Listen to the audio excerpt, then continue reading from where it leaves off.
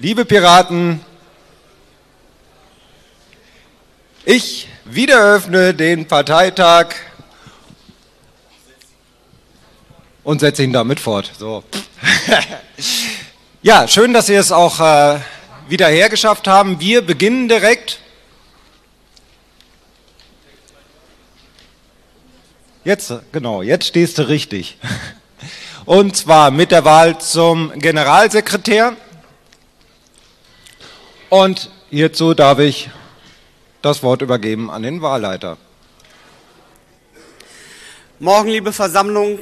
Der Wahlleiter hat aber erstmal nur ein kurzes Intermezzo. Und zwar, Wahlleiter kann das ja nicht alleine machen, der braucht Wahlhelfer. Da heute einige der Wahlhelfer, die gestern da waren, nicht mehr da sind, müssen wir uns erstmal einen kurzen Überblick verschaffen. Wer gestern Wahlhelfer war und heute wieder Wahlhelfer oder Wahlhelferin sein möchte, möge bitte einmal zur Leo und zu mir vorne am Pult kommen, damit wir durchzählen können. Wer natürlich heute auch ähm, neu dazugekommen ist und Wahlhelfer sein möchte, ähm, der kann natürlich auch gerne kommen. Neue Gäste sind immer gerne gesehen. Wir rechnen heute, ich sage erstmal mit drei Wahlurnen aufgrund der, ja, noch nicht so groß, ja, ihr wisst schon, weil wir noch nicht so viele sind, weil noch einige am Schlafen sind. Das heißt, drei Wahlurnen brauchen acht Wahlhelfer. Ich zähle mal gerade durch. Eins, zwei, drei, wir könnten noch ein bis zwei Wahlhelfer gebrauchen.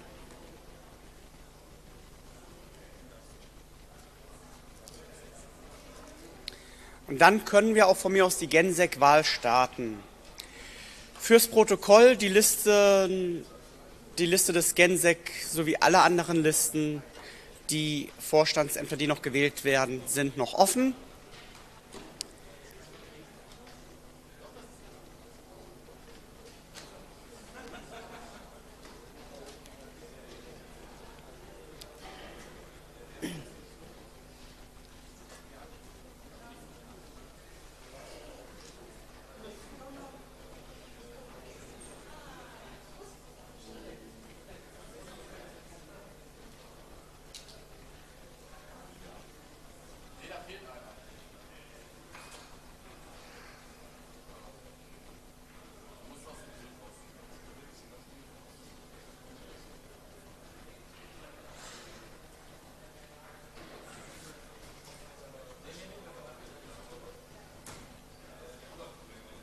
zu, Dankeschön. ähm, Petra hat sich aber auf die Fahne geschrieben und das möchte ich auch vollkommen unterstützen, sich mit dem EU-Wahlkampf weiter zu beschäftigen. Der ist für, für uns extrem wichtig und deswegen ist es wichtig, dass Petra die Hauptaufgabe übernimmt. Und ich glaube, dass ich ist schön, dass es schon am, Telefon, äh, am Mikro steht. Ich habe sicherlich meine Fehler und ich bin auch nicht jedem recht, aber ich bin einer, der kontinuierlich arbeitet der nicht immer glückliche Entscheidungen trifft, das mag auch sein. Aber ich bin auch einer, der seit 2011 in der Piratenpartei ist und immer noch für die Piratenpartei steht, der auch nächstes Jahr, wie gesagt, seinen Mitgliedsbeitrag bezahlen wird. Ja, es ist ein Angebot von äh, mir an euch. Ich würde es gerne machen. Ich habe mit dem einen oder anderen Probleme ähm, und kann aber trotzdem mit ihm zusammenarbeiten, äh, weil ich sage, die Piraten sind wichtiger als irgendwelche persönlichen Befindlichkeiten. Beste Beispiel, ich habe gestern einen, mit dem ich mich schon richtig gebieft habe, äh, für einen Schatzmeister vorgeschlagen. Er ist gewählt worden und da bin ich sehr glücklich drüber, weil ich einfach glaube, dass ein zweiter Schatzmeister für die Piratenpartei wichtig ist. Und es geht hier immer wieder um die Piratenpartei und nicht um einzelne Personen. Und da bin ich gerne dazu bereit, das zu unterstützen. Und ja, jetzt freue ich mich auf Fragen.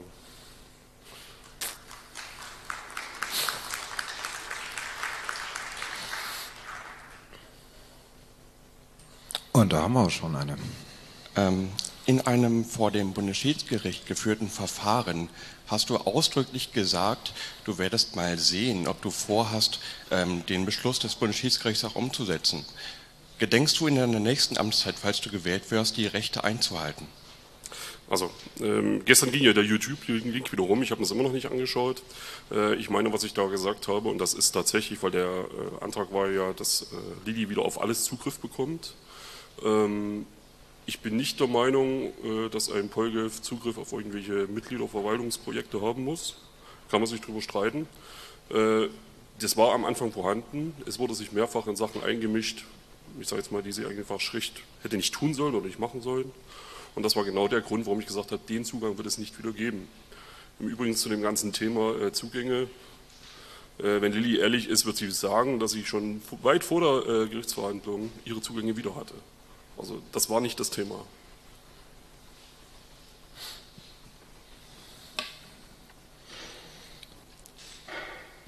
Gibt es weitere Fragen an den Kandidaten?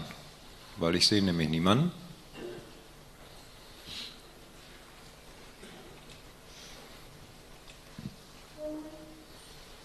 Eine kurze Frage, wie ist dein Verhältnis zu den Datenschützern der aktuellen Situation und wie möchtest du das in Zukunft handhaben? Also auch die Datenschützer sind nicht ohne Grund so gewesen, dass ich äh, das im letzten Vorstand jetzt nicht hauptsächlich betreut habe, sondern das Sebolino gemacht hat. Es ist jedem hier, glaube ich, bewusst, dass äh, mit unserem BDSB so der eine oder andere Clinch äh, ist und äh, Gerichtsverfahren geführt worden sind.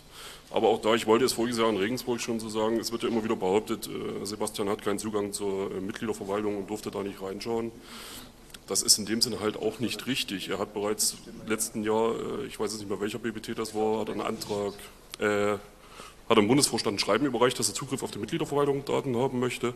Der wurde von uns eingerichtet, der wurde von Mark Nice sogar noch mal verlängert. Äh, Entschuldigung, wenn Bastian das nicht hinbekommt in der Zeit, dann tut es mir leid.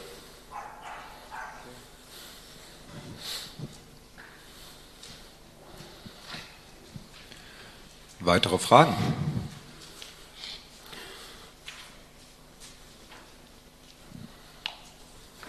Ich frage mal das, was ich auch gestern hätte fragen wollen.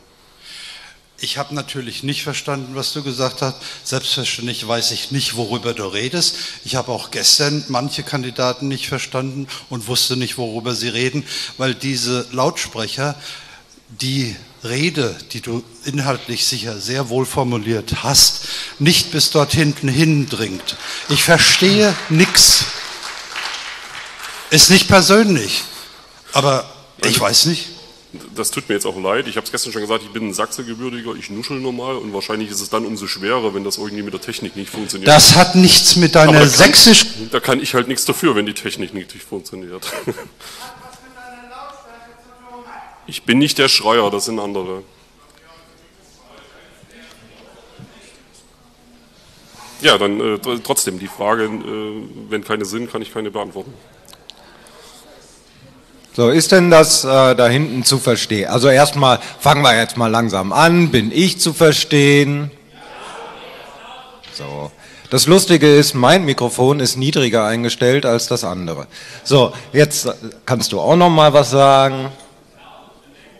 Ja, einen wunderschönen guten Morgen nochmal, falls das jemand nicht mitbekommen hat. Ist der. Ja, das ist jetzt nicht technisch bedingt. Dann, dann komme ich jetzt nachher gleich bei dir persönlich vorbei und wünsche dir einen guten Morgen. Ja. Ja, also das ist technisch nicht zu, nicht zu ändern, sage ich jetzt mal. Ja, also der Schalter ist oben. Gut. Du sollst noch näher ans Mikro gehen. Ja, aber wenn ich nichts mehr zu sagen habe, was soll ich Ja, dann machen? also du hättest jetzt noch äh, sozusagen ein Abschlussstatement. Ja, denn ein Abschluss steht mit nochmal, ich mache den Scheiß jetzt schon ein paar Jahre, ich würde gerne weitermachen. Äh, wer mich jetzt nicht verstanden hat, kann mich gerne dazu befragen, bevor er seine Stimme abgibt. Ähm, ja, das war's. Okay, dann bist du vorerst entlassen.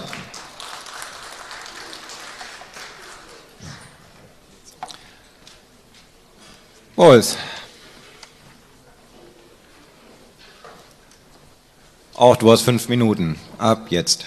Danke. So, mein Name ist Boris Sobieski. Der eine oder andere wird mich schon kennen. Ich bin stellvertretender Vorsitzender in Baden-Württemberg, habe im Bund allerdings jahrelang und mache das immer noch in der IT mitgemacht. Ich habe die Verwaltungsserver mit aufgebaut, kenne die Verwaltung daher ähm, und habe mich aus dem Grund, weil Dinge zu tun sind, aufgestellt, kandidiere deswegen, kenne auch Thomas, kenne auch Petra, kann, mich, kann mir vorstellen, da sehr gut mit den beiden zusammenzuarbeiten. in einem Team. Ähm, ich kann Datenschutz, ich kenne unsere Datenschutzbeauftragten, unsere im Bund, viele aus den Ländern auch, ähm, kenne die Situation, kenne den Beef und denke, dass ich da ein bisschen Ruhe reinbringen kann. Jo, danke.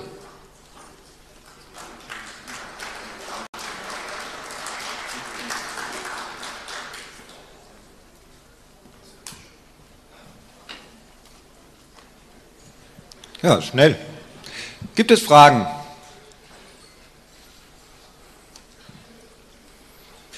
Ja, morgen, Boris, ich danke dir für deine Arbeit, ich danke dir für diese Kandidatur. Die Frage ist, äh, inwieweit ist es wohl gewährleistet, dass die Arbeit, die du bis jetzt schon für die Piratenpartei getan hast, insbesondere halt im Bereich IT, auch weiterhin so durchgeführt werden kann, sodass wir nicht noch größere Probleme in der IT bekommen?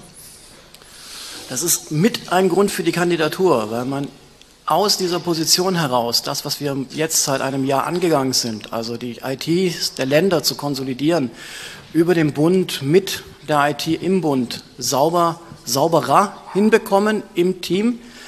Ähm, ich kann da nochmal auf das Treffen nächste Woche in Kassel hinweisen, wo wir mit mittlerweile 14 IT-Lern aus den Ländern zusammensitzen also die Arbeit wird getan, wird auch weiterhin getan, auch von mir, nur mit einem, ja, ich sag mal, mit mehr Verantwortung dafür, dass das auch getan wird, von meiner Seite her.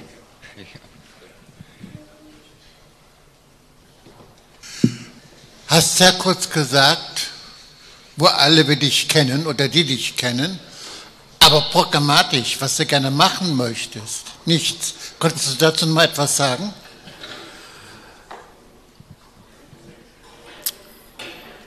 Ich habe als Gensek andere Aufgaben als Programm. Das Programm haben wir uns gegeben. Wir haben gestern die Leute gewählt, die das Programm vertreten sollen. Wir haben wunderbare Kandidaten für den EU-Wahlkampf. Ähm, ich sehe meine Aufgabe darin, dass die den Wahlkampf machen können, dass die unser Programm weiterziehen können, dass wir die Möglichkeiten, die Basis, die Infrastruktur haben, damit das auch funktioniert, damit solche Projekte wie mein Abgeordneter Hetzt das wir in Baden-Württemberg durchgezogen haben, mit Rheinland-Pfalz, mit anderen, einfach auch funktionieren und auch in Zukunft gemacht werden können.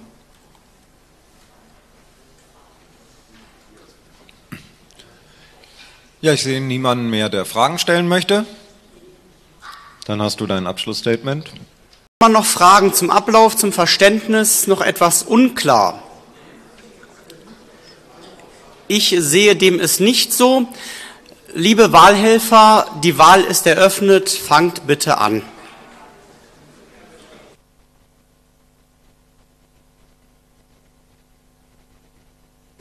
Ich übergebe mich wieder an die VL. Ja, die hat bei einer Wahlhandlung traditionell relativ wenig zu tun, um nicht zu sagen gar nichts.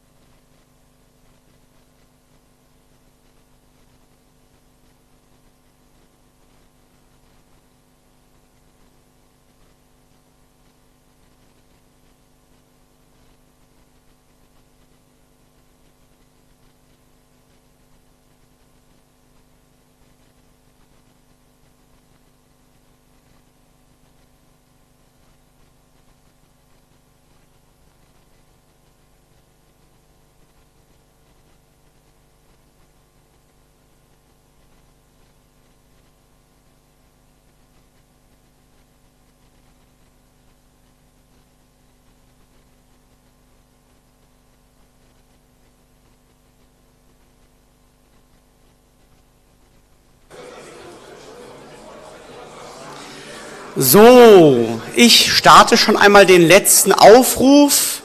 Wer noch nicht gewählt hat, möge an die Wahlurnen kommen. Wir warten noch ein kleines bisschen, weil die Wanderurne noch nicht da ist, aber sobald diese da ist, werde ich den Wahlgang schließen. Also letzter Aufruf, wer noch nicht gewählt hat, möge bitte in eine Wahlkabine gehen, seine Stimme dort ankreuzen oder auch nicht ankreuzen und zu einer Wahlurne gelangen. Danke.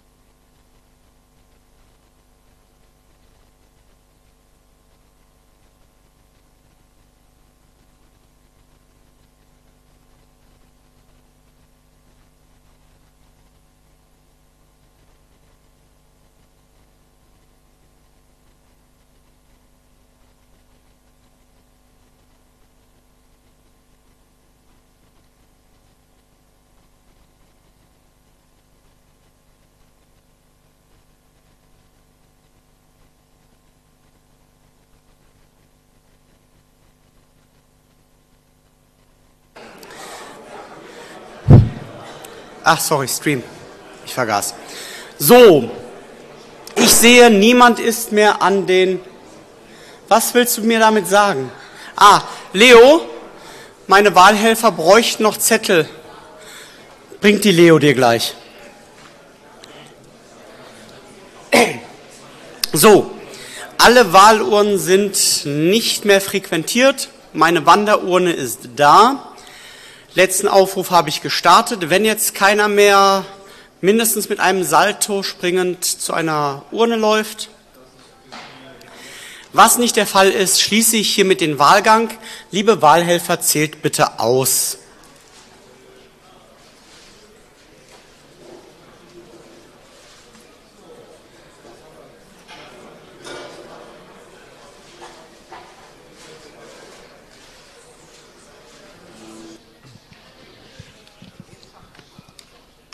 Gut, und da wir keine Auszählpausen kennen, machen wir direkt weiter mit dem WP 002.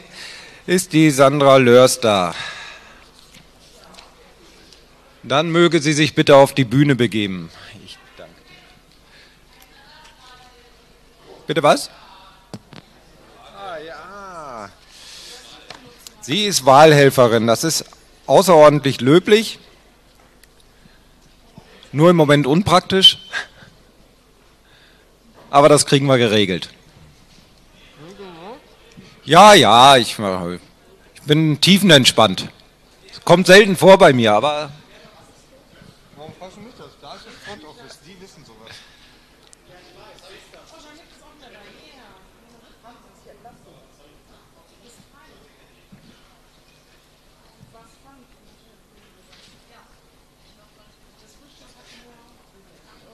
Super. So, dann stell mal deinen Antrag vor, bitte. Guten Morgen, liebe Versammlung. Erstmal, erstmal möchte ich mich bei meinen Mumble-Mitstreitern ganz herzlich bedanken, dass ihr so fleißig mit mir an diesem Antrag gearbeitet habt. Alle, die daran teilhaben, fühlen sich bitte angesprochen. Großes Danke. So. Es geht darum, dass wir Pflegenotstand haben. Das habe ich euch schon ganz oft erzählt. Wir haben zwar ein paar Neuerungen, die uns aber mehr vorkommen wie ein Trostpflaster. Deshalb habe ich den Antrag, den ich letztes Mal in Regensburg eingegeben habe, zurückgezogen und habe daran mit meinen Mitstreitern weitergearbeitet. Nun sind nicht nur Pflegekräfte betroffen, sondern alle nichtärztlichen Gesundheitsberufe. Dazu gehört die medizinisch-technische Assistentin sowie die Arzthelferin, die Hebamme, der Logopäde, der Ergotherapeut. Alle Menschen, die in diesen Gesundheitsberufen arbeiten, leiden. Sie leiden darunter, dass die Arbeitsbedingungen schlecht sind, dass es äh, Stress gibt auf der Arbeit, dass man Fließbandarbeit am Menschen macht und die Zubetreuenden und Zupflegenden leiden darunter, dass sie ständig Anträge stellen müssen, abwarten müssen, bis die Krankenkasse sich meldet und, und, und, und, und. Es läuft also vieles, vieles schief im gesundheitspolitischen Bereich. Deshalb habe ich diesen Antrag verfasst.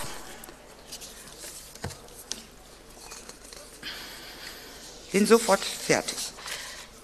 Der Bundesparteitag möge bitte gegebenenfalls beschließen, in der Fortschreibung des Bundestagswahlprogrammes in diesem Modul Pflegequalität und Pflegesicherheit als neuen Punkt im Abschnitt 13 als neue Unterkapitel 13.8.1 und 13.8.2 hinzuzufügen. Ich hätte gerne, dass der Solidaritätszuschlag umgewidmet wird und damit alle äh, nichtärztlichen Gesundheitsberufe unterstützt werden. Die 0,5 Prozent Beitragserhöhung bei der Pflegeversicherung werden nicht reichen. Es reicht lange nicht. Die Krankenkassen fahren minus, eigentlich auch die Pflegeversicherung seit dem neuen Pflegestärkungsgesetz. Da strömen nämlich die Demenzkranken auf den Pflegemarkt. Und deshalb entsteht da ein Minus in dem Bereich. Dann haben wir noch den Vorsorgefonds, auch Pflegebar genannt. Der wird im Moment angespart, ist aber äh, diesen Schwankungen auf dem Finanzmarkt unterlegen und könnte für uns dann ziemlich schief gehen, wenn der Finanzmarkt mal wieder zusammenbricht. Das Okay. Ich muss leider zum Schluss kommen. Ich hoffe, ihr habt euch ein bisschen mit dem Antrag beschäftigt und ich bitte die Versammlung, den positiv abzustimmen. Ich möchte ihn gerne äh, heute noch, wenn es positiv ausgeht, in die weite Welt hinausschicken mit einer Pressemitteilung. Okay, herzlichen Dank. Gibt es Verständnisfragen? Eine Frage zum Verständnis, da steht ein Satz vor den Modulen. Heißt das, wenn wir die Module nicht annehmen, können wir diesen einen Satz trotzdem haben? Also die Piraten wollen eine neue Finanzierungsgrundlage? Oder können wir quasi nur über die beiden Module abstimmen?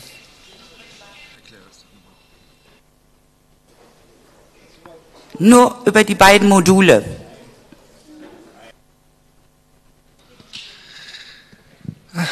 Also, es steht tatsächlich ein Satz vor den Modulen. Wir machen das wie immer. Wir stimmen einzeln über die Module ab und am Ende nochmal über das Ganze. Wenn beide Module abgelehnt werden sollten, bleibt der Text vor den Modulen über und wenn das dann positiv beschieden wird, dann gibt es nur den Text, der vor den Modulen steht. Gibt es, gibt es weitere Verständnisfragen? Gut, dann beginnen wir mit dem Kontra. Bitte was?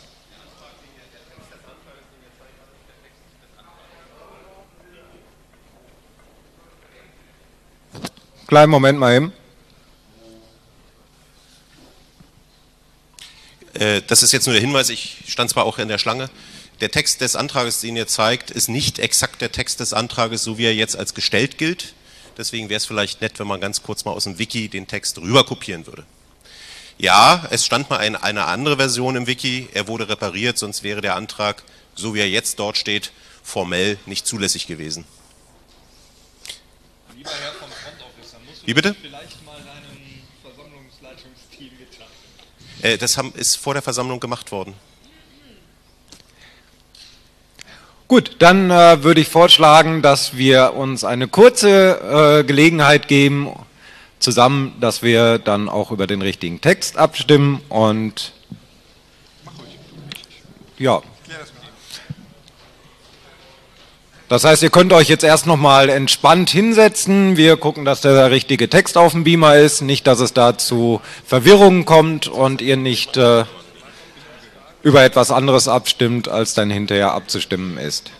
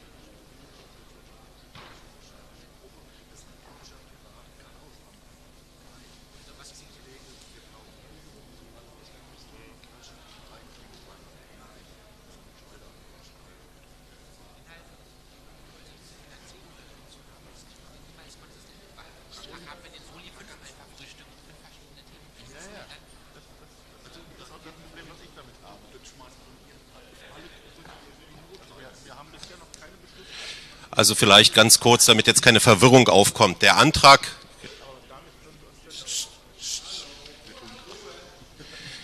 der Antrag wurde äh, in seinem inhaltlichen Gehalt nicht verändert. Lediglich was äh, jetzt gestern Morgen noch passiert ist, was eine Anforderung ist, die wir uns gesetzt haben in unserer Antragsordnung, ist, dass dieser Antrag wirklich jetzt glasklar sagt, an welchen Stellen im Programm die entsprechenden Änderungen einzufügen sind. Weil Anträge die an Programmen arbeiten, wie auch an der Satzung beispielsweise, die Anforderung haben, exakt zu sagen, was sie wo ändern. Ja? Alles klar. Gut. Ich bin mir nicht ganz sicher, ob du als erstes in der Reihe standst. Eine Frage, eine Verständnisfrage, gerne am Pro-Mikrofon.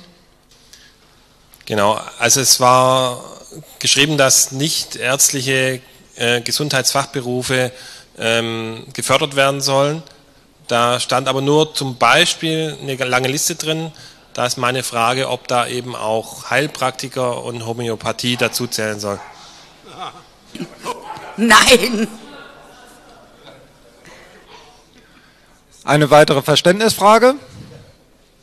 Ich sehe keine. Wir beginnen mit dem Kontramikro.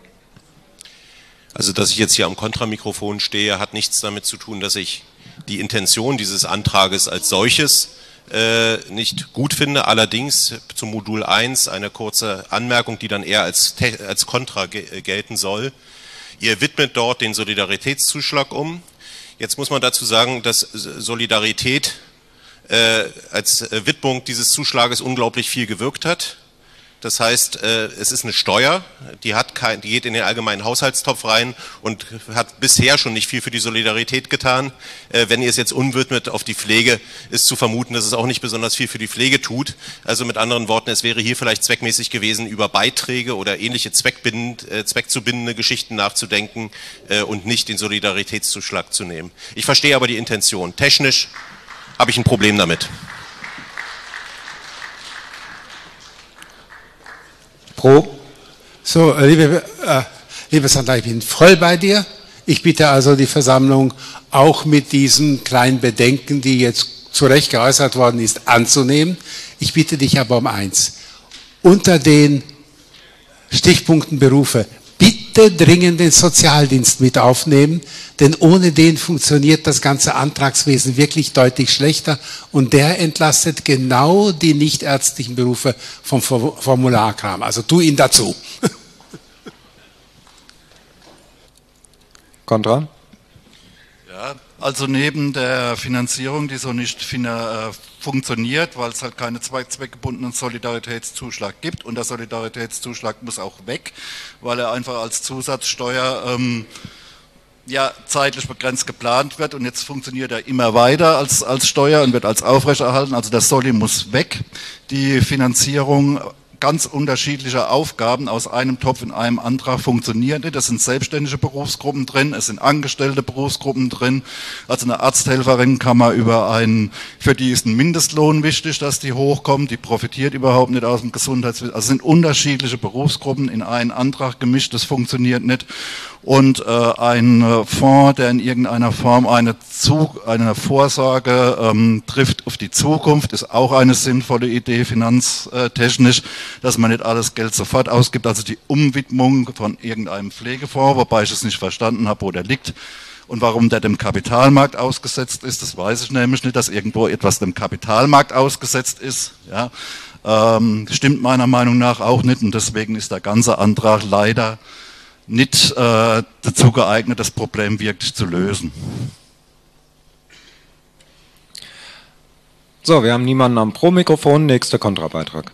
Ja, also ich sehe es nicht ganz so skeptisch wie mein Vorredner, dass der Solidaritätszuschlag nie abgelöst wird oder aufgehoben wird. Ich habe vielmehr ein Problem damit, was machen wir mit diesem Antrag, wenn tatsächlich es keinen Solidaritätszuschlag mehr geben würde dann hätten wir ja uns festgelegt auf eine Finanzierung aus einem Topf, den es gar nicht mehr gibt. Ähm, von daher, die Intention dieses Antrags ist gut, aber die Legislatur dauert wahrscheinlich doch noch etwas länger, bis wir wieder zu einer Bundestagswahl kommen. Und äh, dann möchte ich nicht unbedingt an einem beschlossenen Programmpunkt äh, noch eine Änderung vornehmen müssen, sondern dann einen runden Antrag machen, zumal ja jetzt auch schon gesagt wurde, dass da auch noch andere Punkte sind, die gegebenenfalls überarbeitet werden müssten. Weiterhin kein Pro, der nächste Kontrabeitrag. Ich möchte halt ausdrücklich hier gar nicht gegen den gesamten Antrag, sondern nur gegen die beiden Module reden. Also der, äh, der Satz, dass da bei der Finanzierung was getan muss und nicht ärztliche äh, Kranken- und Pflegeberufe irgendwie äh, besser, äh, äh, äh, besser finanziert werden müssen, dass da Lücken bestehen, den würde ich so mittragen. Ich habe nur ein grundsätzliches Problem mit diesen Finanzierungsvorschlägen. Also unabhängig davon, ob es den Soli denn eigentlich noch gibt oder nicht, wenn das relevant ist. Vielleicht haben wir auch was, also vielleicht nehmen wir auch die Cannabissteuer, die Mineralölsteuer, die Finanztransaktionssteuer, was wir uns alles auch so vorstellen können, was man besteuern könnte. Und ich sehe überhaupt keinen Grund, warum wir jetzt, das ist kein Gesetzesantrag, warum wir in unserem Programm exakt irgendwo solche Gegenfinanzierungen machen.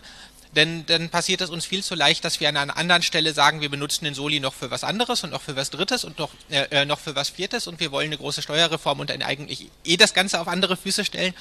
Also ich hätte es gerne, wenn wir nicht bestimmte Arten, welche welche Steuern wir äh, verändern wollen, im Gesundheitsprogramm unterbringen. Also wenn wir damit anfangen, glaube ich, haben wir einfach ein großes Problem, unser Programm konsistent zu halten. Deswegen wär, möchte ich zumindest davon abraten, die beiden Module 1 und 2 anzu, äh, anzunehmen, weil die, ja, weil die sowas regeln, das im Gesundheitsprogramm meiner Meinung nach zu weit geht.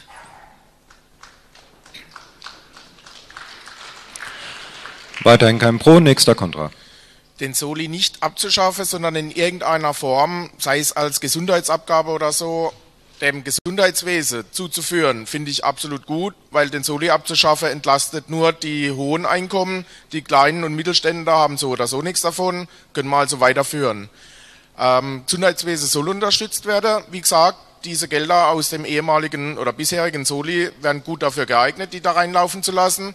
Allerdings finde ich es äh, nicht gut, das auf nichtärztliche Gesundheitsfachberufe anzusetzen und dann noch eine beispielhafte Liste anzubringen. Vorhin kam die Frage nach der Homöopathie. Da frage ich dann, wie will man das ausschließen, dass diese Gruppe da nicht unterstützt wird? Deswegen sollte man meines Erachtens den ganzen Antrag umformulieren, dahingehend, dass die Gelder des ehemaligen bisherigen Soli in irgendeiner Form dem Gesundheitswesen zufließen soll. Und das Allgemeinhalter, damit auch zum Beispiel Krankenschwestern vielleicht höher entlohnt werden können, die nämlich da auch nicht enthalten werden. Der nächste äh, Pro-Beitrag. Also ich wäre schon für diesen Antrag. Ähm, wir könnten jetzt vielleicht die Lex Marsching ziehen und den vielleicht noch umformulieren, dass das Thema mit den äh, Besteuerungs, äh, Besteuerung so mit zweckgebunden auf Beiträge oder ähnliches umformulieren. Äh, dann könnte man, glaube ich, mehr noch dem Antrag zustimmen. Das wäre jetzt aber deine Entscheidung. Dankeschön.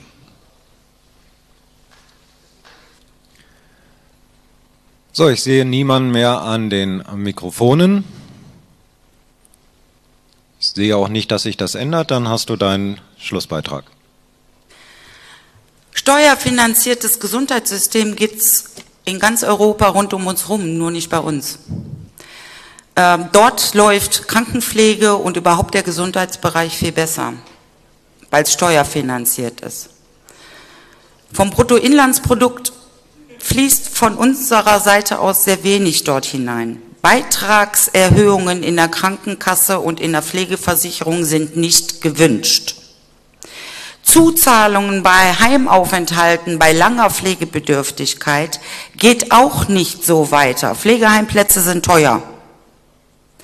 Dies alles muss irgendwann finanziert werden. Und wenn wir uns da nicht auf den Weg machen, dann sehe ich schwarz. Für die, die jetzt hier jung sitzen, irgendwann alt sind und pflegebedürftig, dann werdet ihr eben, ob ihr es wollt oder nicht, von Robotern gepflegt und nicht mehr von der liebevollen Pflegekraft. Okay, herzlichen Dank.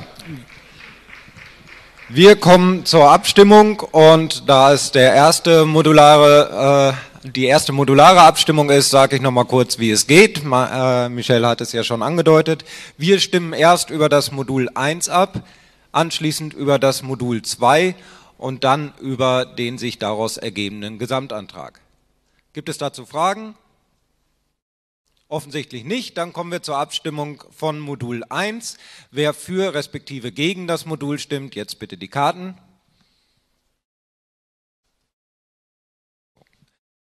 Modul 1 ist abgelehnt. Wir kommen zu Modul 2. Wer für oder gegen Modul 2 stimmt, jetzt bitte die Karten.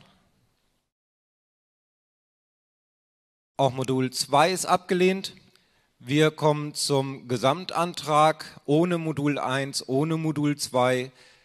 Jetzt bitte die Abstimmung.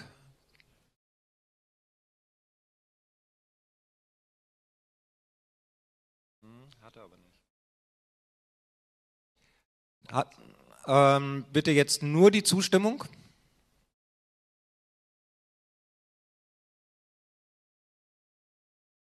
Jetzt die Ablehnung.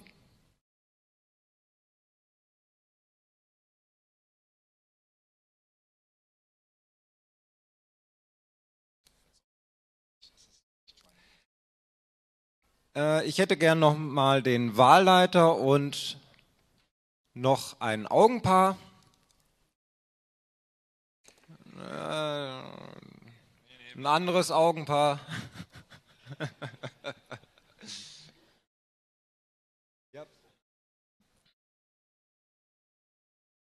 Sehr schön.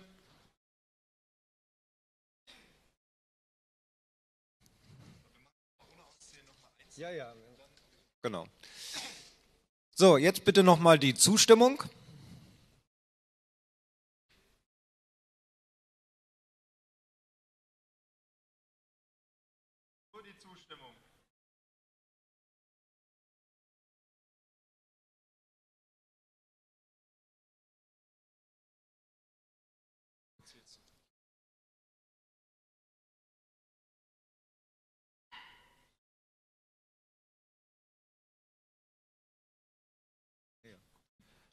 Dankeschön.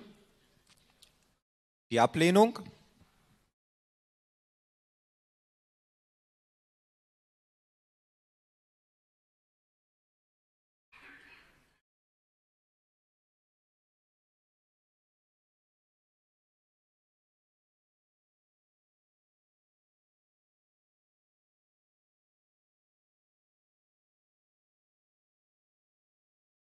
Dankeschön.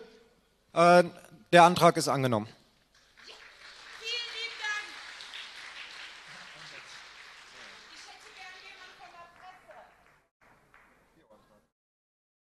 Ich habe den gesehen, kleinen Moment.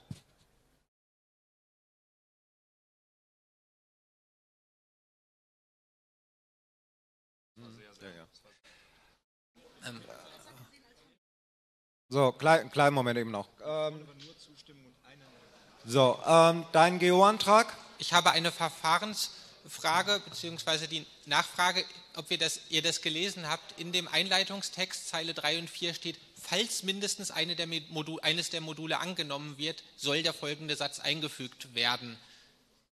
Deswegen die Frage, seid ihr euch sicher, dass wir das jetzt korrekt durchgeführt haben? Und was wäre die Überschrift, unter der das Ganze dann eingefügt wird? Weil wir haben ja jetzt keine.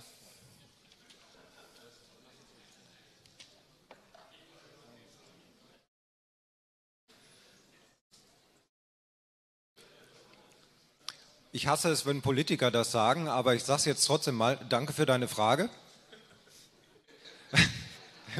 Wir werden uns mit ihr beschäftigen. Danke. Wir werden uns in dieser Frage nicht auseinanderdividieren lassen. Mal gucken, ob mir sonst noch irgendwelche Sprüche. Aber ähm, ja, wir kümmern uns drum. Danke.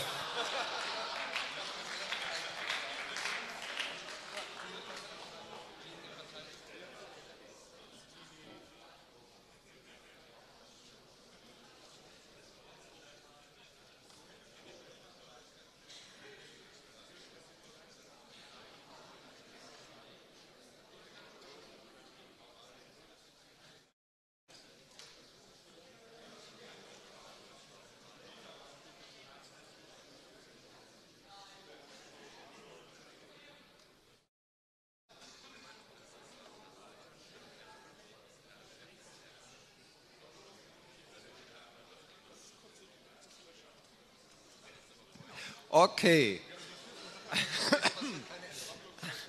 Ja, das sind, das sind die Tücken der modularen Anträge. Also, formal, das, was wir getan haben, war richtig und auch das Einzige, was wir hätten tun können. Was wir jetzt getan haben, ist, dass wir gesagt haben, ja, wir sind dafür, aber wir haben dazu nichts. Also insofern äh, den, den Ran auf die Presse vielleicht noch mal kurz stoppen.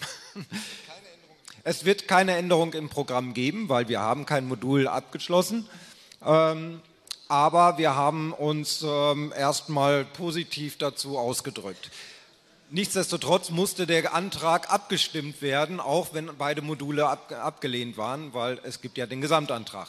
So ist halt die äh, Geschäftsordnung. Ähm, das nächste Mal ähm, vielleicht nochmal die Hilfe bei der Antragskommission bemühen. Aber Gut, ja, aber gut, dass die Frage gestellt worden ist, weil jetzt haben wir eine Antwort darauf und äh, wir können weitermachen mit dem nächsten Antrag, es sei denn, mein Wahlleiter sagt, er hätte ein Ergebnis. Hat er, das ist ja fast wie in der Werbung. Wo war das eigentlich nochmal? Vielleicht hat, wenn ich jetzt auf Twitter wäre, würde ich sagen, einer meiner Follower hat doch bestimmt eine Antwort darauf. Hat er? Wo, wo, war, wo kommt das her? Nein. Nein.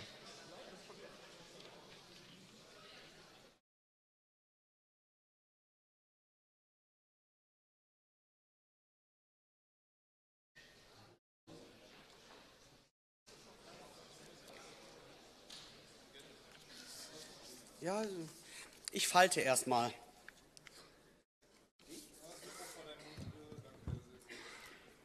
Ja. So.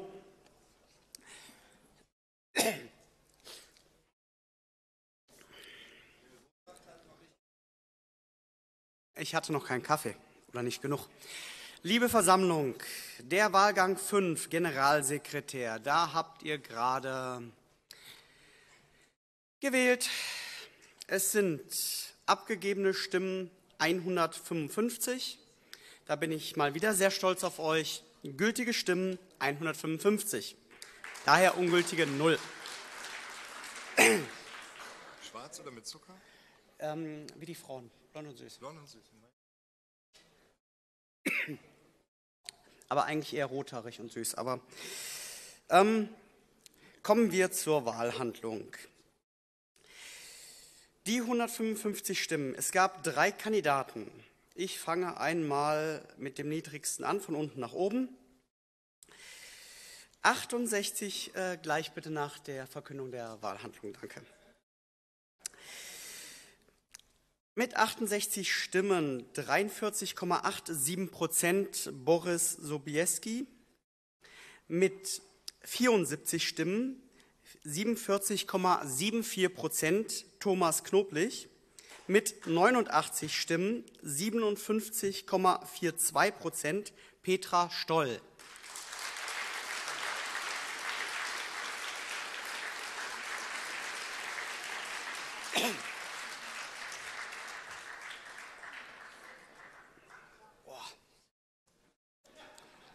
Herr Marsching, das ist aber sehr süß.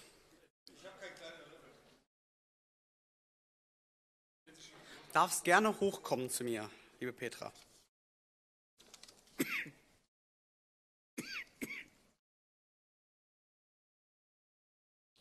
Petra, die Versammlung hat dich zum Generalsekretär der Piratenpartei Deutschland gewählt. Nimmst du die Wahl an? Ja, danke, ich nehme an. Kannst gerne noch ein paar Worte sagen. Ich möchte eigentlich nicht ich möchte eigentlich nicht mehr viel sagen, aber lasst uns weitermachen und weiter kämpfen und vor allen Dingen für die EU-Wahl, das muss wirklich das nächste Ziel sein. Und vielen Dank. Nein, na, die Frage nach den Posten kam noch. Nein, da gibt es keine Konflikte. Ich habe kein anderes Amt oder sonst ähnliches.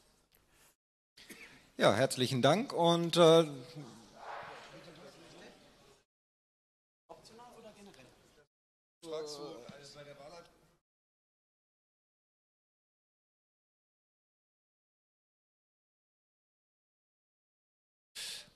Gut. Der nächste Wahlgang wäre äh, der stellvertretende Generalsekretär und das ist eine äh, Option. Das heißt, wir werden jetzt erstmal feststellen, ob wir diese Option ziehen wollen. Soll der stellvertretende Generalsekretär gewählt werden als Posten? Ja, nein. Bitte jetzt zur Abstimmung. Ihr wollt ihn wählen. Herzlichen Dank und ich übergebe an den Wahlleiter. So, die Wahl zum stellvertretenden Generalsekretär oder stellvertretende Generalsekretärin. Ich sehe es da nicht so eng. Für mich seid ihr alle Eichhörnchen oder Menschen. Wie dem auch sei. Oder beides. Wie dem auch sei. Die Kandidatenliste für einen stellvertretenden Generalsekretär ist und war offen. Haben wir Kandidaten für das Amt des Stellvertretenden?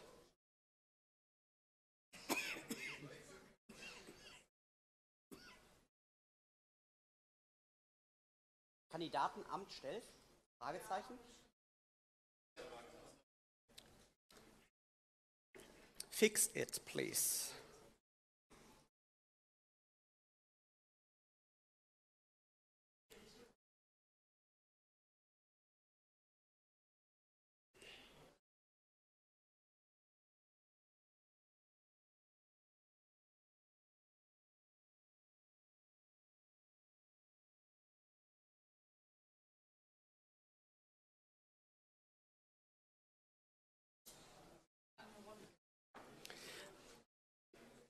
So, die Kandidaten, die sich bis jetzt gemeldet haben und die Unterstützerunterschriften zusammengekriegt haben, seht ihr hinter mir auf der Leinwand. Möchte noch jemand für das Amt des stellvertretenden Generalsekretärs kandidieren?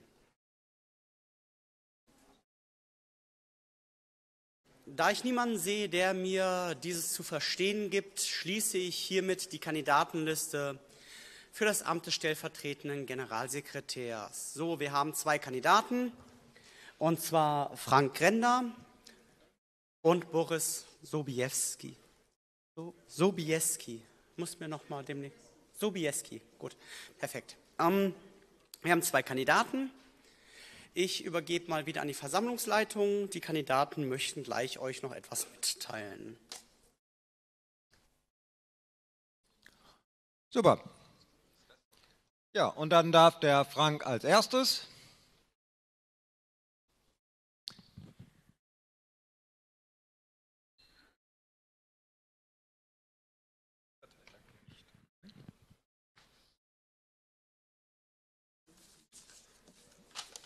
Wie viel Zeit habe ich? Fünf Minuten.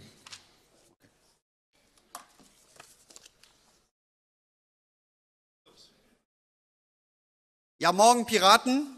Ich hoffe, ihr könnt mich alle bis in die letzte Ecke verstehen. Zuerst ich hatte ich eine große Rede vorbereitet. Ich muss mal kurz ein Statement abgeben, da es schon hier im Saal rumgeht. Ich möchte sagen, äh, jeden Presseartikel habe ich nicht selbst verfasst, der heute in der Express und in der NRZ ist. Äh, ich möchte auch diesen Parteitag nicht aufmischen, aber ich kandidiere auch nicht als stellvertretender Polgef nachher, nur weil ich jetzt heute in der Presse bin und der Bundesparteitag in den Medien hier in Düsseldorf ist. Warum stehe ich hier? Neun Jahre eine Partei, neun Jahre ein Traum. Seit 2012 hatten wir damals eine Möglichkeit, was zu bewegen in Deutschland.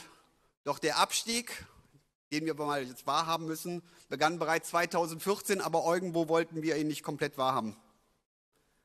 Vier Jahre sind seit diesen Tagen vergangen. Wir haben unsere Landtagsfraktionen ver verloren und zwei, ich sage jetzt mal nicht so tolle Landtagswahlen vor uns. Den ersten Teil des Buches habt ihr gestern gewählt und heute Morgen auch. Glückwunsch an Petra zur Gensek. Warum soll ich dieses Team ergänzen? Viele, die mich kennen, wissen, was ich für ein Typ bin und dass ich bisher immer an der Front gekämpft habe. Ich wollte 2V im Land werden, das bin ich nicht geworden. Und ihr habt mir euer, euer klares Statement gegeben. Weil ich halt auch meine Schwächen habe und ich, dazu stehe ich auch. Deswegen mache ich eben nicht PolGF und nicht an diese Position, weil ich halt zu viel labere und auch nicht zum Punkt kommen kann.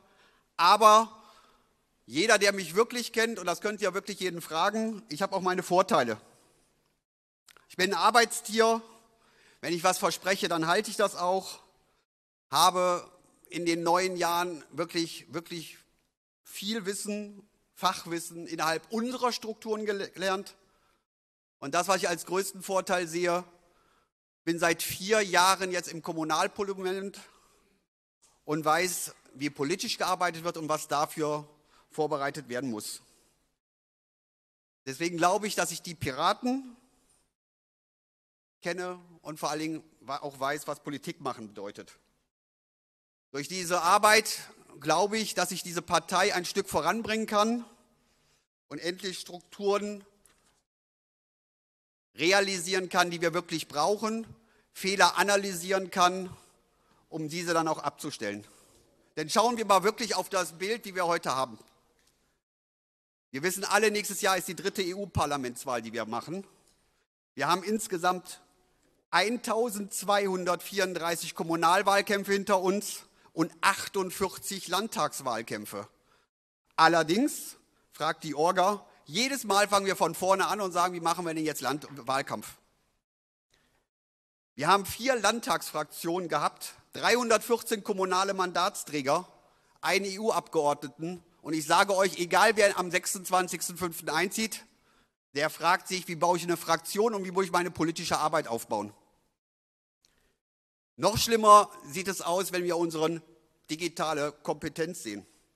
1824 Blogs betreiben wir, 226 Subdomains, 750 Mailinglisten, die Pets, die Pet-Gruppen und die ganzen anderen Tools habe ich gar nicht dazu gezählt.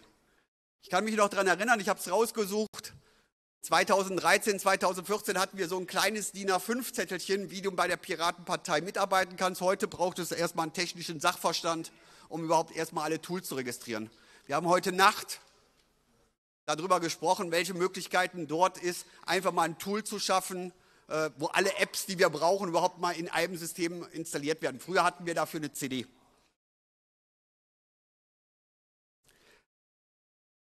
Diese ganzen Sachen lassen sich jetzt nicht nur auf die politische Arbeit, sondern auch auf die interne Arbeit äh, fortführen. 30 Sekunden nur noch. Deswegen würde ich mich freuen, wenn ich mit euch zusammen diese Struktur von innen heraus aufbauen kann. Mit eurem Wissen, mit eurer Information können wir es gemeinsam schaffen, der parteiweit ein System zu geben, so wie es bei den anderen und bei uns eigentlich sein sollte, gemeinsam zu arbeiten, gemeinsam nach vorne zu gehen, damit wir alle unsere Pressemitteilungen rausjagen können, damit wir gemeinsam einen Auftritt haben. Und dafür stehe ich zur Verfügung die ganze Zeit rund um die Uhr und mache alles dafür, dass wir gemeinsam erfolgreich werden und dass der Polgev und der Vorsitzende das tun kann, was er wirklich als Aufgabe hat. Danke.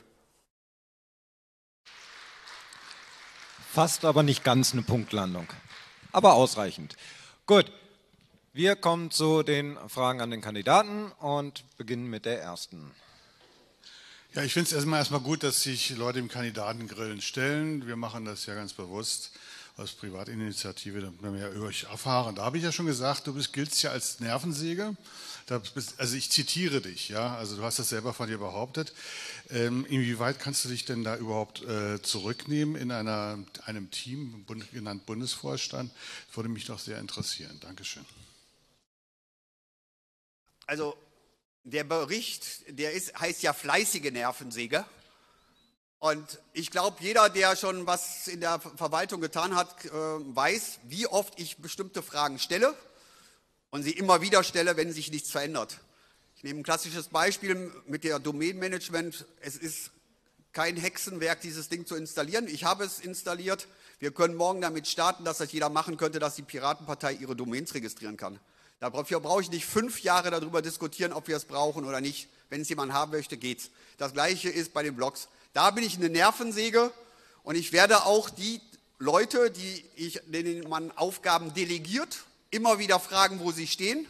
Und der große Vorteil ist, dass wenn jemand wirklich mal ausfällt, ich bestimmte Arbeitsbereiche übernehmen kann, wie jetzt zum Beispiel äh, die Pressemappe einfach mal in InDesign erstellt werden muss. Diese Fähigkeiten habe ich, diese Programme habe ich und habe auch dann selbst die Erfahrung. Ich muss also nicht immer wieder jemand Neues suchen, sondern notfalls setze ich mich nachts hin und mache es selbst.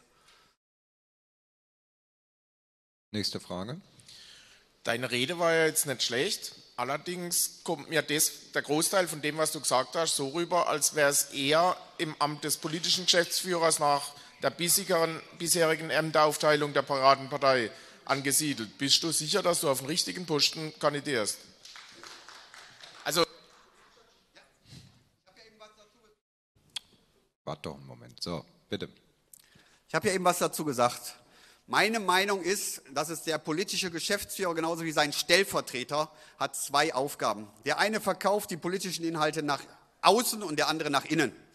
Dafür muss erstmal Input an die politische Geschäftsführerin geschickt werden. Ich habe jetzt anderthalb Jahre mit den politischen Geschäftsführern zusammengearbeitet und weiß, was tatsächlich ankommt. Die Zeit, die alles selber rauszusuchen, ist für die politische Geschäftsführerin gar nicht leistbar. Also müssen wir, und das sehe ich als Sekretariat einfach so an, die Tools schaffen, dass die Informationen gesammelt, gefiltert, dem ersten Vorsitzenden, dem zweiten Vorsitzenden zur Verfügung gestellt werden, damit die dann agieren können, um dann wieder entsprechende Sachen zu machen. Wenn ein Block nicht funktioniert, kann die politische, General, äh, politische Geschäftsführung auch nichts rausgeben. Wir sollten auch mal hinter die Kulissen gucken und wie es tatsächlich aussieht. Und da ist einiges zu tun. Und das ist Arbeit und das wissen die Leute auch, wie ich eben gesagt habe. Wir müssen endlich diese Sachen konsolidieren, wir müssen diese Arbeit machen, sodass alle auch zusammenarbeiten können. Und ich bin nicht, habe ich eben selbst äh, ja gesagt, nicht der Mensch, der dann den Inhalt in drei Worten wiedergeben kann, sondern ich äh, verfasse in einem Satz fünf verschiedene Thesen. Und dafür ist, sorry, das ist nicht mein Job. Frage 3. Du hast schon beim Kandidatengrillen und jetzt auch immer von Strukturen gesprochen. Also ein schönes Zitat fand ich, voneinander kopieren ist der Schlüssel zum Erfolg. Kannst du vielleicht ein paar Beispiele geben, wie du das anpacken willst mit den Strukturen, vielleicht auch nicht digital? Du hast jetzt hauptsächlich Tools angesprochen. Du meinst jetzt, wie wir die mitnehmen, Piraten, die nicht mehr online aktiv sind? Da ist es, sieht es zum Beispiel so aus, dass ich sage, wir haben bis heute nicht die Möglichkeit überhaupt zu erfahren, ob der Mensch ein Offliner oder ein Onliner ist. Ich persönlich würde es lieben oder toll finden, wenn wir in der Mitgliederverwaltung, wenn irgendwann der Pirat Mitglied geworden ist, dass wir diese Möglichkeit haben. Und ja, wir, ein KV oder die Partei muss sich dann auch entscheiden, auch notfalls wieder Papier zu verschicken, was ich händisch ausfüllen kann. Wir haben aber bei uns in der Partei, das ist mein Eindruck, äh, einen technischen Sachverstand, der erforderlich ist und deswegen auch die Leute gar nicht mehr erreicht. Und ja, man kann dann auch mal wieder was an die LGS schicken, was dann eingescannt wird und dann auch weitergereicht wird. Und das müssen wir aber auch aufnehmen. Und das auch akzeptieren, dass nicht jeder, ich sage jetzt mal, alle Toolmedien hatten. Wir hatten das gestern in der Kommunalkonferenz, wer wie welches Tool nutzt und keiner nutzt alles. Jeder hat seine speziellen Vorzüge und das müssen wir irgendwo mitnehmen, damit wir überhaupt wissen, wie wir mit der Basis und dem Bürger nachher kommunizieren. Frage 4. Ja, hallo Frank, erstmal Gratulation. Danke, dass du erstmal dich überhaupt jetzt hier dem, dem jetzt hier mal stellst. Ähm, meine Frage ist, ähm, du sprichst die ganze Zeit immer hier von Teamarbeit. Äh, so als Teamplayer habe ich dich bisher noch nicht kennengelernt, sondern als einen, der äh, äh, genau Punkte, ähm, also Fehler direkt benennt und auch meint. Äh, meinst du, du schaffst es dann in diesem äh, neuen Vorstand, das äh, hinzubekommen, da in, in einem Team zu arbeiten, auch Arbeiten zu, äh, auch Dinge zu bekommen, also Aufgaben zu bekommen?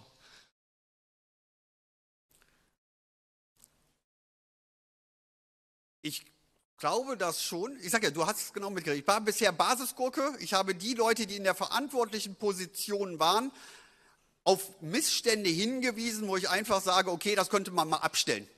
So, das, was ich nicht verstanden habe, und da bin ich halt die Nervensäge, warum nach einem Jahr, nach anderthalb Jahren, nach zwei Jahren dieser Fehler, dieser Fehler immer noch vorhanden ist. Das, was ich immer wieder höre, ist, ah, ist nicht meine Aufgabe, aber ich habe das weitergegeben, ich habe mal eine Mail verschickt, ähm, da passiert ja nichts oder da muss er noch ein bisschen warten. So, ich bin der Mensch, der sagt, okay, verstehe ich, so, wenn ich aber in dieser Position bin und jemand es delegiere, rufe ich ihn an und wenn der mir dann sagt, weißt du, ich kann jetzt nicht, weil ich bin drei Wochen falle ich aus oder sechs Wochen, bin ich der Typ, der sagt, okay, verstehe ich, super, aber ich mache dann kurz mal die Aufgabe selbst, weil wenn ich den technischen Sachverstand habe, kann ich es auch selber erledigen. Genauso bin ich einfach, wo ich zum Beispiel sage, alle Designer müssten genauso eine Online-Maschine haben wie die Leute, die in, der, in Sage arbeiten, sodass endlich mal alle Daten gesammelt werden.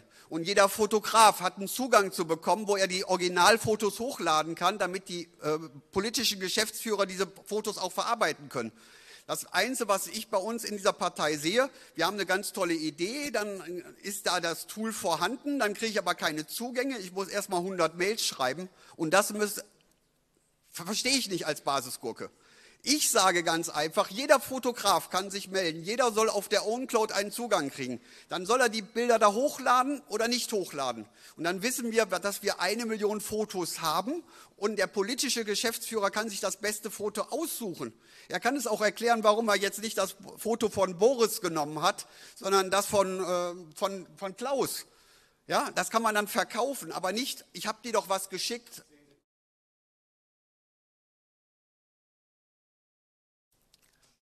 Frage 5.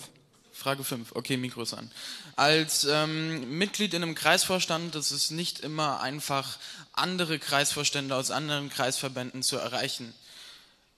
Du scheinst, als hättest du dir schon sehr viel Gedanken zum Thema Strukturen gemacht. Magst du kurz einschätzen, woran das liegt, dass es relativ schwer ist, als Kreisvorstand, Kreisvorstandsmitglieder aus anderen Kreisvorständen zu erreichen, wenn man diese nicht persönlich kennt? Und hast du vielleicht sogar einen konkreten Ansatz, was man dagegen tun kann, damit äh, die Vernetzung leichter geschieht? Also da ich jetzt neun Jahre dabei bin und auch ja mal Kreisvor äh, stellvertretender Kreisvorsitzender war, jetzt Beisitzer bin, weiß ich, wir haben das gleiche Problem, wir wählen jedes Jahr zum Beispiel neue Leute. So, wir hatten mal, alte Leute können sich noch daran erinnern, mal Ideen wie Pirateninfo, Karteikartensysteme, äh, Vernetzungslisten, Vorstandslisten. Ich glaube, wir haben jetzt im Dezember auch Vorstandswahlen. Ich, wir wissen, haben so eine How-To-Liste, wo wir uns überall eintragen müssen, damit man das aktualisiert. Ich habe zum Beispiel jetzt, was wir jetzt in NRW mal gestartet haben, einfach gesagt, das ist doch totaler Wahnsinn. Ja, warum machen wir es nicht wie bei den Benutzerprofilen im Wiki? Ja, eine Liste, die jeder Kreisverband einpflegen muss auf der Wiki-Seite. Und wenn ich einen Kreisverband habe, habe ich einen Schatzmeister, da habe ich einen, einen ersten Vorsitzenden, da habe ich einen Pressewart, da habe ich vielleicht irgendwie einen Arbeitskreis, kann dort im Wiki das einpflegen und dann kann jeder, der diese Daten braucht, diese vollautomatisch aus dem System zum Beispiel raussuchen ja, kann sich da eine eigene Liste mit erstellen. Das gleiche kannst du auch in der Datenbank hinterlegen. Die Schatzmeisterei weiß genau, ob ich einen virtuellen Kreisverband habe oder einen realen Kreisverband. Auch dort könnten Daten hinterlegt werden. So, um dann allen zur Verfügung zu stellen. Ob das alles öffentlich sein muss oder ob wir ein geschlossenes System brauchen, wo ich mich einloggen kann das muss man diskutieren mit den Leuten, was das Praktikables ist. Aber es muss endlich getan werden, damit ein Kreisvorstand aus München sich mit den Düsseldorfern sofort verbinden kann und nicht erstmal überlegen muss, wie heißt die Seite, wie heißt dieses System, wie heißt das. Das wäre ein Traum, aber das müssen wir gemeinsam diskutieren, was da die beste Lösung ist und nicht immer nur sagen, geht nicht, wollen wir nicht, machen wir nicht.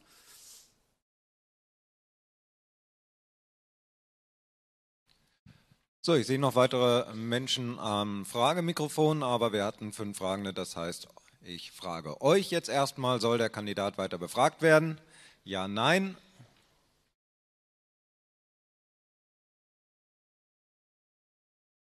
Nicht eindeutig, deswegen machen wir weiter. Die nächste Frage, Block 1.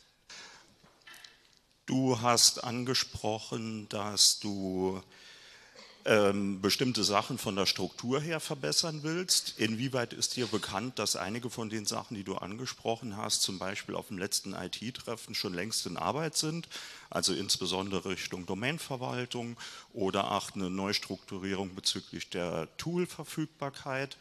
Und äh, wie stellst du dir vor, dann halt auch die Leute mitzunehmen, halt nicht nur die Nervensäge zu spielen, was sicherlich nicht verkehrt ist, äh, sondern auch die Leute mitzunehmen, die halt dann eben diese Arbeit machen müssen, weil alles alleine kannst du ja selber dann auch nicht machen.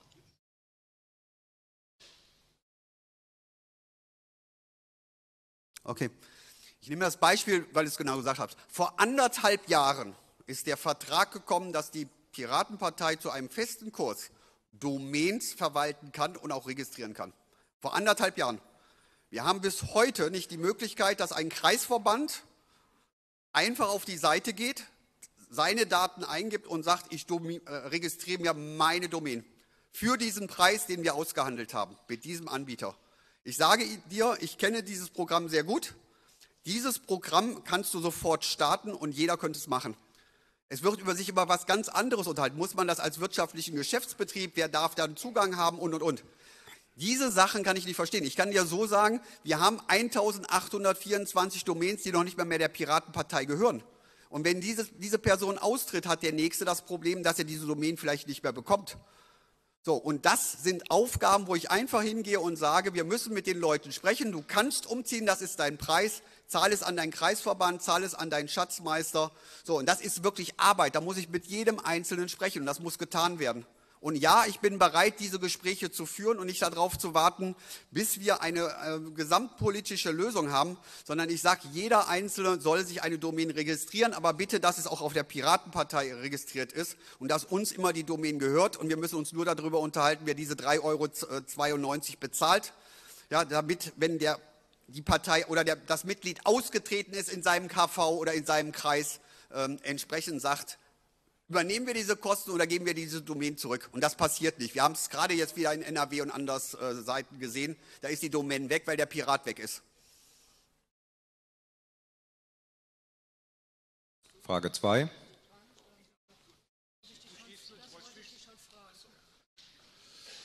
Ja, also was höre ich denn hier wieder? Also neue Tools und so weiter. Lieber Frank, wir haben das schon alles. Es bedarf nur eines gewissen technischen Sachverstandes, einer gewissen organisatorischen Umsetzungsfähigkeit, diese Sachen zu nutzen. Ich will keine neuen Tools. Ich will, dass das mal stringent gemacht wird, was du da die ganze Zeit erzählst, von mir aus seit anderthalb Jahren. Es weiß kaum einer. Ich glaube, äh, da muss was passieren. Bist du denn in der Lage, so weit weiterzukommen, dass das durchdringt? Ob ich das ist immer die gute Frage. Kann man durchdringen oder kann man nicht durchdringen? Als Basisgurke sage ich, nee, kann ich nicht. Ob ich als Vorstand in der Position, wo ich sage, ich habe einen Dennis hinter mir, ich habe einen Sebastian hinter mir, äh, der Bernd, wenn wir das gemeinsam machen und sagen, das sind die Tools, dann müssen wir die Diskussion in der Basis führen und ich glaube, dass wir es umsetzen können. Die Frage ist, warum diskutieren wir fünf Jahre darüber, ob wir es brauchen oder nicht? Und das, was ich einfach sage, eine virtuelle Maschine, weil irgendwo jemand einen Traum hat, der eine MetaMouse, der nächste äh, Prosteno, der nächste das, zu machen und sagen, testet es einfach, macht es. Es bleibt aber bei uns. Ja, müsste eigentlich möglich sein. So, und diese Tools, die wir haben, klar müssen wir darüber diskutieren und die, die Technik geht weiter. Wir diskutieren aber, ob wir überhaupt eine virtuelle Maschine kriegen, ob wir ein, eine Dienstleistung kriegen, ob wir einen eigenen Blog kriegen oder nicht, ob eine AG eine Webseite betreiben darf oder nicht. So, die Leute und das ist piratentypisch, machen es einfach. Und dann haben wir irgendwo einen Blog und ich habe es ja wirklich äh, überprüfen lassen, ich habe sie mir angeguckt. Wir haben alleine noch sechs, über 600 Seiten, da habe ich einen Bernd Schlömer im Impressum gesehen, der Vorsitzende der Piratenpartei ist, weil der Blog ist seit Jahren nicht mehr gepflegt worden. Da steht aber oben unser Logo drauf. Und da muss ich ganz einfach sagen, bitte, das ist eine Subdomain. Warum ist das nie angegangen worden? Das ist Arbeitsschritte, die ich einfach bereit bin. Und ich wollte euch nur sagen, es ist so. Und ich kann auch, auch gerne diese Liste machen, ob ich jetzt Gensek werde oder nicht. Danke.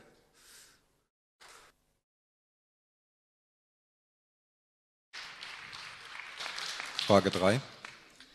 Die Mitgliederverwaltung ist ein sehr trockenes Amt. Das sind Eintritte, Austritte, Umzüge, Ticketbearbeitung im Bereich des Kundensupportes. Könntest du dir wirklich vorstellen, das sieben Tage in der Woche wirklich irgendwie durchzuziehen?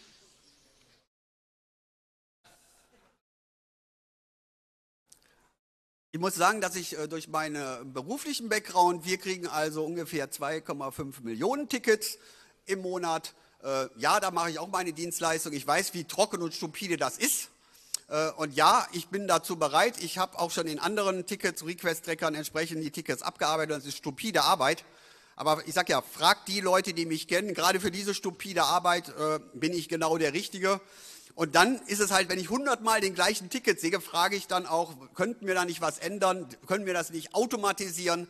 Und dann ist die Frage, ist es technisch möglich oder nicht? Ich glaube, dass wir viele dieser Tickets echt abschaffen könnten, wenn wir sie automatisieren. Danke.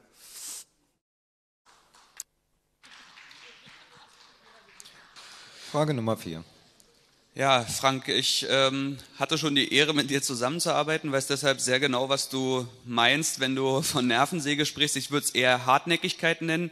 Können wir von dir dieselbe Hartnäckigkeit beim Thema Bio erwarten? Wirst du da auch so nachhaken wie bei den Sachen, wo du uns sonst Dampf unterm Hintern gemacht hast? Ich muss dazu sagen, das habe ich mir sogar auch schon überlegt. Ähm,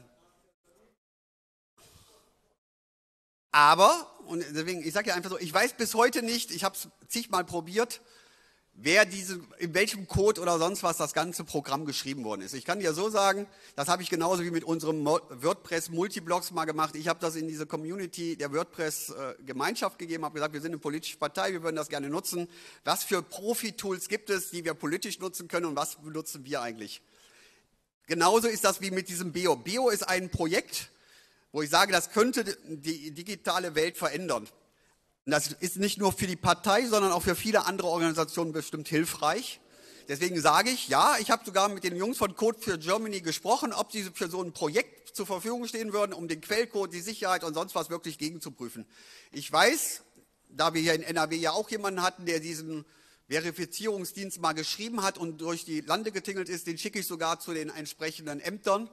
Persönlich, der SGEP steht rechts neben dir. Wenn er bereit ist, diesen Code zu öffnen äh, und zu machen, weil er sucht ja Hilfe, das hat er ja 14 Tage ist es her mit deinem Antrag, äh, was er da vorgeschlagen hat. Ja, öffentlich machen, vielleicht als, als Open Source wirklich prüfen lassen, stehe ich voll und ganz hinter. Wir brauchen so ein Tool, aber bitte nicht als das 35.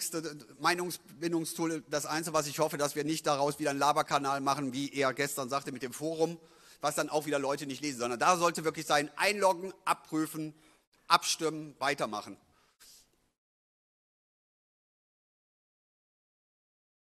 Frage 5. Ähm, ja, Frank, du bist, also das kann ich wirklich sagen, durchaus äh, hartnäckig, also die Vokabel gefällt mir auch besser. Ähm, du bist aber auch zuverlässig äh, und äh, man ist, weiß nicht, wenn du ein Wort hältst, dann hältst du es äh, tatsächlich. Ähm, du hast jetzt aber häufiger Fragen in den Raum geworfen, stelle ich, stell ich mal so fest. Ne? Warum ist das so, warum ist das so, warum können wir nicht?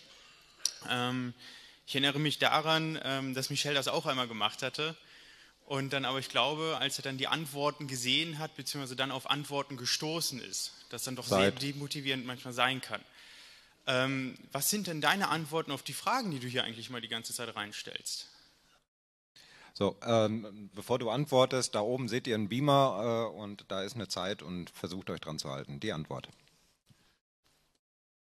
Ich wäre ja froh, wenn ich mal die Antworten bekommen würde. Äh, wie danach meine äh, Entscheidungslage aussieht, vielleicht sage ich, oh, habe ich mir gar nicht vorgestellt. Ich weiß zum Beispiel, ich habe mich mal informiert, wie viel Arbeit Technik ist und ich weiß auch, wie viel Arbeit äh, Twitter-Pflege ist. Ich habe mich mal informiert, äh, wie, wie, viel Arbeit es ist, ich sage jetzt mal, Spams zu filtern und, und, und.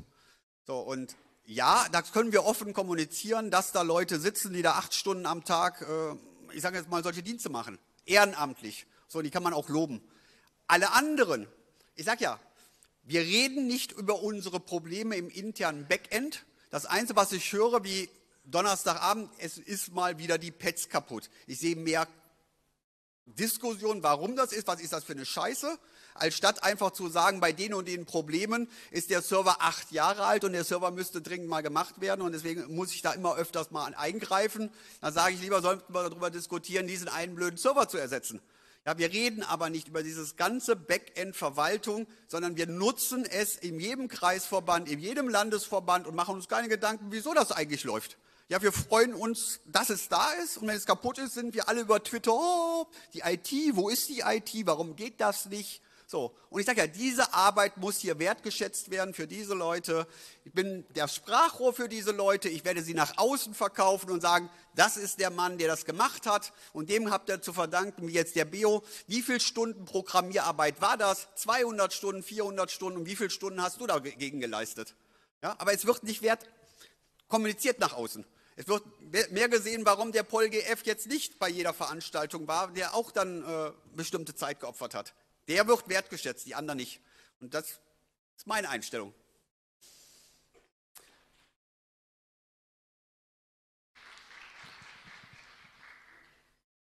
Ist das der Versuch einer Frage? Sehr schön, dann stelle ich äh, erstmal die Frage an die Versammlung. Soll der Kandidat weiter befragt werden, ja oder nein? Bitte jetzt zur Abstimmung.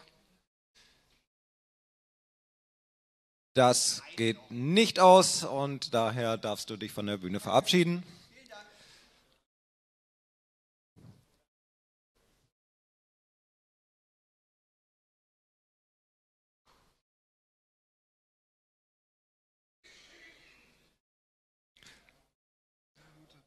Boris, du hast dich schon mal vorgestellt, du hast eine Minute für eine weitere Vorstellung, deine Zeit läuft. Ja, Ich kandidiere nochmal. Ähm, wir haben jetzt gerade eben viele Fragen gehört. Wir haben jetzt gerade viele Fragen gehört, warum Dinge nicht tun. Ähm, eins ist sicher, das nächste neue super tolle Piratentool ist nicht die Lösung. Die Lösung ist, unsere jetzigen Tools zu konsolidieren, zusammenzufassen, sauber zu dokumentieren. Und ich weiß zum Beispiel von unseren IT-Lern, dass momentan mindestens drei Stück direkt am Burnout arbeiten. Den kann ich sowas nicht nochmal auflasten. Ich muss das, was ich habe, zusammenfassen, sauberer fassen und dann können wir auch wieder arbeiten und nicht alles nochmal umkrempeln. Das haben wir schon so oft gehabt. Danke.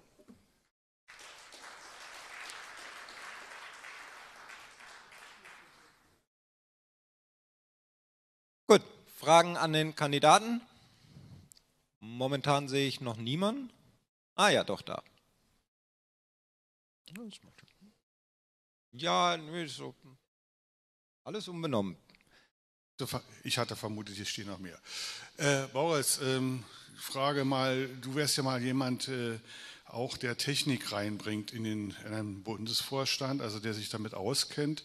Äh, nun bist du ja ein echter äh, Windows-Mann. Äh, du kennst dich auch mit diesen komischen Linux-Systemen aus und kannst da auch äh, Tipps und, ähm, wie sag mal, Konsolidierungsvorschläge geben, Fragezeichen.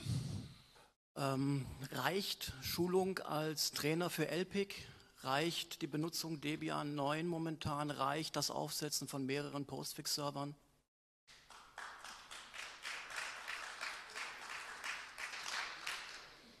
Frage 2.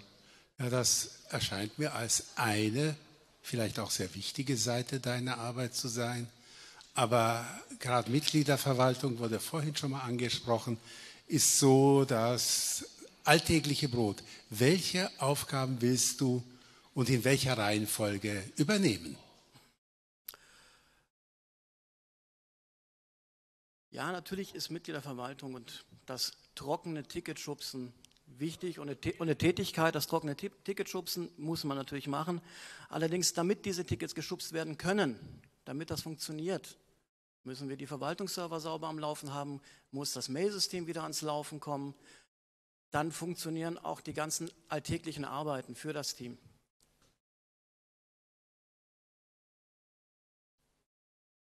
Also, dass ein weiter so uns bisher nicht zu den besten Wahlergebnissen geführt hat, ist, denke ich, allen klar.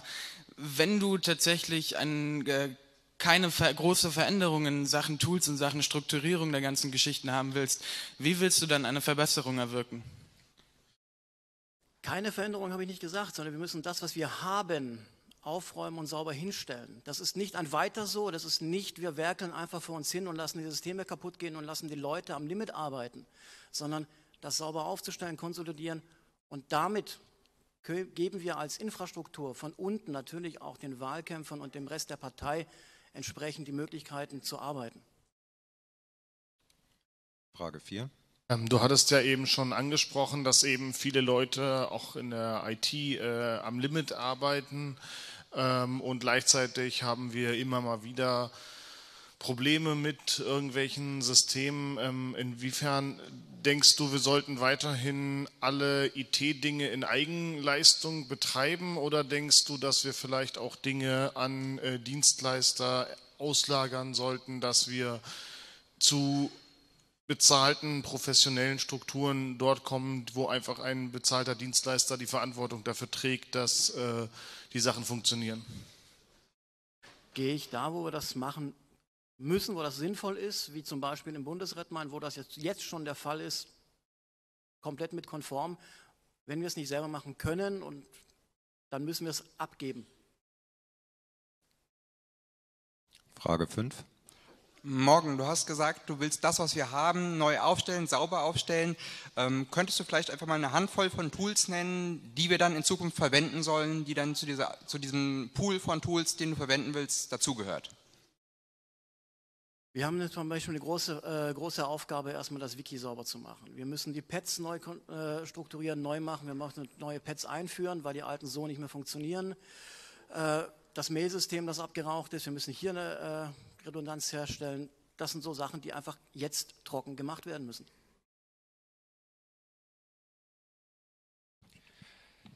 So, wir hatten fünf äh, Fragen und ich frage die Versammlung, soll der Kandidat weiter befragt werden?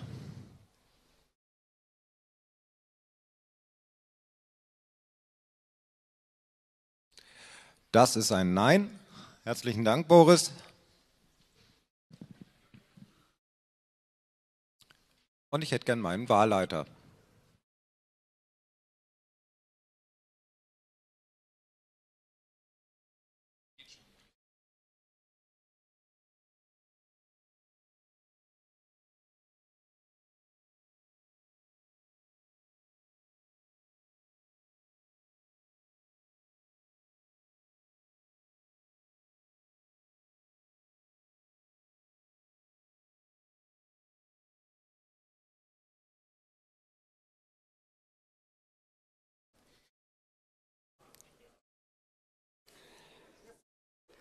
Ah, ich bin schon dran. Hallo Versammlung.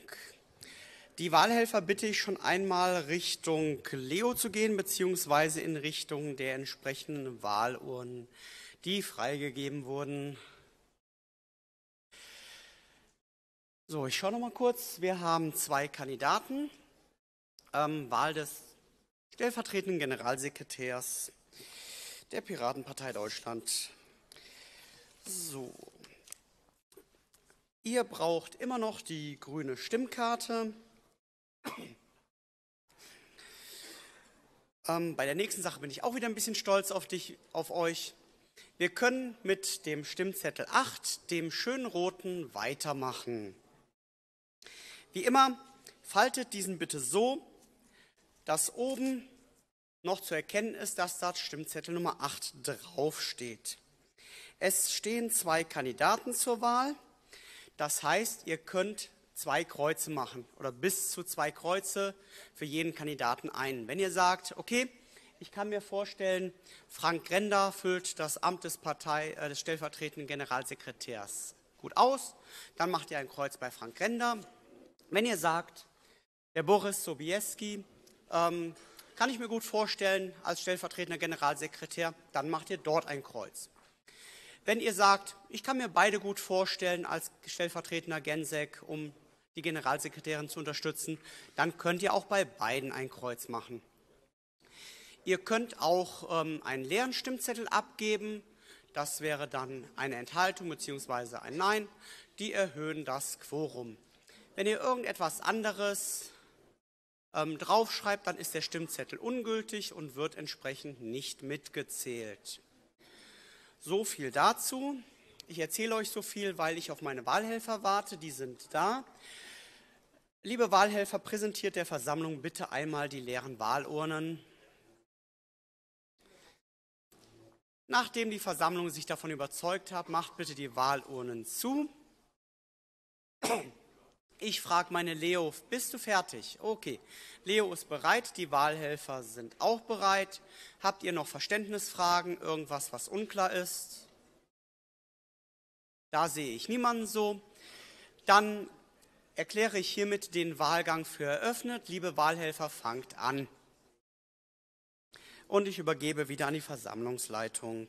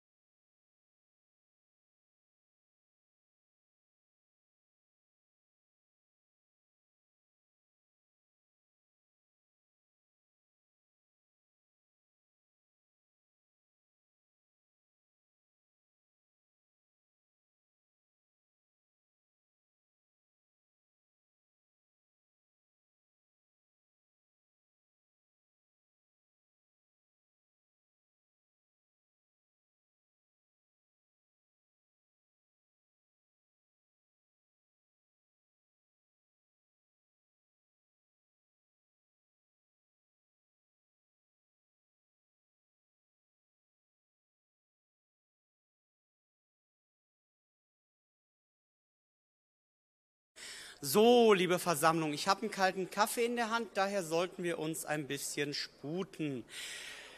Ich sehe nicht mehr viel Andrang an den Wahluhren. Daher geht hier mein letzter Aufruf zur Stimmabgabe. Wer noch nicht gewählt hat, möge jetzt bitte zu den Wahlkabinen dort wählen gehen und dann seine Stimme abgeben.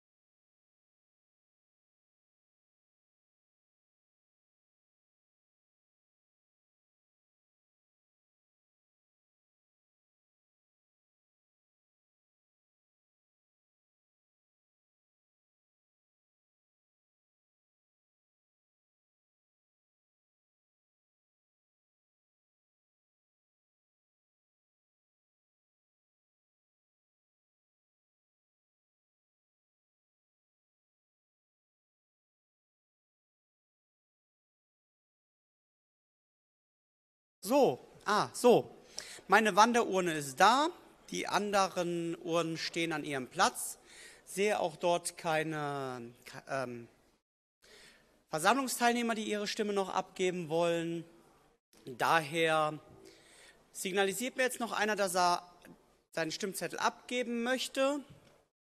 So möge er dies jetzt tun oder er hat Pech gehabt. Da ich jetzt den Wahlgang schließe, liebe Wahlhelfer, zählt bitte aus. Danke.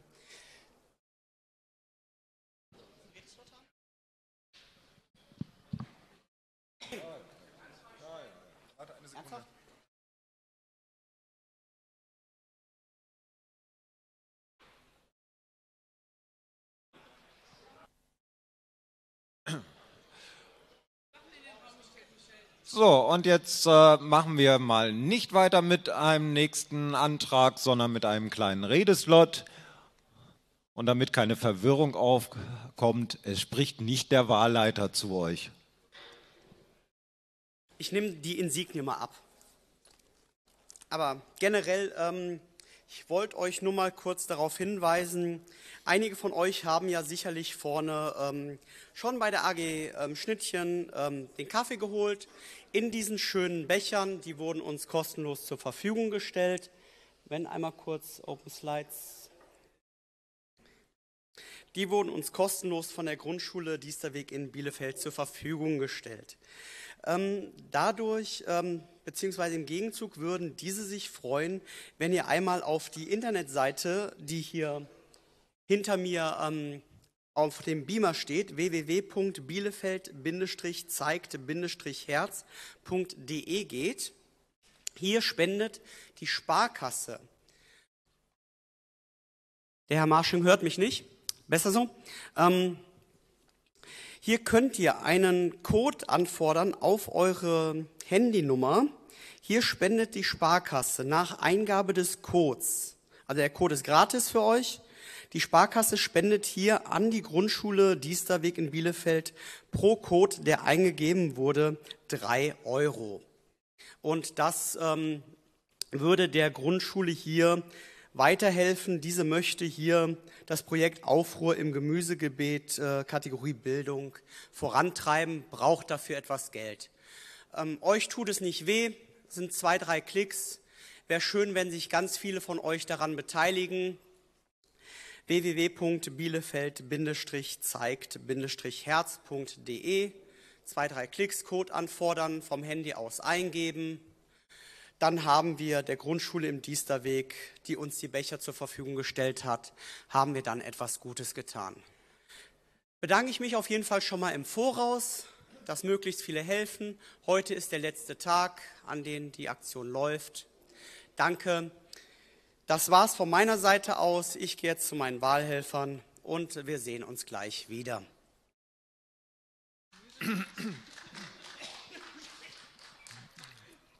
Gut, wir machen jetzt Aufruhr in der, bei den Anträgen. Wir kommen nämlich zum WP 004 und da würde ich bitten, den Michael Berndt auf die Bühne zu kommen, damit er den Antrag vorstellen kann. Wenn, er, wenn sich jemand wundert, warum wir nicht den WP 03 nehmen, das war eine Doppelung, insofern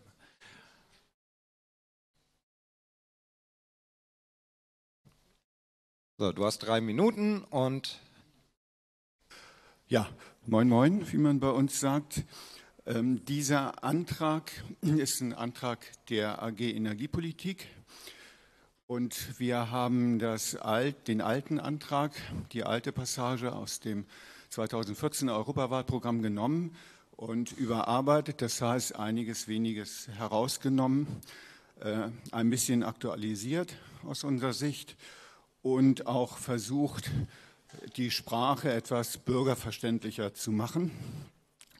Das führt hier und da dazu, dass es technisch etwas ähm, vielleicht unsauberer wird, aber ähm, die Verständlichkeit ist uns halt wichtig.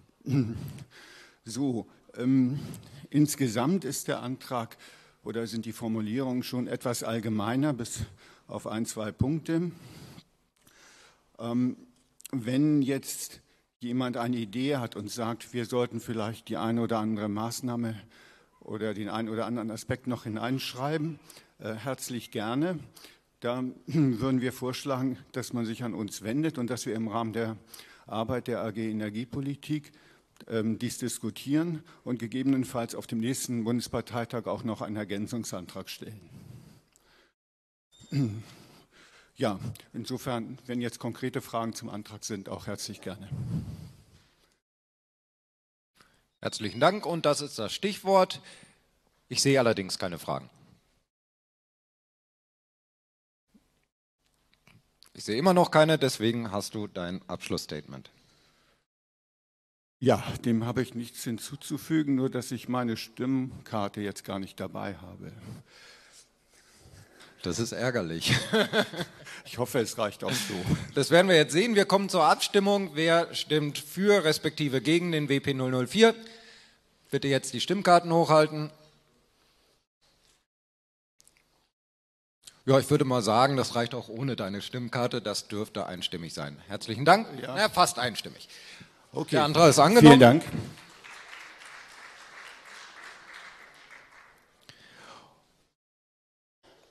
Und wir kommen damit zum WP 005. Antragstellerin ist Annette Berndt.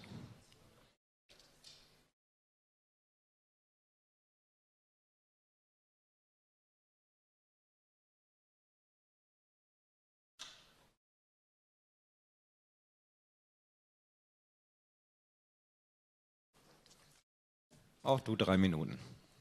Ja, moin Piraten. Ähm, den Antragstext, der ist äh, umfangreich, wie ihr seht.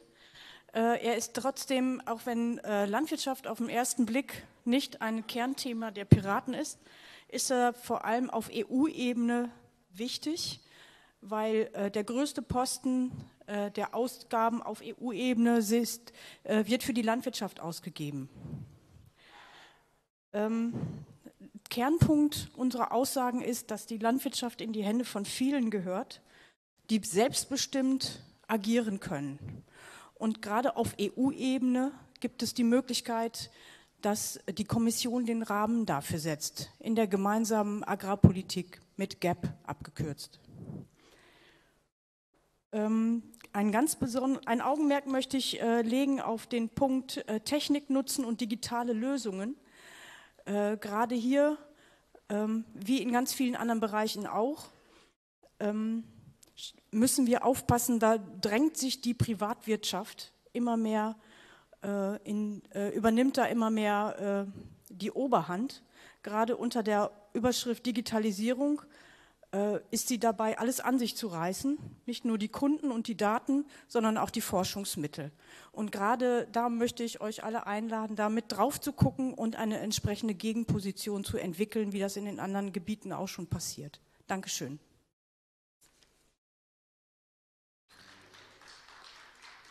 Dankeschön. Wir kommen zu den Fragen und ja, ich habe es gesehen.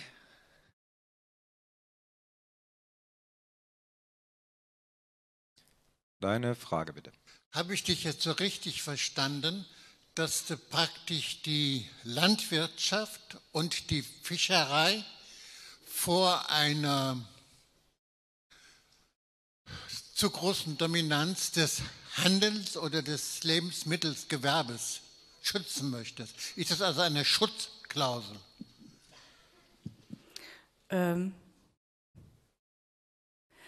äh, nein, das nicht. Aber gerade auf EU-Ebene gibt es die Möglichkeit, äh, dahingehend einzuwirken, gerade auf die äh, kleinen Akteure in der Landwirtschaft und auch in der Fischerei, dass äh, diese dort ähm,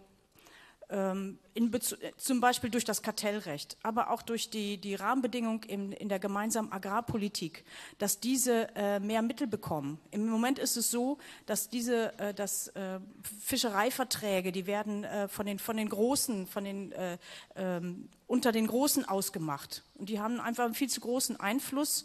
Ähm, und da besteht hier eben die Möglichkeit, dass das äh, zurückgedrängt werden kann. Aber ich meinte diese, diese Einflussnahme vor allem im digitalen Bereich. Im Moment, äh, äh an einem Beispiel kann ich das vielleicht ein bisschen deutlicher machen.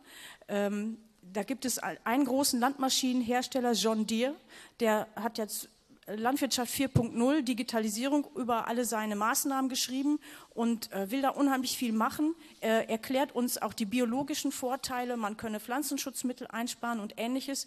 Äh, das passiert aber nur, um hier mehr Marktmacht zu gewinnen und auch Forschungsmittel abzugreifen. Ähnliches passiert auf dem Gebiet des Saatguts, dass äh, die großen Firmen dastehen und äh, jetzt Hybridweizen erforschen wollen. Und es gelingt ihnen auch, da auch noch äh, Forschungsmittel abzugreifen, während die äh, kleinen Zuchtunternehmen, die samenfestes Saatgut voranbringen wollen, was sie äh, und äh, dieses weiter fördern wollen, auch eine Vielfalt fördern wollen, die fallen hinten runter. Das sind alles Punkte, die kann man in der Agrarpolitik organisieren, auf EU-Ebene. Danke. Frage 2. Ja, also ich bin ähm, schon pro. Ich habe allerdings eine Frage, die sich vielleicht so ein bisschen kritisch anhört, aber grundsätzlich ja. unterstütze ich das voll und ganz. Und zwar, ähm, du weißt ja, dass es in der EU bei den Fördermitteln ganz viel immer um die Screening geht, also die Kopplung der Fördermittel an die Art und Weise, wie produziert wird und dass man eben sagt, es sollen jetzt möglichst mehr umweltschonende, weniger Pestizide, ähm, Artenvielfalt fördernde Maßnahmen in der Landwirtschaft gefördert werden. Und das steht da so explizit eigentlich nicht mehr dran, das Koppeln der Subventionen an spezielle Umweltmaßnahmen. Warum habt ihr das nicht mehr so klar reingenommen? Ähm, Weil das ist ja die Diskussion in der EU im Moment. Ja, die, aber im dritten Absatz steht, Sub Subventionen können nur in Einklang mit Nachhaltigkeitskriterien garantiert werden. Wir ja, haben das Ihr sagt Na, aber nicht ma, ma, klar. ma, ma, ma, ma. Bitte. Nein, ich, ich, kann, ich kann auf das Greening kann ich noch eingehen. Das Greening ist erst äh, 2016, glaube ich, eingeführt worden. Das ist ähm, äh, noch eine relativ neue Sache, auch diesen, diesen Punkt der Nachhaltigkeit und auch von äh, der ökologischen Nachhaltigkeit in die Landwirtschaft immer mehr äh, einzuführen, ist aber unter dem damaligen EU-Kommissar sozusagen reingebracht worden. Wir brauchen, wir, das brauchen wir natürlich viel mehr. Das brauchen wir viel deutlicher. Es, ähm, es muss sich, es, um, den, um das auch einfach, weil Greening etwas äh, was Neues ist, aber auch was total Kompliziertes. Ich möchte, deshalb haben wir diesen Begriff Greening nicht hineingenommen, weil er, äh, er ist schon be äh, besetzt, dieser Begriff ist besetzt. Nachhaltigkeit umfasst viel mehr. Da können wir auch, äh, äh, da können wir noch viel mehr drunter fordern.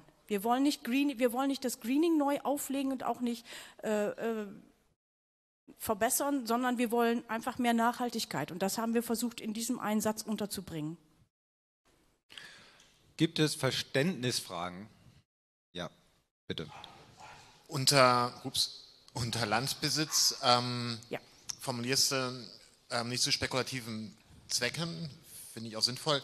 Nur zum Verständnis meine Frage dahingehend, mit Landbesitz ist dahingehend dann gemeint, nicht erschlossenes Land quasi? Oder wie ist es Nein, gemeint? das weil, ist, äh weil, ich formuliere meine Frage nur zu Ende, weil ich kann ja auch in einer Stadt Land quasi besitzen und ist es damit dann eingeschlossen oder eben nicht? Die Antwort? Äh, es geht schon hauptsächlich um landwirtschaftliche Nutzfläche. Gibt es eine Verständnisfrage? Keine weiteren Verständnisfragen? Dann äh, bitte das Pro-Mikro. Das Pro-Mikro. Also äh, ich finde diesen Antrag erstmal sehr gut. Erstmal äh, schon deswegen, weil die, äh, das europäische Wahlprogramm da ergänzt werden muss und die größten Ausgaben ist ja immer noch der Agrarhaushalt und wie ungerecht das verteilt wird, glaube ich, ist uns allen bekannt. Und da ist dieses, was ihr ausgearbeitet habt, ein wunderbarer Weg, dort weiterzukommen und wirklich wieder die Nachhaltigkeit vorne anzustellen. Danke für diesen Antrag und bitte das anzunehmen. Kontra? Also ich finde viel, was in dem Antrag steht, äh, steht auch gut. Ich habe allerdings zwei größere Probleme damit. Also erstens mag ich den alten Text, der vor allen Dingen klar herausstellt, dass, ähm, dass ökologische Kriterien und Anforderungen eben die Maßgabe sein sollen und nicht äh, so gezielt sa äh, sagt, was wir konkret fördern wollen. Hier steht dann sowas drin, wie, dass wir im Sinne der Resilienz kleinbäuerliche Strukturen uns so gut finden. Ähm, ich, also ich muss sagen, ich finde Fortschritt und Produktivitätsgewinne ziemlich geil und wir haben in der Landwirtschaft im Vergleich zu sehr vielen anderen Branchen eine ziemlich kleine Struktur. Wir haben zum Teil Betriebe mit weniger als 20 Mitarbeitern und sowas. Sowas zu behalten mit öffentlichem Geld, so wirkt es für mich ein bisschen, als wollten wir äh, also als wollten wir sowas fördern, als wäre Kleinteiligkeit für uns irgendwie ein Wert an sich. Und ich halte das für total kritisch, wenn wir den Eindruck haben, auf, also wenn wir den Eindruck erwecken, auf so eine Schiene zu gehen, auch wenn viele andere Sachen in dem Text gut sind.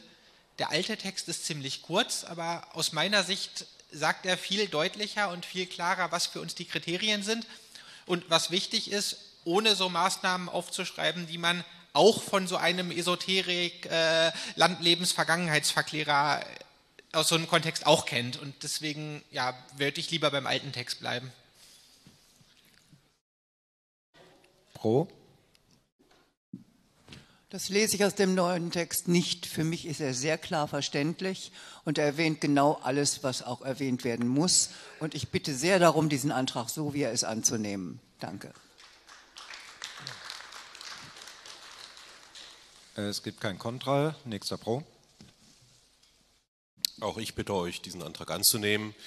Äh, ihr wisst selbst, dass sozusagen die Deutung von Formulierungen immer eine schwierige Geschichte ist. Ich glaube, dieser Antrag ist so wohl formuliert, dass eben halt äh, vieles, was hier äh, kritisiert wurde, muss man sich schon anstrengen, da herauszulesen. Also ich lese jetzt hier eben halt gerade diesen Esoterikvorwurf, kann ich nicht nachvollziehen.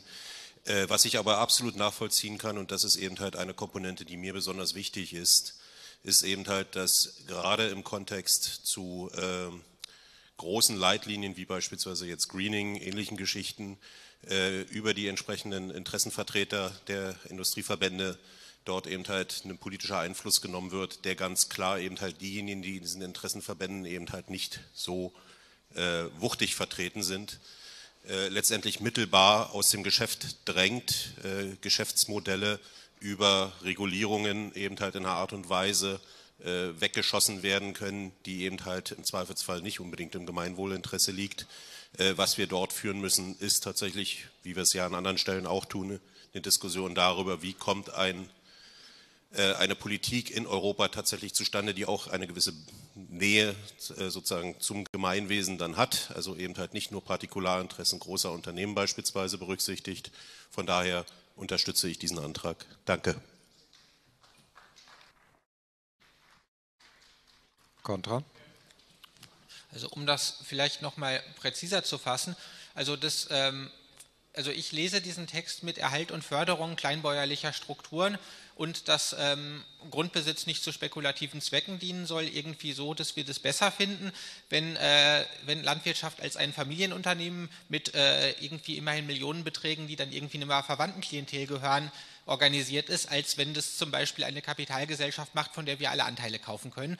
Also diese ich weiß nicht, man kann das vielleicht anders lesen, aber der, der Absatz mit dem Kleinbäuerlichen und nicht zur Spekulation, der weckt bei mir genau diese Assoziation. Ich hab, und ich habe die Befürchtung, dass ich damit nicht alleine bin und dass vielleicht sogar sowas dahinter steht. Deswegen, äh, ja, nur zur Erklärung zum letzten Beitrag. Pro? Ihr habt euch mit einem sehr grundlegenden Thema befasst. Und das erkenne ich erstmal an, dass ihr euch daran gewagt habt. Und am Ende ist es sehr schwer, die Welt als Ganzes für alle Menschen zu verbessern. Das ist fast nicht möglich, denn die Geschichte lehrt uns, dass die Welt immer in der Balance ist, sonst wäre die schon längst nicht mehr da. Und die bleibt auch in der Balance. Das heißt, was dem Menschen bleibt, ist, sich zwischen Gut und Böse zu unterscheiden.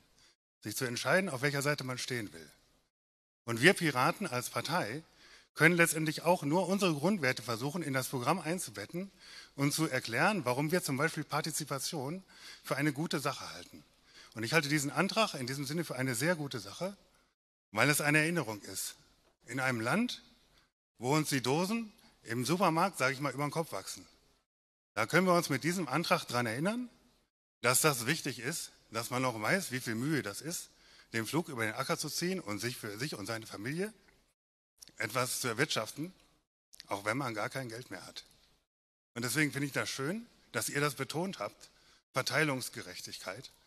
Und finde das gut, dass ihr das in diese Worte eingebettet habt, dass wir Piraten tatsächlich über diese Verbindung der Ehrlichkeit und der Verständlichkeit unserer Darstellung, dem Schutz der Familie und der, des Zuhauses und der elementaren Heimat und der Teilhabe, dass wir das verwirklichen in diesem Antrag, indem wir sagen, jeder Mensch soll das Recht haben, für sich und seine Familie was zu essen zu anzubauen, wenn er es nicht erwirtschaften kann. Und deswegen finde ich das einen guten Antrag und ich bitte die äh, Versammlung, den anzunehmen. Vielen Dank.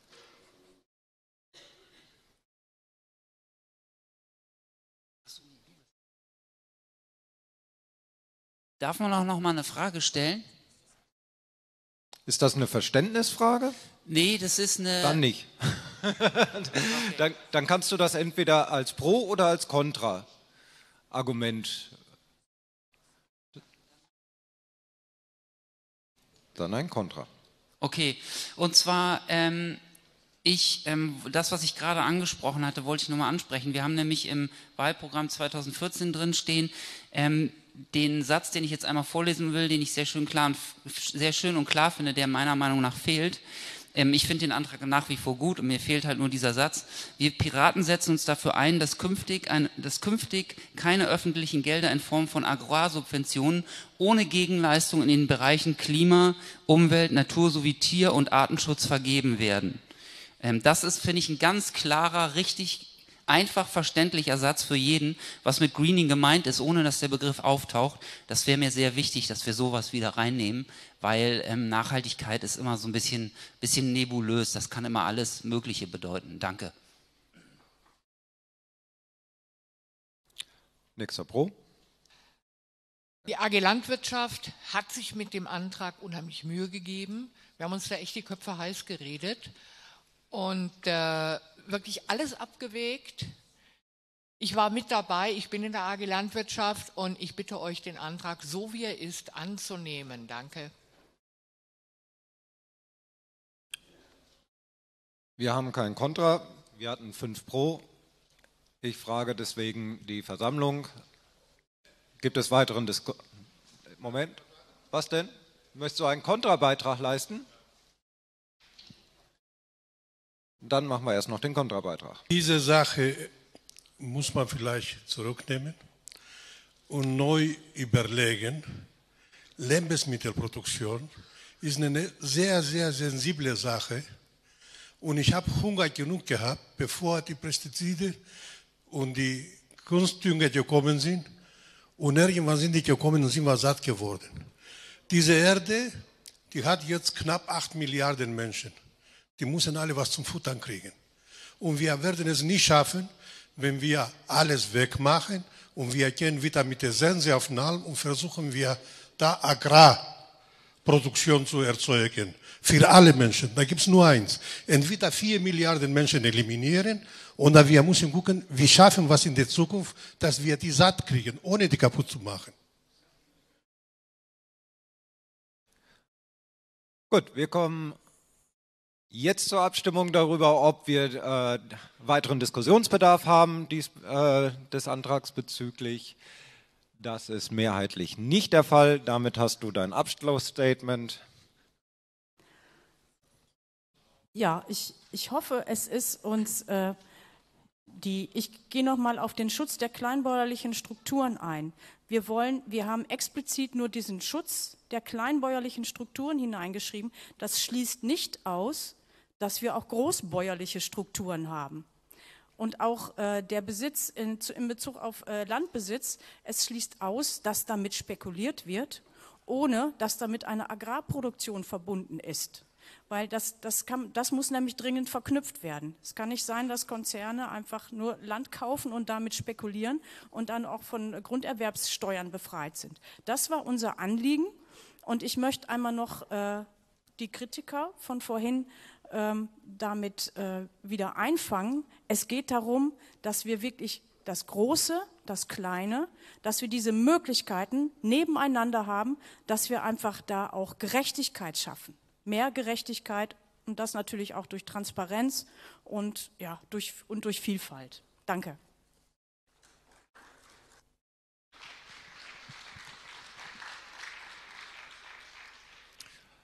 So, wir kommen jetzt zur Abstimmung über den Antrag und ich bitte jetzt um eure Karten.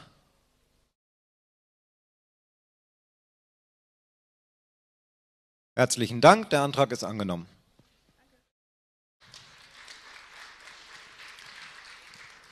Und ich habe Nachricht von meinem Wahlleiter, dass wir ein Ergebnis haben. Deswegen würde ich ihm jetzt gerne das Wort erteilen. Ist der vor mir, hinter mir, bei mir, geistig bestimmt?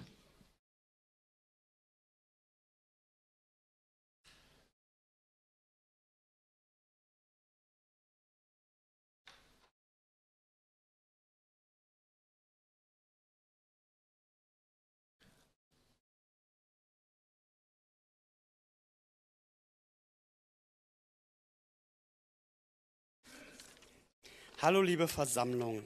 So.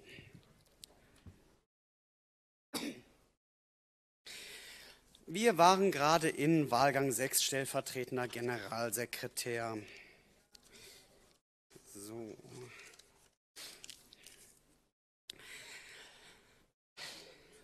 Bei 232 akkreditierten Piraten hier haben wir abgegebene Stimmen 159.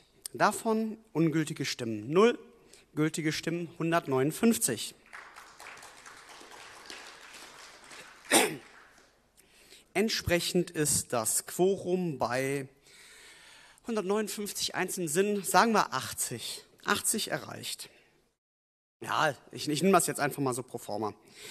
Ich fange mal von unten aufsteigender Reihenfolge an mit 60 Ja-Stimmen 37,74 Prozent Frank Grender, Mit 104 Ja-Stimmen, 65,41 Prozent Boris Sobieski. Somit, Boris, hätte ich dich gerne auf der Bühne.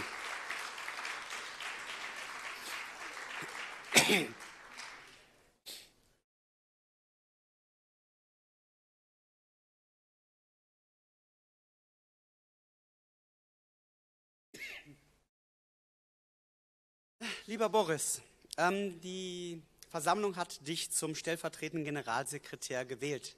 Nimmst du die Wahl an? Ja, ich nehme die Wahl an. Möchtest du noch etwas sagen? Dann, Wie ist das? ähm, ja.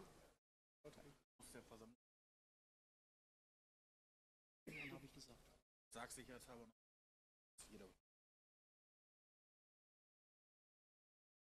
Also, danke nochmal an die Versammlung und ich bin nochmal darauf hingewiesen worden, auch wenn ich es vorher schon gesagt habe, äh, ja, ich bin ja noch in anderen Vorständen vertreten. Aber es steht auch so bei mir in der Kandidatur im Wiki. Äh, ich bin stellvertretender Vorsitzender im Landesverband Baden-Württemberg und auch noch Vorsitzender im Bezirksverband Südwürttemberg. Und bis zum 31.12., so die Urabstimmung durchgeht und der KV aufgelöst wird, noch im KV Reutling-Tübingen. Habe ich ja. Danke. Gut, Dankeschön. Bevor der Wahlleiter jetzt weitermacht, erteile ich ganz kurz das Wort an unseren Vorsitzenden. Äh, Das ist eine kurze Programminformation. Ich würde gerne mit den Vorsitzenden, stellvertretenden Vorsitzenden der Landesverbände um 13 Uhr ein kleines Treffen machen. Wir würden uns da vorne am Gang zu den Klassenzimmern treffen für einen kurzen ersten Chat. Dankeschön. So, wir kommen zum, äh, zur Wahl des zweiten äh, stellvertretenden Generalsekretärs. Auch das ist wieder optional. Und aus diesem Grunde jetzt erstmal die Frage an die Versammlung. Wollen wir dieses Amt besetzen, ja oder nein?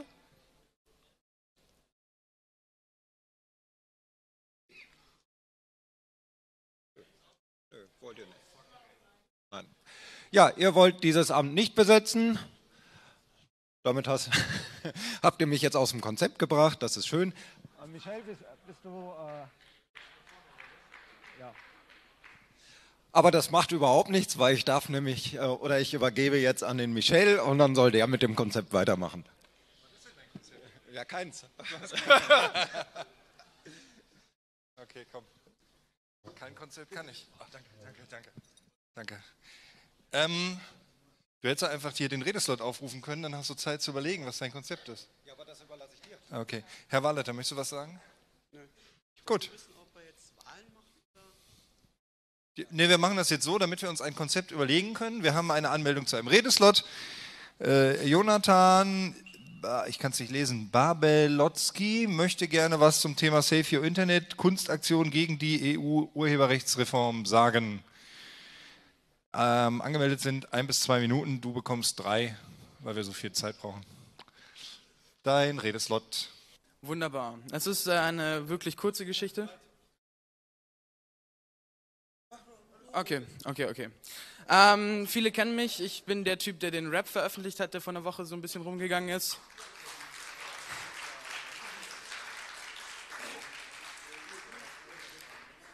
Neben meinen ganzen Geschichten äh, zu, zu Kunst im musikalischen Sinne äh, bin ich auch noch Themenbeauftragte für Save Your Internet, also die EU-Urheberrechtsreform, die, die Protestaktion dagegen für den Landesverband Bayern. Und ähm, aktuell haben wir die Geschichte, wir haben am 26.11.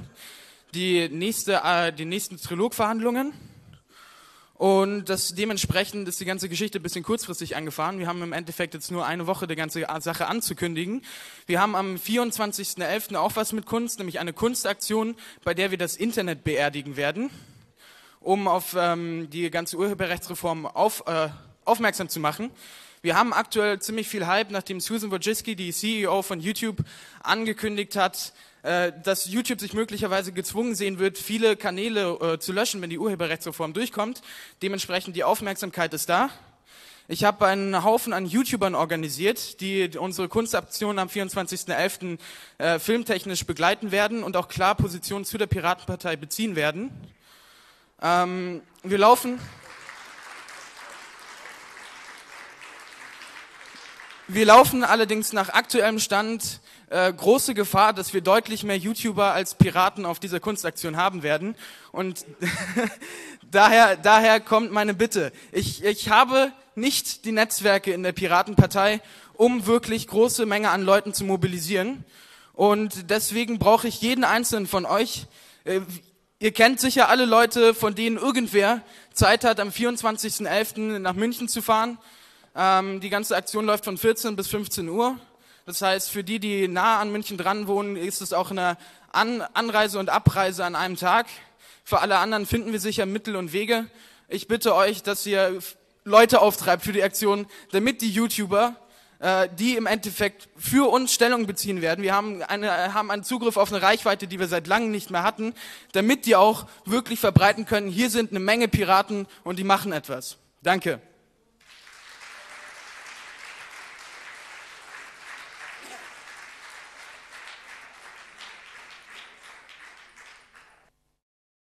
Gut, dann übergebe ich das Wort jetzt wieder an den Wahlleiter. Vielen Dank. So, liebe Versammlung, in der Reihenfolge der Ämter haben wir jetzt auf der Liste den politischen Geschäftsführer oder die politische Geschäftsführerin der Piratenpartei Deutschland. Das ist der nächste Wahlgang. Zudem ist die Kandidaturenliste weiterhin offen. Aber sofern mir jetzt niemand anzeigt, dass er hierfür als Polgev kandidieren möchte, was entsprechenderweise nicht der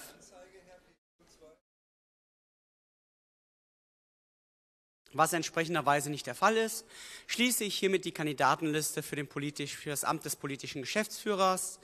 Wir haben, wenn ich das gerade eben richtig gesehen habe, Zwei Kandidaten? Das Front Office hat mir gerade eben gesagt. Ähm, übrigens, Janine ist wieder da. Sie wurde aus der Geiselhaft befreit. Für alle, die es noch nicht wissen. Ähm, wir haben drei Kandidaten. Diese Kandidaten sind Alexander Schestak, Sascha Ruschel und Daniel Mönch. So. KLMNOPQS ähm, immer noch alphabetisch. Im Moment auf, der, ähm, auf dem Beamer ist es falsch angezeigt. Hier fängt natürlich, jetzt ist es richtig angezeigt, alphabetisch. Der Daniel fängt an, danach der Sascha und dann der Alexander. So, wir bereiten alles vor. Das sind die Kandidaten, das ist der Michel, dem gebe ich das jetzt weiter, der macht.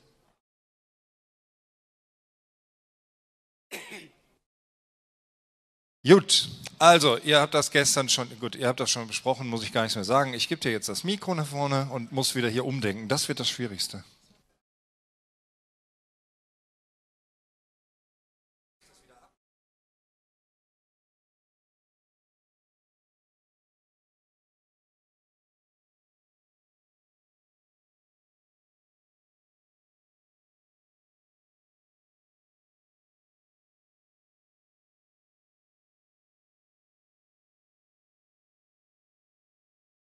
So, nein, das war nicht meine Hose, die gerissen ist, das war das Gaffer-Tape. Was ihr hier wieder denkt. Mein Backoffice. Ähm, ja, ihr kennt das von gestern, wir machen die Vorstellung jetzt hier unten. Daniel hat als erstes das Wort, du hast fünf Minuten. Bitte schön. Achso, oh, Entschuldigung, du hast dich schon vorgestellt? Du hast nur eine Minute. Alles klar, dann. Fair Play und so. Ähm, ja, guten Morgen, liebe Piraten. Ihr habt gestern schon gehört, äh, was so die Themen sind, für die ich mich einsetzen möchte. Ähm, jetzt habt ihr nochmal bei der Polgef-Wahl, haben viele von euch gesagt, hey, wir hätten dich lieber als Polgef als als 1V. Ähm, wenn ihr noch Fragen habt, kommt bitte ans Mikro und stellt mir die Fragen. Gut. Ich sehe allerdings niemanden am Fragenmikrofon. Drei, zwei, eins.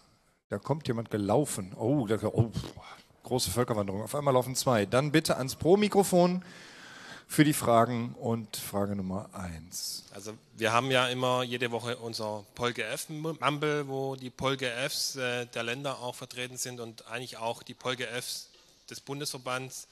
Nun haben wir in der Vergangenheit, die letzten zwei Jahre, immer das Problem gehabt, dass nie ein erster PolGF da war, sondern maximal äh, der zweite PolGF oder die zweite PolGF. Ähm, wie, wie, wie sieht es bei dir aus? Wirst du, wenn du gewählt wirst, dann auch diese Runden äh, dort auch teilnehmen? Bin ich da? Gut. Ähm, ja, selbstverständlich. Ich nehme auch jetzt schon an den Runden teil. Ähm, allerdings würde ich ein wenig was ändern, ähm, denn es ist sehr, sehr, sehr schwer, dieser Fokus auf das Berichtswesen in der PolGF-Runde und ich würde gerne den Fokus auf politische Arbeit und politische Aktionen, die wir landesverbandsübergreifend machen, die dort besprechen, die dort planen, so dass die äh, politischen Geschäftsführer etwas zum Mitnehmen haben von dort. Bitte. Ja, das äh, wäre sehr schön. Wir tun uns das seit ein paar Jahren an. Das ist alles extrem langweilig. Ähm, also wenn da wieder frische Luft reinkommt, bin ich sehr zufrieden. Wie sieht es mit der Presse- und Öffentlichkeitsarbeit aus, die ja dieses Mal erstmalig der politische Geschäftsführer sich beansprucht hat mit dem äh, schon sehr bekannten Ergebnis, dass alles zum Erliegen gekommen ist. Also wie machen wir das denn in der Zukunft? Gibt es sogar eine AG Bundespresse? Kleiner Hinweis. Muss nicht immer eine SG sein. Ähm, ähm, ja, selbstverständlich muss auch die Öffentlichkeitsarbeit neu aufgestellt werden. Wenn ich im, äh, im, den Geschäftsbereich bekomme, dann würde das bedeuten, ähm, dass nur noch die Teamleader dieser ähm, Beauftragten hier unterworfen sind und äh, alle anderen Piraten auch die Möglichkeit bekommen, sich dort einzubringen. Das heißt, dass nicht jeder Pirat, der irgendwie bei eine Pressemitteilung schreibt oder Öffentlichkeitsarbeit betreibt, auch direkt dieser Beauftragten hier unterworfen sein muss, sondern da es einen Teamleader gibt, äh, der diese, äh, diese ähm, Antwortpflicht gegenüber dem Vorstand übernimmt und ein normales Mitglied kann einfach dort hingehen und mitarbeiten.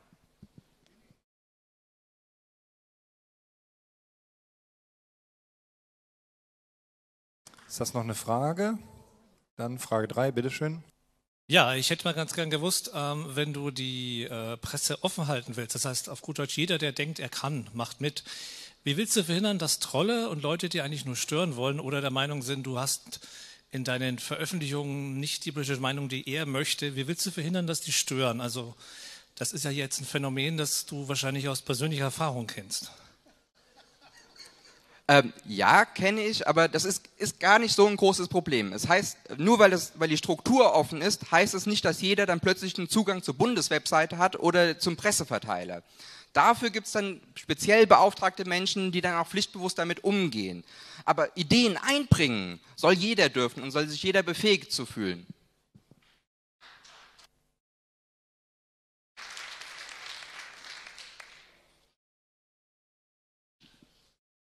Wirst du so beständig sein, wie ich dich kenne, seit der, kennengelernt habe ich dich zur Europawahl. Da hast du ja auch kandidiert. Und so manch einer ist. Liebe Sami, kannst du bitte eine Frage an den Kandidaten stellen und nicht deine Unterstützung in einer Frage unterbringen? Das ist jetzt nicht, es ist nicht persönlich gegen dich. Ich möchte das grundsätzlich sagen, weil mir das auch bei anderen Kandidaten, ich möchte das grundsätzlich sagen, weil mir das auch bei anderen Kandidaten schon aufgefallen ist. Ihr könnt Kandidaten unterstützen, ist super, stellt euch hin, macht einen Daumen hoch oder was, aber versucht bitte nicht, eure Unterstützung in Fragen unterzubringen. Die Sami ist jetzt nicht die einzige, wie gesagt, ne, wir kennen uns lang genug, ist nicht gegen dich. Stell entweder eine Frage oder stell dich neben ihn, sag, du bist ein toller Typ, äh, bitte wählt den, alles super. Aber dieses verkappte Fragen stellen ist irgendwie doof und klaut uns allen Zeit, weil Unterstützung kann man auch anders darstellen. Danke. Du hast recht, du hast Michel, jetzt trotzdem danke. das Mikro, bitte. Du hast recht, Michel, danke. Ich unterstütze Dani. Gut, gibt es weitere Fragen? Ich würde dann jetzt die Frage Nummer vier nochmal wiederholen lassen, sozusagen. Sehe aber keine Frage. Dann bleibt das auch so. Vielen Dank.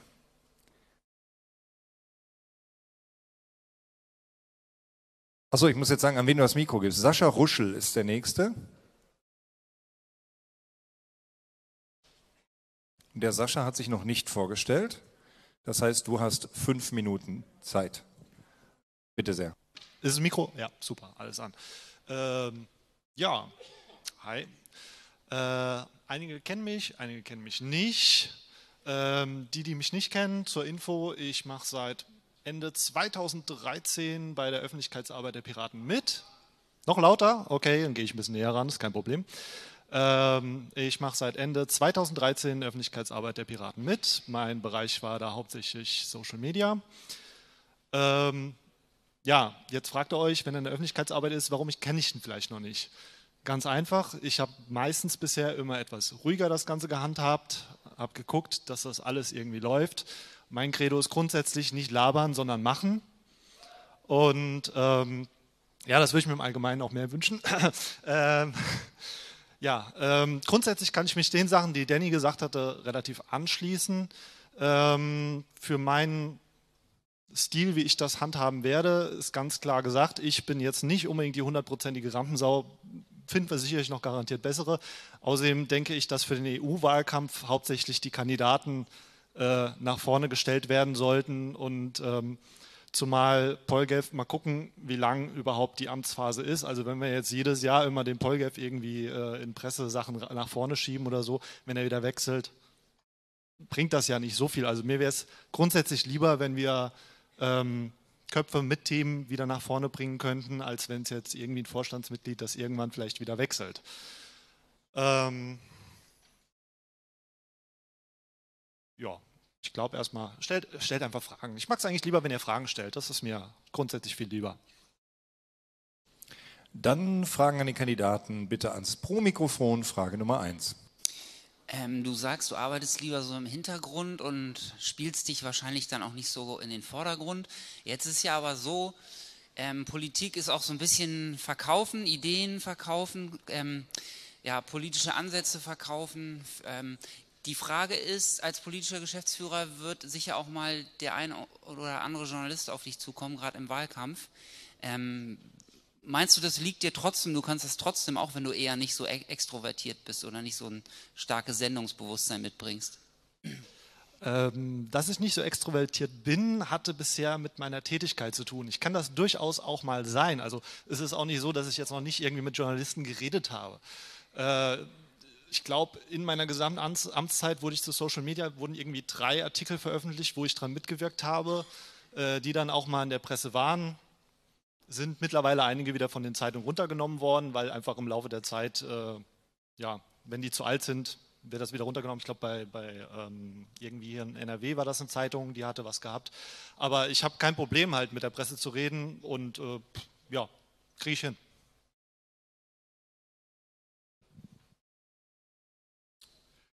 Sascha, die gleiche Frage stelle ich hier nochmal. Äh, du hattest ja schon mal ein kleines Problem, dass du dann sagst, ich mache Social Media nicht mehr. Dann hast du es nach einer gewissen Überlegungsfrist wieder aufgenommen. Was waren deine Beweggründe dafür? Und äh, auch deine äh, Vorstellung zur Organisation der Presse- und Öffentlichkeitsarbeit würde mich interessieren. Ja, ähm, ganz einfach. Es wurde bitte, bitte, bitte, bitte gesagt. dann habe ich es wieder gemacht. Ähm, nein, also ich hatte mich, ich muss dazu sagen, ich hatte mich jetzt im letzten Jahr ein bisschen äh, zurückgezogen aus dem Social-Media-Bereich, ganz einfach, weil ich bewusst eine Pause holen wollte oder machen wollte. Öffentlichkeitsarbeit ist ein Nervenschredder. Das ist genauso wie beim Bundesvorstand. Menschen, die da arbeiten, die kriegen ziemlich viel Druck. Ich weiß das. Ich habe, wie gesagt, seit Ende 2013 mitgemacht. Die Gates, ich will sie jetzt nicht nochmal alle aufzählen, die habe ich alle im Social Media mitgemacht alles, was da ankam. Das ist enormer Druck und deswegen sollte man auch Pausen mal machen. Ähm, jetzt habe ich mich erholt. Ich habe extra jetzt, falls ich gewählt werde, beziehungsweise auch noch nicht, selbst wenn ich nicht gewählt werden sollte, habe ich mir jetzt Zeit genommen. Bis zum Ende des Jahres habe ich frei von meiner Arbeit. Ich bin nur für die Piratenpartei dann zuständig. Also wie gesagt, ab morgen oder beziehungsweise heute Abend, wenn ich zu Hause bin, geht es los bis zum Ende des Jahres. Nächstes Jahr habe ich die Arbeit auf 50 Prozent reduziert bis zum 26. Mai. Ähm, also ich denke mal, da bringe ich zeitlich schon mal relativ viel mit. Ähm, Organisationsstruktur war deine zweite Frage. Ja, Presse- und Öffentlichkeitsarbeit, die Organisationsstruktur, okay. Ähm, hatte Danny ja schon gesagt, deswegen, ich hatte mich ihm angeschlossen. Äh, grundsätzlich wieder, hätte ich gerne wieder das alte Prinzip, dass wir einen Verantwortlichen hätten, der quasi als Teamleader oben dran steht, aber das Ganze doch relativ als flache Hierarchie. Das heißt, es gibt jemand, der steht vorne dran, der fängt auch dann mal zum Beispiel den Mist ab. Das hatte ich damals gemacht, wenn irgendwie Leute angegriffen worden sind von mir im Team oder so, habe ich gesagt, wendet euch an mich, ich kläre das erstmal und dann, äh, ja, ging das meistens, war das kein Problem. Letzter Satz. Entschuldigung. Ach, das war schon der letzte Satz? Äh, ja, du hast mich jetzt gerade ein bisschen rausgebracht. Entschuldigung, ein, einen Satz kannst du noch, hau rein. Nee, nee passt, äh, ist fertig. Okay, okay, alles klar. Dann Frage Nummer vier. Das ist eine Frage, Michel. äh, ich möchte gerne von dir wissen, welche Fähigkeiten äh, dich auszeichnen als speziell als politischer Geschäftsführer und in einem Team zu arbeiten? Ähm, ja, die Erfahrung, die Zeit, hatte ich ja schon gesagt. Ähm, ich denke, ich kann relativ gut mit Menschen. Also das ist auch nochmal so, so ein Faktor, den darf man nicht vergessen. Also äh, als, als Teamleader, sage ich jetzt mal, wo man da ja auch irgendwie so ein bisschen oben steht, äh, sollte man sehr gut mit den Menschen können. Und gerade bei der Ehrenamtsarbeit äh, da darf man nicht so vorgehen, als wenn das irgendwie auf der Arbeit irgendwelche äh, Leute wären, wo einem unterstellt sind, sondern da muss man auch ein bisschen sachter rangehen. Man muss halt gucken, wie die Leute selber auch Zeit haben. Also man muss da so ein Gespür für haben. Das kann ich, glaube ich, relativ gut. Ich weiß nicht, ihr könnt auch mal Leute fragen, die mit mir gearbeitet haben. Äh, die werden das wahrscheinlich bestätigen. Ach so, und übrigens, äh, Mediation, ja, kann man machen. Das wäre sonst eine Frage. Frage Nummer 5. Jetzt wissen wir ja, Polgefs und Wortwahl, sei es schriftlich oder mündlich, ist es immer anspruchsvoll. Jetzt sagtest du vorhin, grundsätzlich relativ unterstützt du irgendwelche Dinge. Was ist denn grundsätzlich relativ? Ähm, eine ungünstige Wortwahl ist das.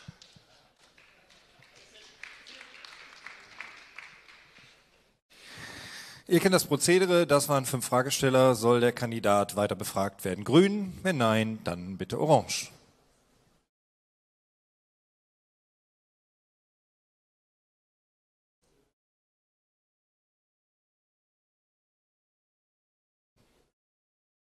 Wir sehen überwiegend orange.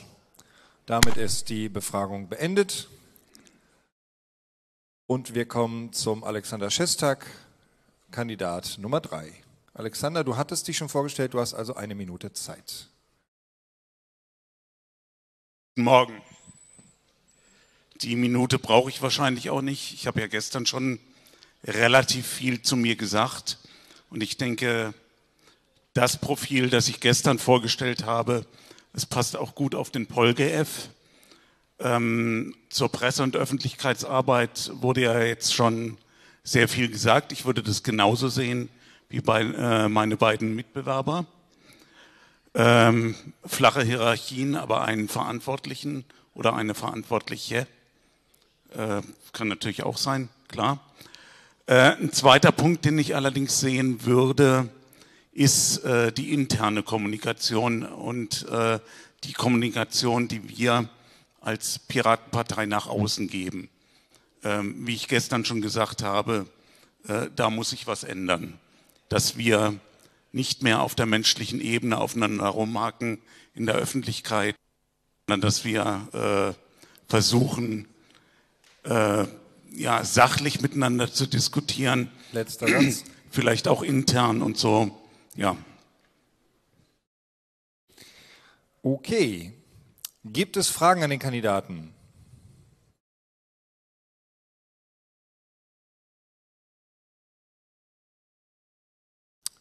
Das ist eine Frage am Pro-Mikrofon. Dann bitte. Ja, Alex, du hast ja auf Twitter mit mir mal diskutiert zum Thema Alexa und dass das datenschutzmäßig für dich nicht so kritisch ist und dass du es auch für eine Verschwörungstheorie hältst ähm, auf die Idee zu kommen, man könnte damit belauscht werden. Jetzt sind wir eine Datenschutzpartei und ich glaube, du bist mit der Position nicht wirklich mehrheitsfähig hier. Kannst du denn auch eine andere Position vertreten? Ich denke, da geht es nicht um Positionen, äh, sondern darum, äh, ja, was nach außen zu tragen. Klar, wenn jemand was anderes schreibt, werde ich das auch veröffentlichen, ist klar. Ähm, Ich halte es für eine Verschwörungstheorie zu sagen, dass das Ding uns unbedingt belauscht, äh, wenn wir jetzt nicht das Stichwort oder sowas sagen.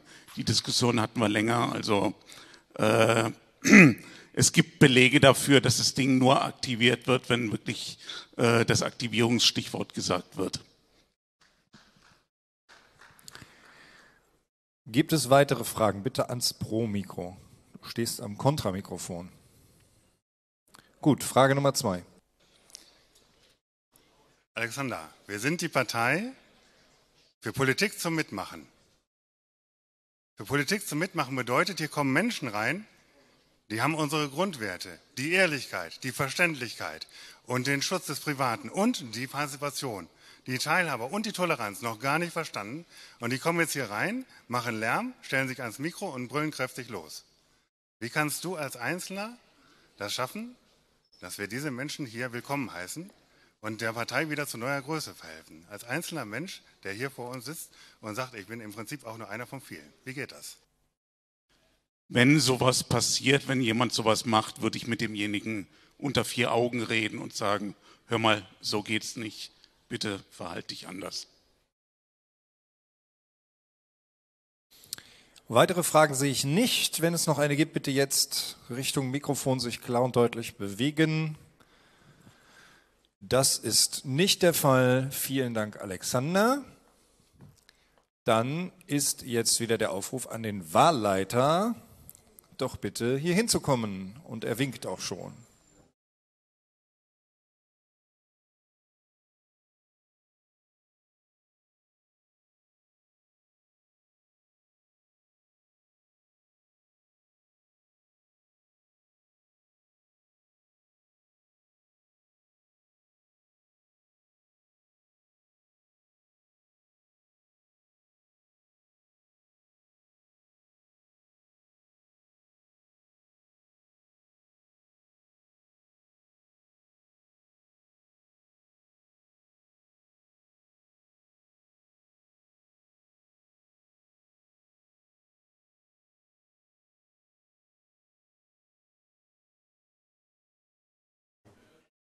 So, ich habe meinen eigenen Mikroboy, wie ihr gerade eben gesehen habt.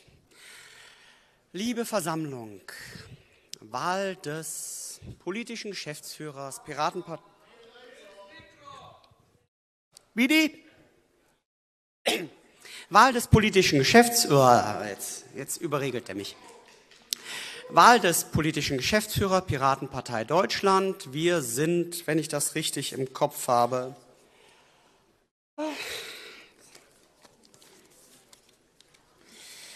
bei Stimmzettel Nummer 9 und zwar in Blau. So. Ich hoffe, den hat noch jeder von euch auf dem Stimmzettel. Damit könnt ihr nämlich gleich wählen gehen. Wie immer faltet es so, dass oben Stimmzettel 9 für meine Wahlhelfer sichtbar ist. Die grüne Stimmkarte ist bitte mitzunehmen. Das Bändchen soll am Arm getragen werden. Wir haben drei Kandidaten. Ihr könnt für jeden Kandidat in das dafür vorgesehene Feld ein Kreuz machen. Ihr müsst es nicht. Wenn ihr sagt, der Kandidat ähm, ist fähig, das Amt des politischen Geschäftsführers auszuführen, dann macht ihr ein Kreuz. Wenn ihr denkt, er ist nicht der Richtige für diesen Job, macht ihr kein Kreuz. Ihr könnt bei jedem Kandidaten ein Kreuz machen.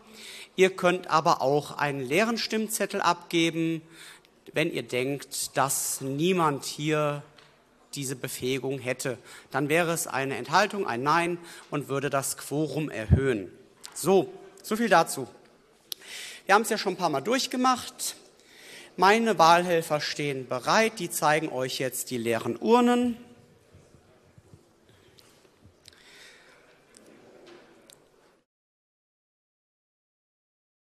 So, auch die vier hat eine leere Urne.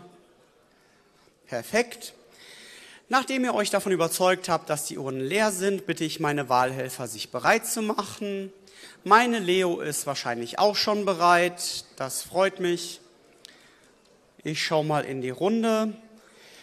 So. Wir warten noch auf die vier, dass die vier zumacht. ich habe euch gesehen, liebe Nummer eins. Ihr könnt schließen, liebe vier. Da alle Wahlurnen geschlossen sind und alle bereit sind, erkläre ich den Wahlgang zum politischen Geschäftsführer hiermit für eröffnet. Liebe Wahlhelfer, fangt bitte an.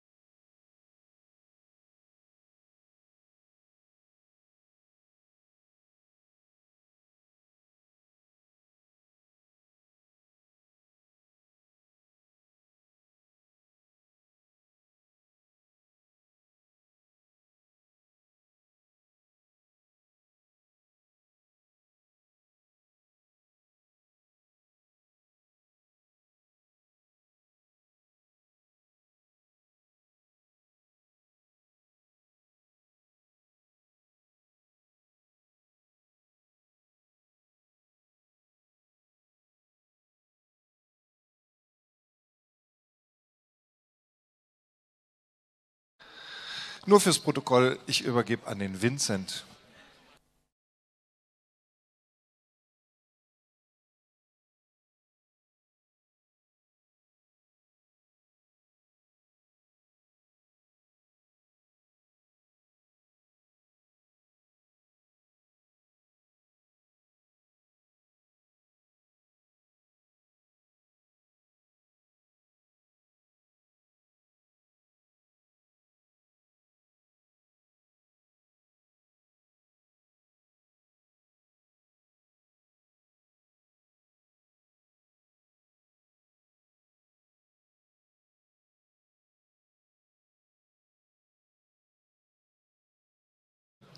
Ich habe einmal eine kleine Erinnerung. Der Sibolino hatte das ja vorhin schon mal angesagt. Die 1V und 2V der Landesverbände treffen sich jetzt draußen in einem Klassenzimmer. Bitte einmal dort hinkommen. Dankeschön.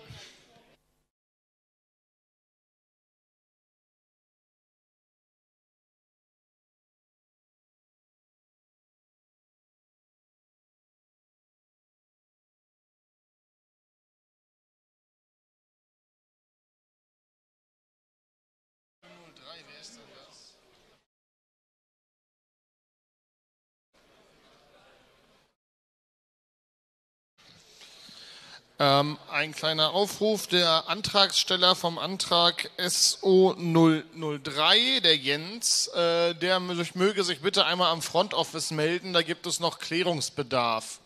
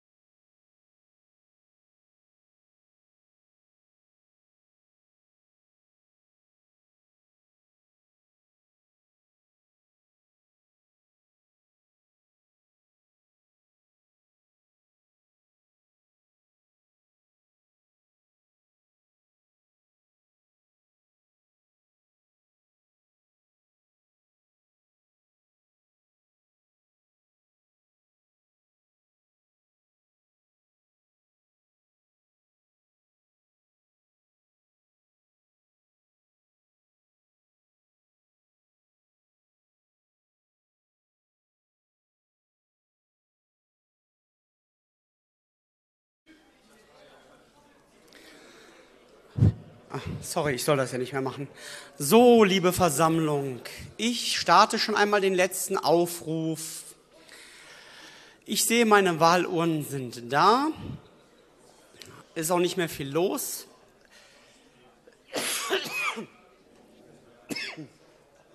Wer noch nicht gewählt hat, möge mir jetzt bitte ein Handzeichen geben oder mir ein sonstiges Zeichen und Richtung einer Urne laufen. Oder zumindest in eine Wahlkabine und dann zur Urne.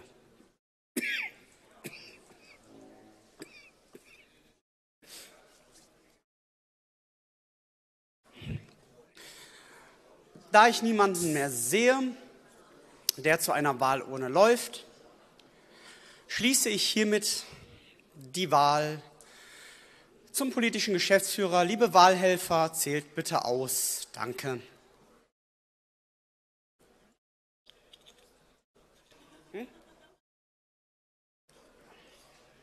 So, als nächstes haben wir wieder einen kleinen Redeslot. Ich bitte den Rüdiger Feilsticker auf die Bühne. Der möchte gerne etwas zum äh, ständigen Mitgliedereinscheid in Niedersachsen erzählen und für, hat jetzt für fünf Minuten das Wort. Äh, ja, leg los. Ja, ich würde gerne noch warten, bis wir ein paar Folien da haben.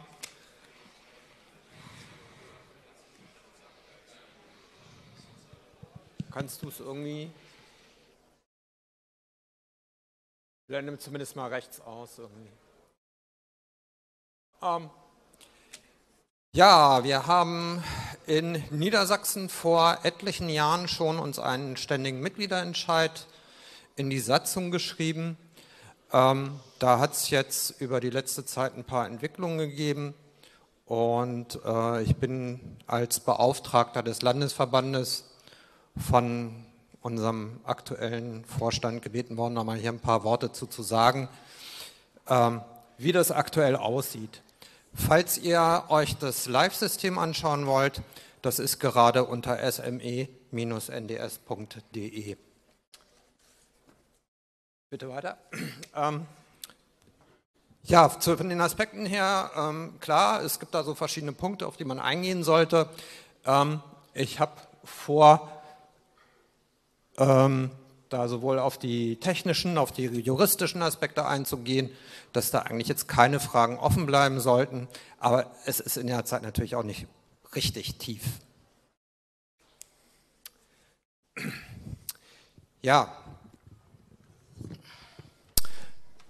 Was wollten wir machen?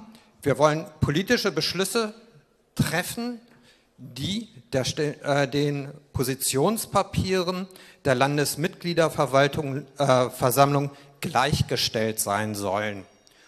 Und äh, das ist also ein klares Ziel für den SME. Wir wollen dieses online tun und äh, wir wollen dies in den bekannten zwei Kammermodellen tun in Niedersachsen. Ähm, das, was wir auch tun werden, sind die Beschlüsse, die aus dem SME rausfallen, bei der nächsten Landesmitgliederversammlung prioritär zu behandeln, also möglichst weit vorne. Das haben wir schon so in unserer Satzung stehen. Also das sind die Satzungsformulierungen, die ihr dort seht. Zwei-Kammer-Modell bedeutet ganz normal, ähm, man hat diese Politikerkammer, in der jeder antragsberechtigt ist, also jeder Teilnehmer antragsberechtigt ist, äh, in der es natürlich pseudonyme Abstimmungen gibt, in denen es sowas wie ein Delegationsmodell gibt, diesen Antragsverlauf, den ihr vielleicht noch äh, aus 2012, 2011 kennt. Ähm, und wir haben ein etwas anderes Delegationsmodell gewählt, nämlich Präferenz, äh, Präferenzdelegation mit einer Obergrenze.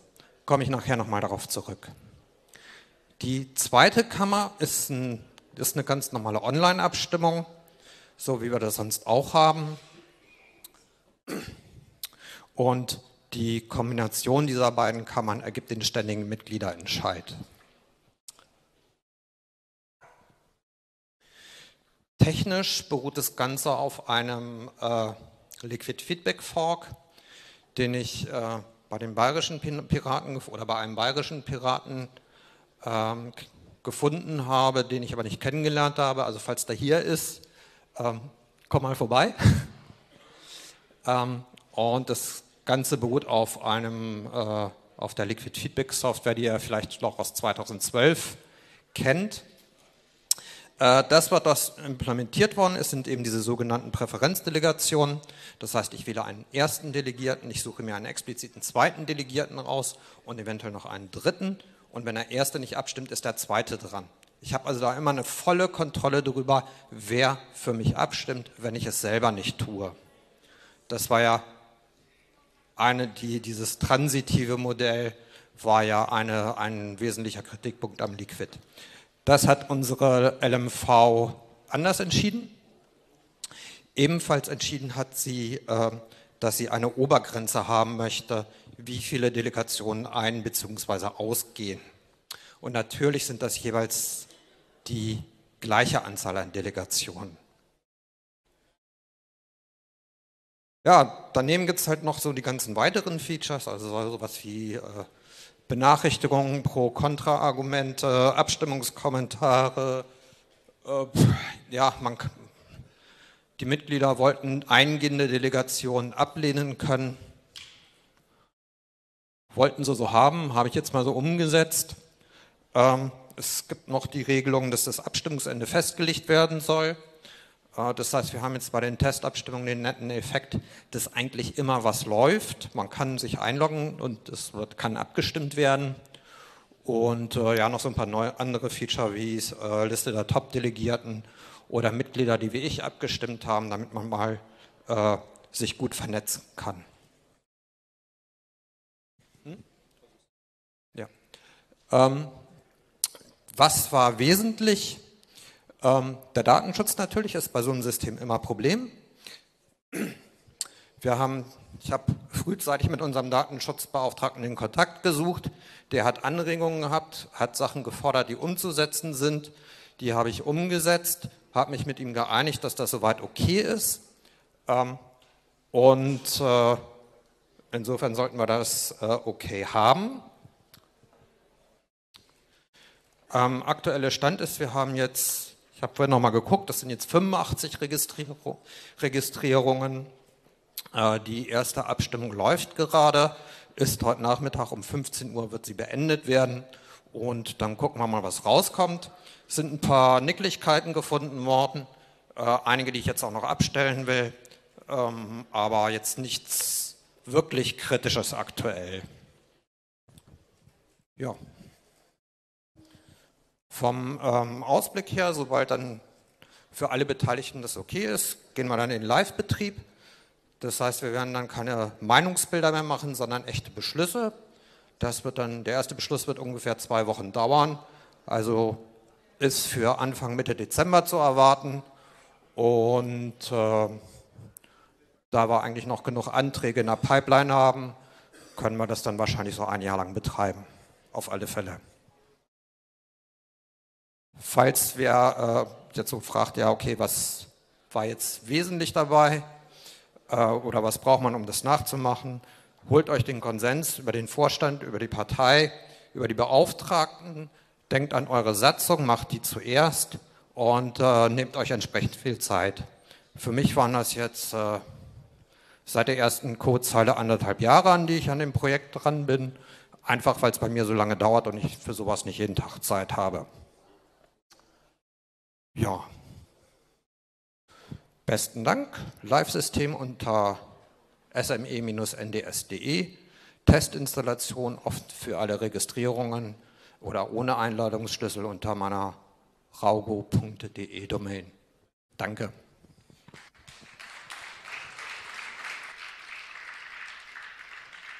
Ja, danke schön, Rudi. Ähm, was genau möchtest du Ja, okay. Eine kleine Verständnisfrage dazu. Ja, nur ganz kurze Frage. Also mir geht es nicht um die Wahlcomputerproblematik, aber du sagst, die Abstimmungen habt ihr so gemacht, dass die pseudonymisiert sind. Gleichzeitig bietet ihr aber dieses Feature an Leute, die wie ich abgestimmt haben. Wie funktioniert dieses Dilemma, sage ich jetzt einfach mal ganz vorsichtig?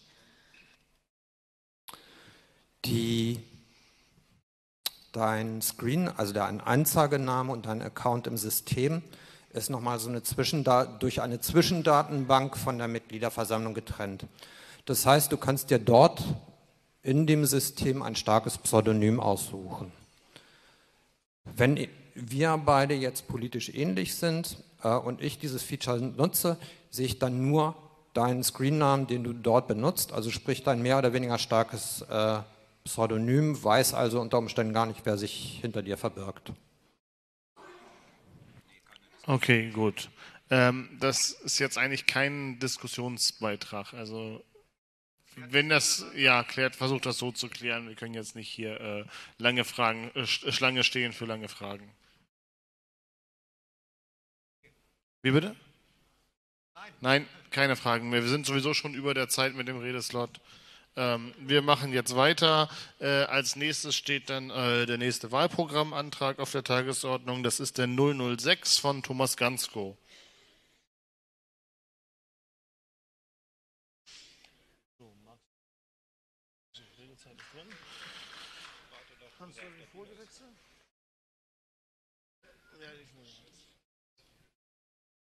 So, Thomas, du kannst loslegen.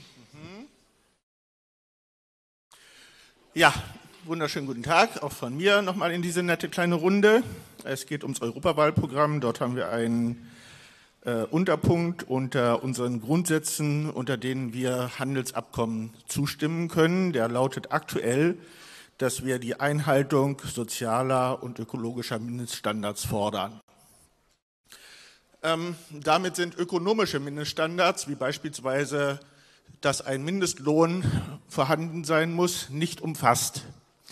Gleichzeitig gibt es keinerlei Möglichkeiten sicherzustellen, dass es auch irgendeine Art von Sanktionsmöglichkeiten gibt, wenn diese äh, Mindeststandards eben nicht eingehalten werden. Dies äh, zu gewährleisten, gibt es eine UN-Initiative, die versucht, äh, eben einklagbare Rechte für alle Beteiligten in Ländern, an, äh, die an Handelsabkommen dann äh, mitwirken, tatsächlich festzulegen. Die deutsche Bundesregierung äh, ist nicht amused darüber und dringt in der entsprechenden EU-Handelsgruppe dafür oder dazu, dass eben ein solches Abkommen nicht eingegangen wird. Was nun dieser Programminhalt hier bewirken soll, ist, dass eben äh, auch ökonomische Mindeststandards einklagbar als Forderung im Wahlprogramm enthalten sein sollen, damit wir Handelsverträgen zustimmen können.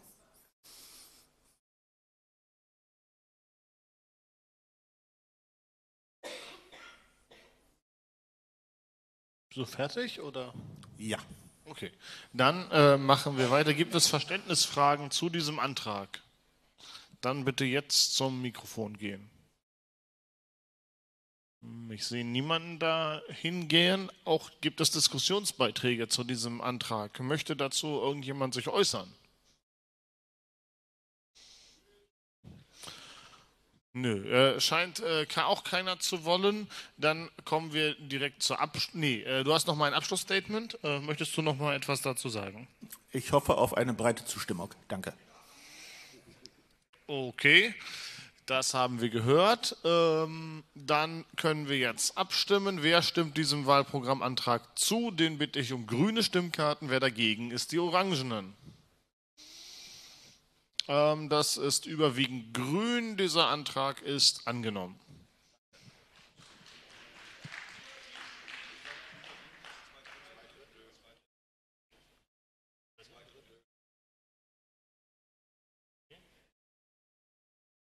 Ähm, okay, dann habe ich mich da gerade vertan. Wir brauchen für Wahlprogrammanträge äh, zwei Drittel Mehrheit. Das hatte ich gerade ähm, nicht auf dem Schirm. Da müssen wir gerade noch mal äh, genau gucken. Ähm, bitte noch mal alle, die dafür sind, äh, bitte noch einmal die Karten hochheben. Also damit keine Unklarheiten sind, jetzt äh, pro und contra bitte abstimmen. Da gingen noch Kontrakarten hoch, aber nicht genug. Der Antrag ist angenommen, auch mit zwei Drittel Mehrheit. Danke. Okay. Dann machen wir weiter mit dem nächsten Antrag. Das ist. Äh, ah, dann komm auf die Bühne. Dann verkünden wir erstmal unser nächstes Wahlergebnis gleich.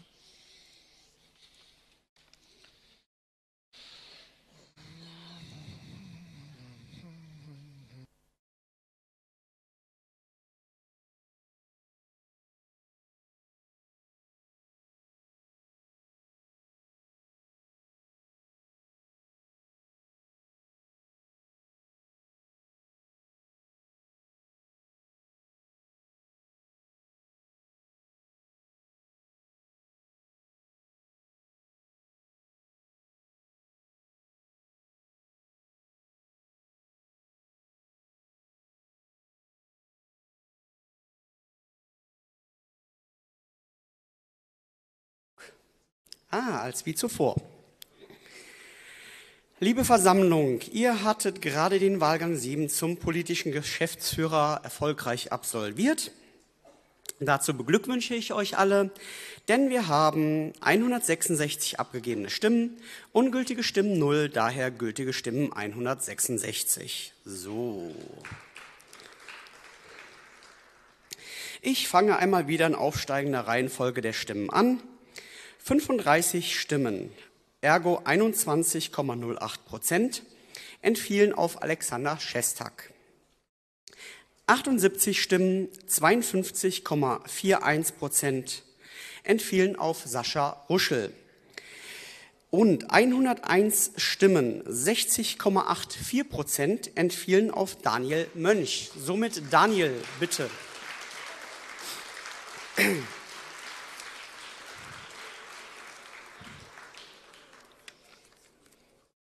Bitte nicht fallen und wenn, verlangsam bitte. So, ähm, man hat mir gerade eben gesagt, es wäre Tradition, aber ich mache es trotzdem. Ähm, die, Wahl, die Versammlung hat dich zum politischen Geschäftsführer gewählt. Meine Güte, sowas, sowas gibt es. Perfekt. Dann ähm, nimmst du die Wahl an. Ich nehme die Wahl an, wir haben viel zu tun, packen wir es an.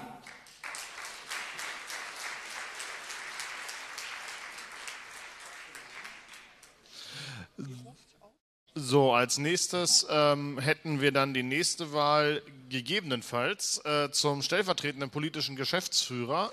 Amt, dieses Amt ist aber wieder optional und von daher müssen wir jetzt zunächst einmal darüber abstimmen, möchten wir für äh, den Daniel einen Stellvertreter wählen, bitte mit äh, Ja und Nein anzeigen, ob wir einen stellvertretenden politischen Geschäftsführer wählen wollen oder natürlich eine stellvertretende politische Geschäftsführerin. Ähm, ich sehe, dass es eindeutig ja und deswegen kommen wir dann zum nächsten Wahlgang und äh, dafür ich, übergebe ich wieder an den Wahlleiter. Ich fürchte, das bin ich. So. Und wenn, freut es mich auf jeden Fall. Fangen wir mit den Formalias an. Ich habe noch die Wahlliste zum stellvertretenden äh, politischen Geschäftsführer geöffnet. Ich hatte da gerade eben aber niemanden auf der Liste gesehen, wenn ich das im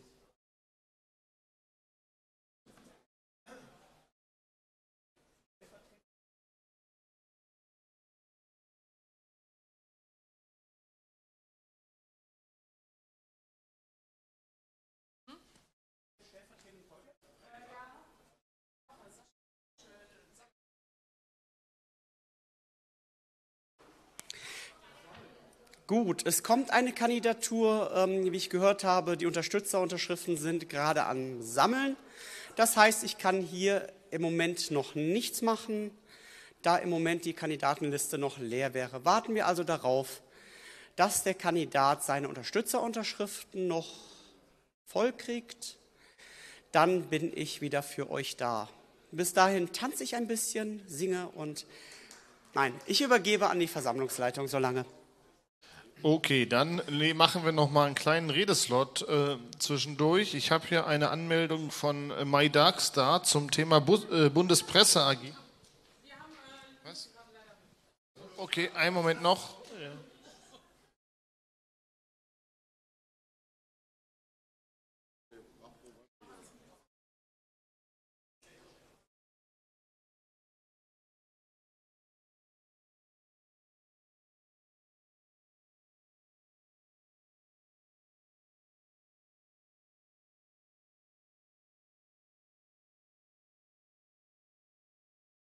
Ja, ich höre gerade, dass wir die Unterschriftsliste jetzt äh, fertig haben. Dann ist jetzt unser Wahlleiter? Äh, ja, okay.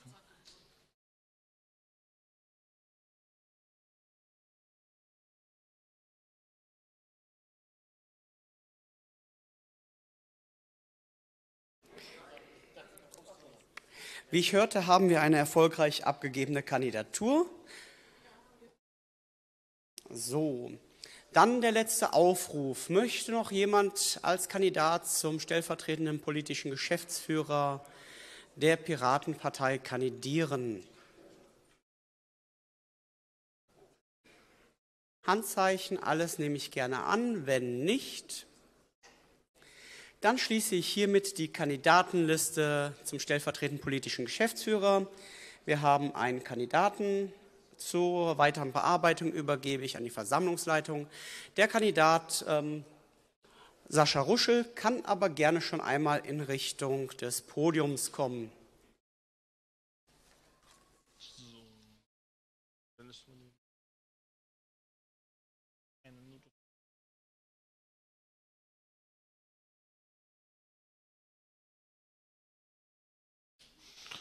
So, du hattest dich ja schon mal vorgestellt, äh, deswegen hast du jetzt noch eine Minute, dich nochmal vorzustellen. Ähm, ja, äh, groß vorstellen muss ich mich nicht. Äh, Habe ich ja eben schon. Äh, gut, äh, kleine Erinnerung nochmal. Wir haben noch, glaube ich, 1000 Unterstützungsunterschriften offen. Ähm, wir müssen noch mal ein bisschen was anpacken bis zum Ende des Jahres. Äh, das ist das Einzige, was ich jetzt sagen möchte. Ansonsten stellt mir bitte nochmal Fragen. Ich will euch nicht die Redezeit klauen. Okay, ähm, gibt es dann Kandidaten, äh, Fragen, die ihr an Sascha stellen wollt? Dann bitte jetzt zum Mikro begeben, so dass ich das auch sehen kann, weil sonst äh, ja, schließen wir hier die Liste wieder. Äh, nein, niemand möchte Fragen stellen. Damit äh, ja, können wir mit der Wahl direkt weitermachen. Wo ist der Wahlleiter? Dann, dann ab. Er wusste nämlich, dass das nur eine Minute dauert. Ist direkt hier geblieben. Dann hätte er gleich Bitte? Beschwerden bitte nur schriftlich. Danke. So, Internet ist kaputt, habe ich gehört. Aber das macht ja nichts. Denn ich kann euch auch so erzählen. Wir haben einen Kandidaten, und zwar den Sascha Ruschel. Wir sind auf Stimmzettel 10. Der ist heute mal wieder weiß. Es läuft alles ab wie same procedure as every year oder every day. Ihr habt die grüne Stimmkarte, ihr habt das Bändchen. Beides solltet ihr mitnehmen, zusammen mit dem Stimmzettel. Den Stimmzettel geheim in den, in den Kabinen ausfüllen. Meine Wahlhelfer können sich schon einmal zu den Urnen begeben. Vielen Dank dafür schon mal. Ihr habt die Möglichkeit, dass hier nur ein Kandidat zur Verfügung steht, entweder eure Zustimmung zu erklären durch ein Kreuz bei Ja oder eure Verneinung erklären bei einem Kreuz bei Nein. Also, wenn ihr dafür seid oder wenn ihr denkt, der Kandidat ähm, kann das Amt des stellvertretenden Polgef ausfüllen, macht ihr ein Ja, macht ihr ein Kreuz bei Ja. Wenn ihr nicht dieser Meinung seid, macht ihr ein Kreuz bei Nein. So. Ich warte inzwischen mal, dass meine Wahlhelfer bereit sind.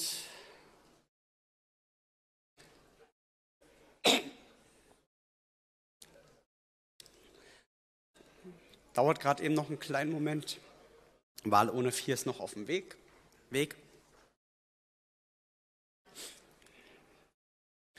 Hab, gibt es Verständnisfragen? Habt ihr sonst noch irgendwas, was wir in der Zeit klären können? Ich habe gerade eben gehört, wir brauchen noch einen Wahlhelfer an Urne 4. Möchte noch jemand helfen?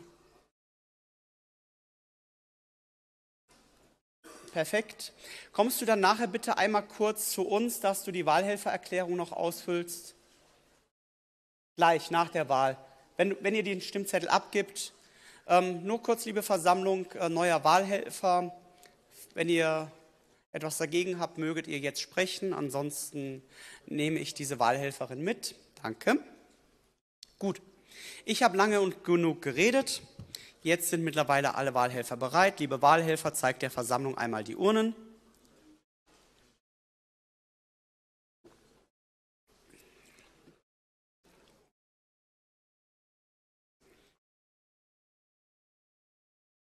Ihr, ihr, habt euch davon überzeugt, dass die Wahlurnen leer sind. Macht die Wahlurnen bitte zu, liebe, liebe Wahlhelfer. Macht euch bereit. Wenn ich sehe, dass ihr bereit seid, Leo mir anzeigt, dass sie auch bereit ist, perfekt. Dann, liebe Wahlhelfer, fangt an, die Wahl ist eröffnet.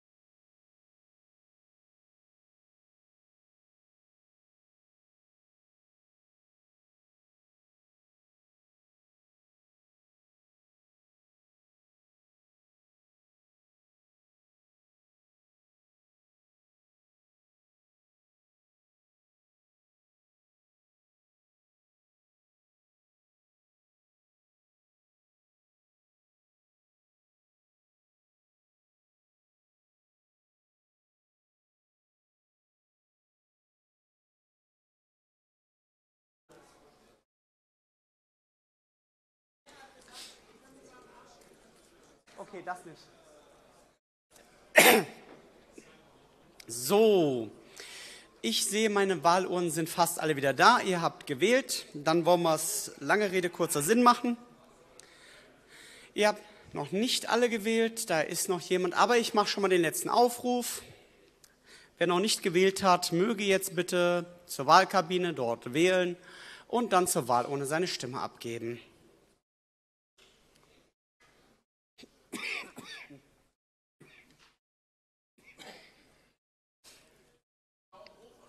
Alle Wahluhren signalisieren mir, dass sie fertig sind. Somit, ja, da kommt noch.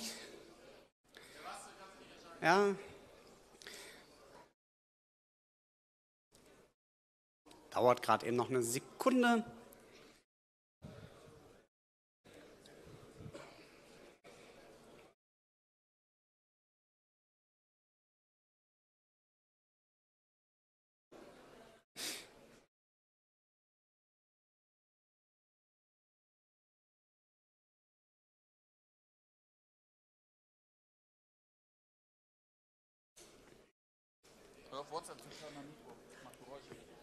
Klar. So.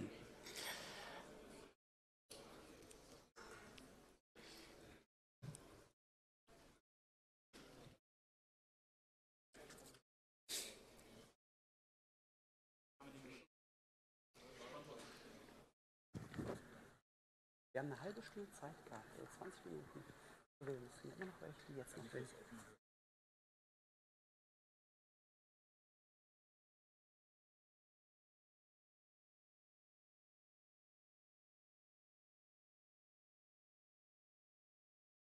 Jetzt, ah, jetzt sieht das gut aus, so wie ich gesehen habe. Alle Wahlurnen sind leer, niemand mehr zum Wählen da.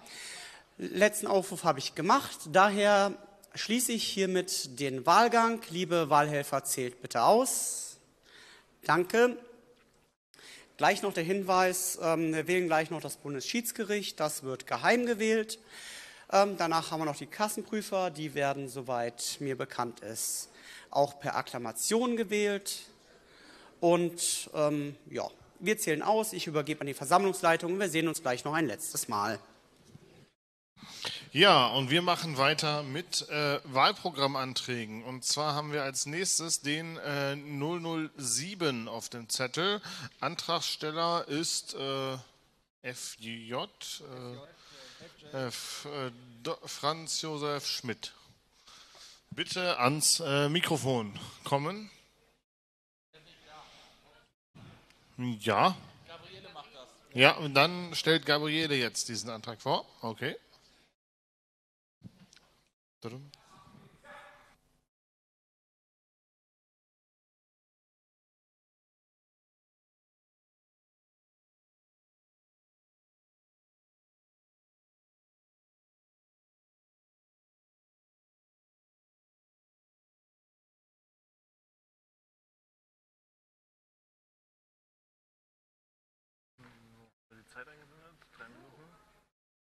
Einen Moment. So, du kannst loslegen. Wunderbar, mal in anderer Position und auch aus anderer Position. Die kommenden Wahlprogrammanträge zum Europawahlprogramm kennt ihr im Prinzip schon. Die haben wir bereits im Sommer dargestellt. Wir haben darüber diskutiert, sie damals zurückgezogen. Wir haben jetzt nochmal den Diskurs darüber diskutiert haben Änderungen übernommen und das ist jetzt der erste davon. So, wir wollen eine Änderung des Kapitels, das bis jetzt heißt Demokratie-Upgrade für das Europa von heute. Hätten wir gerne in das folgende Kapitel umgeschrieben, Stärkung der Demokratie in der Europäischen Union. Das war schon mal das Erste. Wir wollen unterscheiden, was ist Europa, was ist Europäische Union, was ist Eurozone. Da tatsächlich mal ordentlich eine Unterscheidung hinbekommen. Äh, wir Piraten fordern, dass die Menschen mit Lebensmittelpunkt in den EU-Mitgliedstaaten auch in EU-weiten Abstimmungen direkt über, Europä über die europäische Gesetzgebung mitentscheiden können. Dazu haben wir den Gedanken einer europäischen Bürgerinitiative entwickelt, mit der Legislativ Legislativvorschläge gemacht, aber auch EU-Gesetze gestoppt werden können. Die Europäische Bürgerinitiative soll in der Praxis leicht anwendbar und gebührenfrei sein. Sie kann wie Volksentscheide in Deutschland zweistufig angelegt werden. Die aktuelle Gesetzgebung der EU wird von der Exekutive der Europäischen Kommission zulasten der eigentlichen Legislative, dem Europäischen Parlament, dominiert. Deshalb fordern wir, die Gewaltenteilung zugunsten der Legislative neu zu gewichten. Hierfür sollen die Initiativ- und Beschlussrechte der, des Europäischen Parlaments als parlamentarischer Gesetzgeber der EU ausgeweitet werden. Ähm, ja. Okay, das war's soweit. Dann äh, gibt es Verständnisfragen zu diesem Antrag. Dann bitte ans Pro-Mikrofon treten und äh, ja, du kannst loslegen. Ähm, ja, eine Frage, der endet jetzt mit der Forderung nach dem Initiativrecht für die Europäische Union in Punkt 2.1, den er ersetzt. Und dahinter kommt Punkt 2.2 mit dem Titel Initiativrecht für das Europäische Parlament. Ist es so beabsichtigt und wenn ja, wieso steht das beides so hintereinander? Okay, ich denke, das ist einfach der alten Struktur geschuldet, ist aber, wenn ich es jetzt so überlege, tatsächlich auch sinnvoll, das zu, äh, tatsächlich so zu trennen. Man könnte es aber auch zusammenfassen, auch damit kann ich gut leben. Gibt es weitere Verständnisfragen? Das scheint nicht der Fall zu sein. Dann machen wir jetzt mit äh, Pro Contra weiter. Dann bitte an die Mikrofone anstellen und wir beginnen mit Pro. Okay, drei werde, Minuten. Ich werde diese äh, Initiative, diesen Antrag gerne unterstützen. Ich habe nur einen Kritikpunkt anzubringen. Das, was hier gefordert wird, verlangt eine Änderung der EU-Verträge. Und das hätte man reinbringen sollen, dass die Piratenpartei tatsächlich eine Veränderung, eine Modernisierung, eine Verbesserung der EU-Verträge verlangt. Dann Contra. Ja, ich glaube, es ist auch nicht mit der Änderung der EU-Verträge getan, weil es kein Staatsvolk in Europa gibt, das europaweite Abstimmungen machen kann.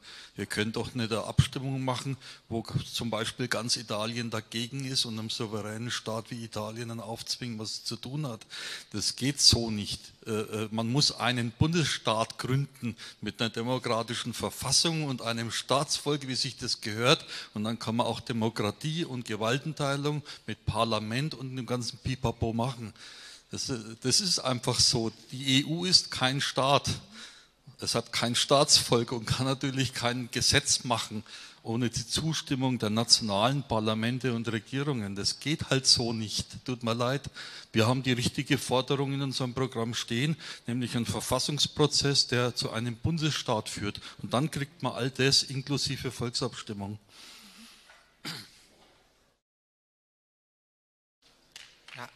Zu dem Punkt, der gerade kritisiert wurde, das ist, glaube ich, erstens nichts besonders Neues, ist wohl ja jetzt sogar präzisiert, Bürger mit Lebensmittelpunkt in der, also Menschen mit Lebensmittelpunkt in der Europäischen Union.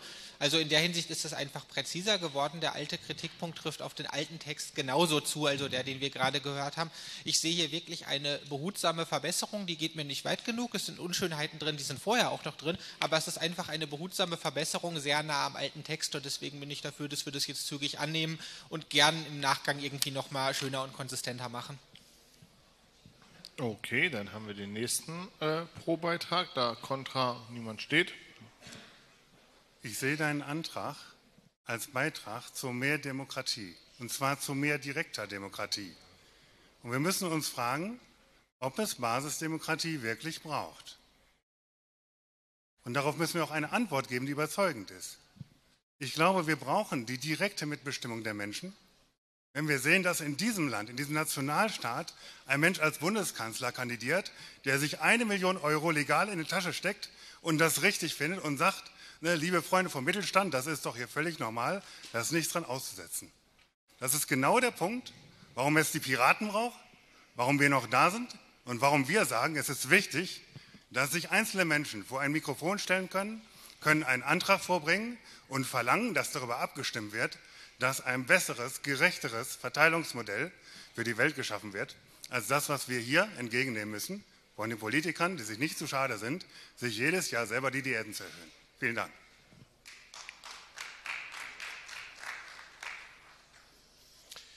Also ich bitte euch auch, diesen Antrag anzunehmen, denn das, was meine Vorredner am Pro-Mikrofon gesagt haben, trifft auf diesen Antrag zu. Ist er bereits der Weisheit letzter Schluss vermutlich nicht, weil wir wollen ja weiter programmatisch arbeiten.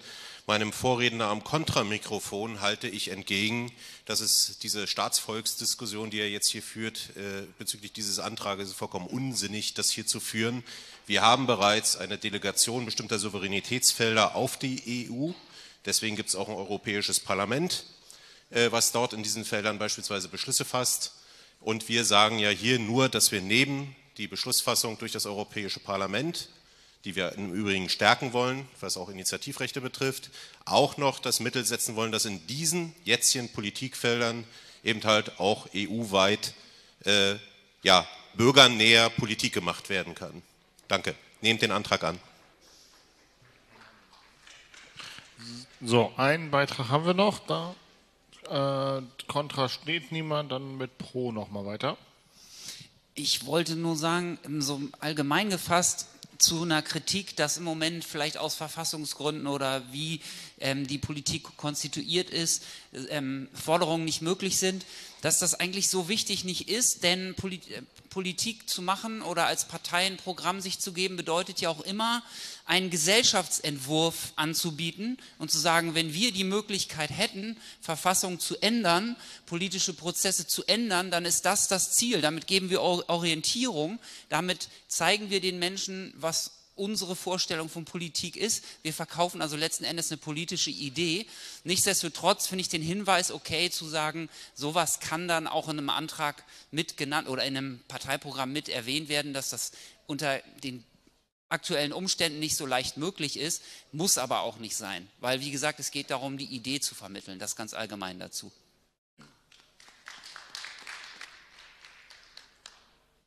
Okay, dann hatten wir jetzt fünf Pro-Beiträge, Contra erst einen, aber dort äh, will niemand mehr reden. Dann stimmen wir jetzt erst einmal ab. Möchten wir weiter über diesen Antrag debattieren? Bitte Ja mit Grün und Nein mit Orange anzeigen.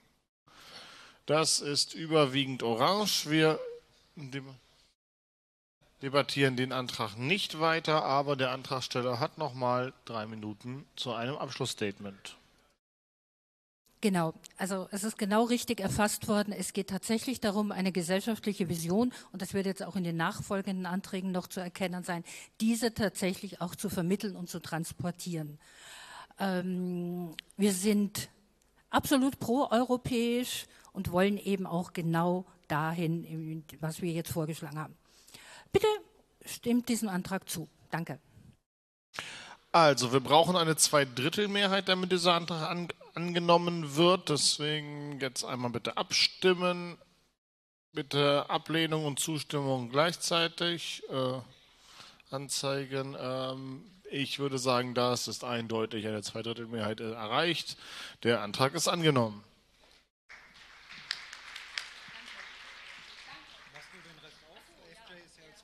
Ähm, was macht die Wahlauszählung? Haben wir noch Zeit für einen neuen Antrag?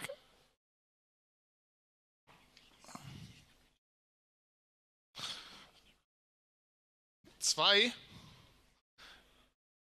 Zwei Minuten noch bis zur Wahlauszählung, dann würde ich sagen, warten wir eben erst auf die Wahl.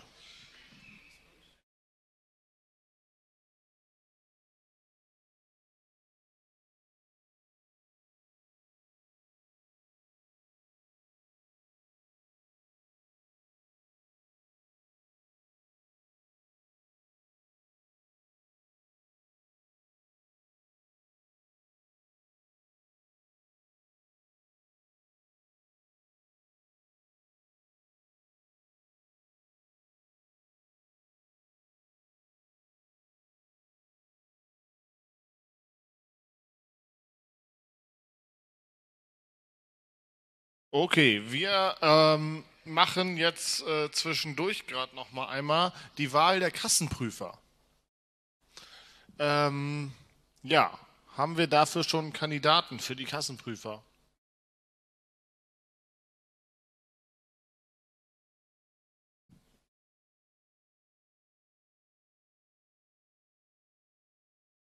Okay.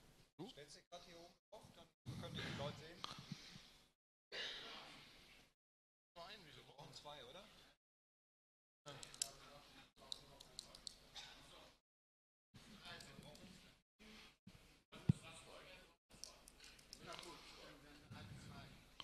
Wir brauchen mindestens zwei Kassenprüfer. Gibt es noch weitere Kandidaten für die Funktion des Kassenprüfers? Dann bitte jetzt melden.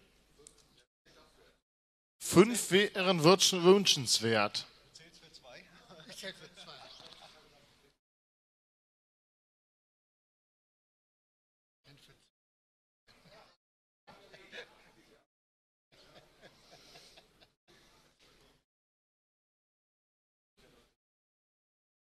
Haben wir noch weitere Kandidaten, die sich vorstellen könnten, diese wichtige Funktion wahrzunehmen und äh, ja, unsere neuen Bundesschatzmeister zu überprüfen?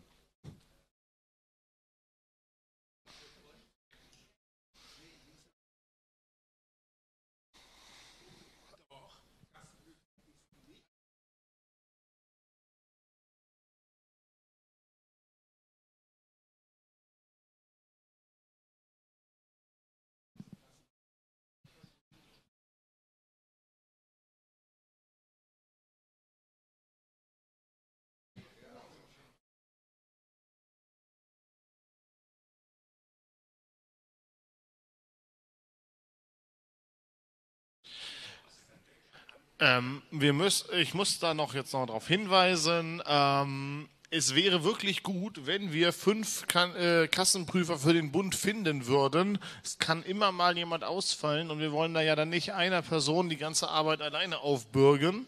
Jetzt sind wir schon bei drei, wie ich das sehe, aber wir sind ein großer Bundesverband und äh, ein Bundesverband braucht mehr Kassenprüfer. Bitte noch mehr Kandidaten für die Funktion des Kassenprüfers.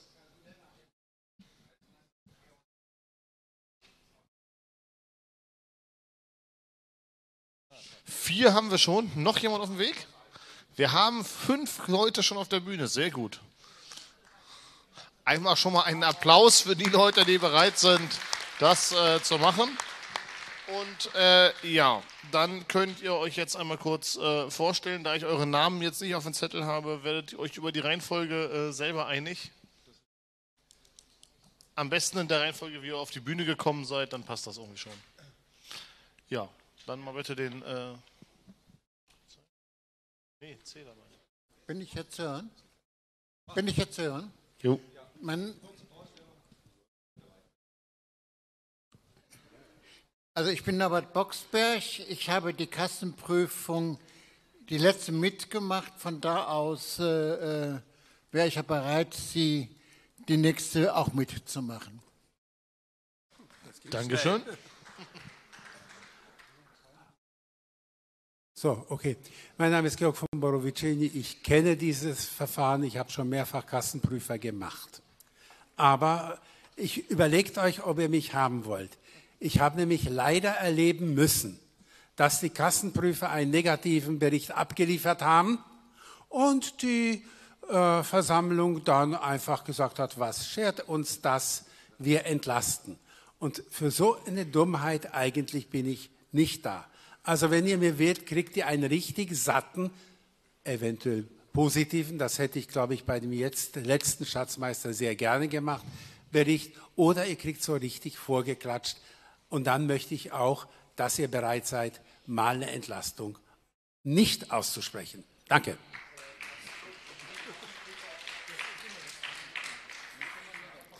Ich bin der Jan-Peter Rühmann aus Mecklenburg-Vorpommern. Ich mache schon für mehrere äh, verschiedene Vereine äh, Kassenprüfer, habe auch schon bei der Piratenpartei mehrere Kassenprüfungen, eigentlich nicht auf Bundesebene, sondern nur auf Landesebene gemacht. Ich denke mal, also das kriegen wir schon durchaus hin.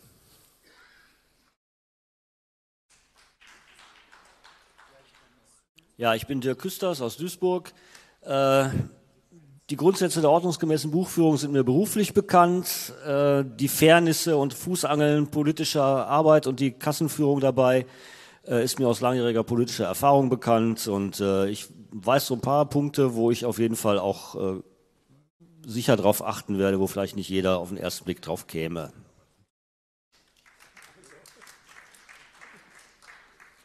Ja, schönen guten Tag. Ich heiße Jiri Zehula. Ich bin momentan schon aus Passau seit 15 Jahren, sonst komme ich aus Tschechien. Also die Tätigkeit von Kassenprüfung ist mir bekannt von einem tschechischen Verein, wo ich auch Mitglied bin und erster Vorsitzender bin. Und äh, ja, es ist nicht politisches Verein, also das ist ein Hobbyverein. Und äh, ja, ich schließe mich zu dem, was der, was der Kollege von mir gesagt hat. Ich schieße auch mit einer negativen Kassenbriefung durch und lasse ich dann hartnäckig, dass es wirklich gut kommt. Danke. Okay, danke für eure Vorstellung. Jetzt äh, einmal eine kleine Frage. Äh, die Kassenprüfer werden ja per Akklamation gewählt, die wählen wir nicht per geheimer Wahl. Ähm, möchtet ihr über die Kassenprüfer einzeln abstimmen oder möchtet ihr alle on block wählen? Wenn ihr die einzeln abstimmen wollt, dann bitte die orangene Karte, für on block die grüne.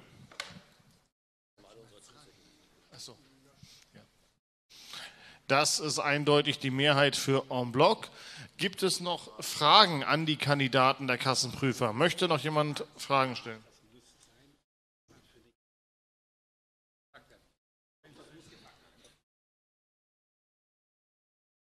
Ähm, ja, bitte, stell die Frage. Jetzt? Wunderbar. Ja. Ihr seid euch da einig um. Gut, weil ihr einfach gar nicht zuhört. Äh, vielleicht äh, wäre es ja interessant, wenn die Kandidaten auch zuhören würden, wenn eine Frage gestellt wird. Es geht auch gerade an Georg. Ja, schön, guten Nacht. Ähm, äh, Kassenprüfer ist äh, dummerweise ein sehr verantwortungsvoller Job. Das sind nämlich die Einzigen, die haften für irgendwas in dieser Piratenpartei mit ihrem Privatvermögen. Da gibt es keine Begrenzung. Deswegen finde ich das äh, auch mal, zu, möchtet ihr das bitte mal zur Kenntnis nehmen. Das heißt, eine Kassenprüfung muss dann schon ordentlich sein nach den gesetzlichen Bestimmungen, ganz klar. Und wenn es äh, gesetzliche Bestimmungen gibt, sollte man sie nicht ignorieren oder in Frage stellen. Da gab es ja aus meiner, äh, meiner äh, Erfahrung ein paar Problemchen gerade in NRW und die würde ich nicht gerne auf den Bund verlagern wollen, sondern ich hätte gerne eine kontinuierliche Kassenprüfung, nicht einmal im Jahr zum Schluss, wenn wir da gar keine Zeit mehr haben, sondern eine kontinuierliche Kassenprüfung. Wie stellt ihr euch dazu? Danke. Ganz einfach. So, als ich das letzte Mal Kassenprüfer war, das ist jetzt zwei oder drei Jahre her, ich habe nicht mehr so im Kopf, da haben wir dreimal geprüft. Wir sind in die P9 gegangen, haben alles durchgesehen. Nach dem ersten Mal natürlich nur noch das, was neu dazugekam. Jawohl, wir wollen kontinuierlich prüfen. Ich habe es allerdings leider auch erlebt, das war nicht bunt, dass die Kassenprüfer fünf Minuten äh, vor ihrer Erklärung das ganze Ding vor die Füße gekippt ge haben. Und in so einem Fall, wenn ich nicht rechtzeitig meine Sachen kriege, werde ich schlicht und einfach sagen, keine Kassenprüfung möglich, keine Entlastung möglich. Ganz klipp und klar das. Es gibt die Möglichkeit, dass die Kassenprüfer einen permanenten Lesezugriff kriegen so dass Sie dann also auch von Ihrem PC aus auf die Buchungsgänge, also Einsicht bekommen, so dass diese permanente Prüfung möglich ist. Und äh, ich denke, dass wir dieses dann auch versuchen einzurichten, dass wir das bekommen. Und dann untereinander läuft dann die Abstimmung über äh, eine, über eine die Kassenprüferliste Bund, die nur den Kassenprüfern zugänglich ist, sodass wir da auch permanent eine Abstimmung vornehmen können. Also natürlich wäre es äh, am besten, wenn man mindestens zweimal, besser viermal im Jahr prüfen ne, würde. Und natürlich persönlich äh, das Entscheidende dabei nach meiner Erfahrung ist eigentlich eher die Absprache zwischen den Kassenprüfern als, die ne, als wirklich die Terminfindung mit, den, äh, mit der Buchführung. Und das hoffe ich, dass wir das hinkriegen. So auch mir ist die Verantwortlichkeit bewusst und ich setze mich dafür ein, dass es wirklich alles, alles in Ordnung wird. Ja, der, Kass, der Staatsmeister muss bewusst sein, dass die Kassenprüfer ihn jederzeit äh, fragen können, was der aktuelle Stand ist. Äh, und dann sollte zum Beispiel nach Möglichkeit die Barkasse nicht miese haben und so weiter. Äh, rechnet damit, liebe Schatzmeisterei. Aber das Wichtigste finde ich natürlich, dass der, der, der, Jahresabschluss ordentlich geprüft ist. Und das ist die absolute Pflichtaufgabe. Und der Rest ist dann Absprache zwischen den, zwischen den Kassenprüfern. Okay. Weitere Fragen sehe ich nicht. Dann wurde ich gerade noch darauf hingewiesen, dass wir, da es ja doch um Personen geht, nach dem Parteiengesetz dazu verpflichtet sind, ab, ab darüber abzustimmen, ob wir per Akklamation wählen wollen oder ob ihr geheim wählen wollt. Deswegen, äh, wer dafür ist, dass wir die Kassenprüfer jetzt per Akklamation wählen, bitte die grüne Karte. Sollte jemand geheim wählen wollen, die orangene Karte.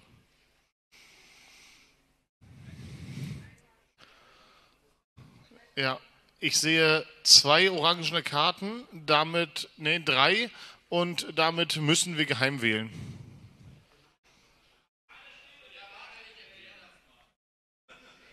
Ich. Hallo. Gregory, weißt du, was das Schöne ist? Ich habe ein Mikro, du nicht. genau, ich wiederhole dich einfach. Was der Gregory ganz einfach sagen wollte ist, in diesem Fall gilt nicht GEO, sondern Gesetze.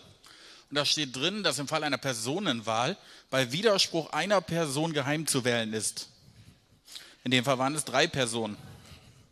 Also müssen wir geheim wählen.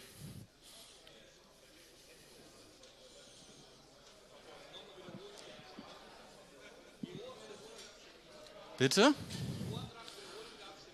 Das kannst du gerne machen. Ich gebe das mal weiter. Äh, zweimal. Gut. Ich mache das jetzt als Proxy. Es geht der GO-Antrag auf Wiederholung der Abstimmung hier um. Zweimal gestellt, den gibt es in diesem Fall aber nicht. Punkt. Es gab nämlich keine Abstimmung, sondern eine Abfrage.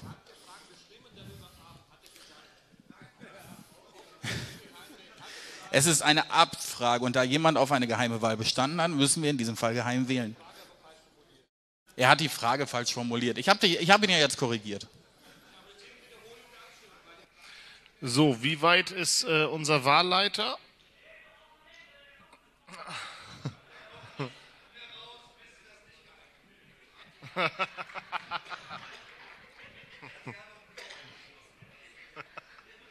Dann müssen wir einen neuen wählen. Er muss noch weinen.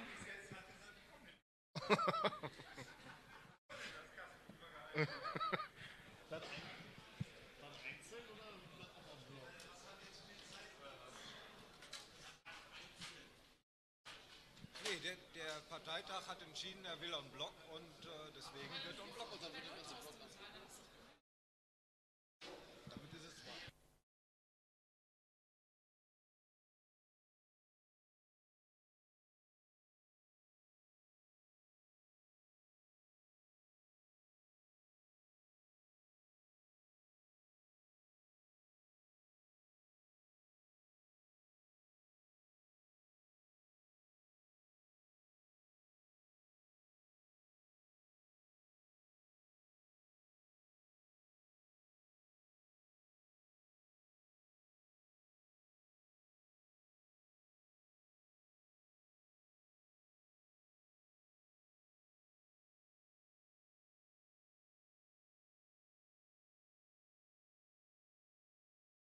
So, der Wahlleiter ist da.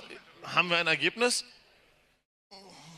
Und äh, bitte dann äh, nochmal etwas Ruhe einkehren lassen, damit wir das Ergebnis auch mitbekommen.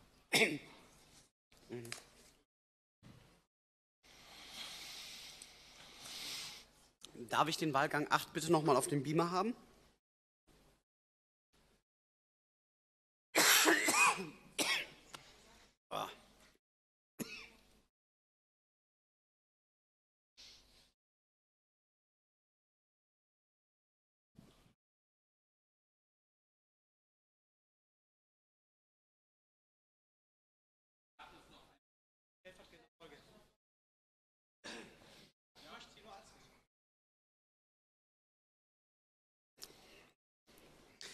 So, das Amt des stellvertretenden Polgev wurde gerade eben gewählt. Ich habe ein Ergebnis.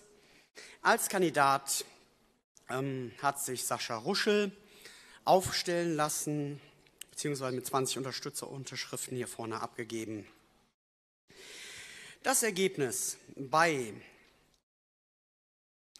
239 akkreditierten Piraten, 128 abgegebenen Stimmen, 128 gültigen Stimmen. Ähm, fangen wir von unten an. Fünf, fünf Stimmen, 3,91 Prozent, entfielen auf Nein. 115 Stimmen, 89,84 Prozent, entfielen auf Ja. Sascha, komm bitte nach vorne.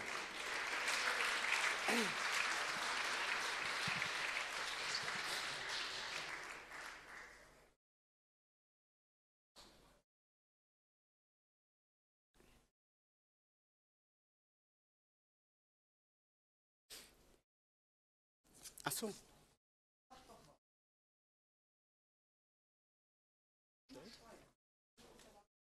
Hast du die Frage schon gestellt? Ähm, nein.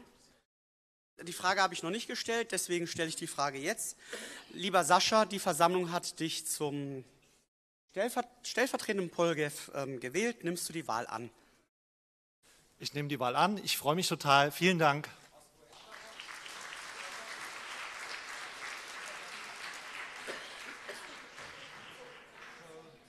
Okay, dann haben wir jetzt einen stellvertretenden Polkev und äh, ja, dann übergebe ich jetzt dem Wahlleiter gleich weiter für äh, die gewünschte geheime Wahl der Kassenprüfer.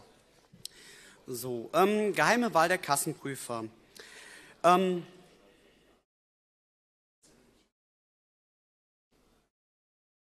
Kandidatenliste war ja weiterhin offen. Nee, ich habe hab ich die Kandidatenliste für die Kassenprüfer eigentlich geschlossen? Gut, ihr möchtet eine geheime Wahl der Kassenprüfer haben. Gut, so sei es.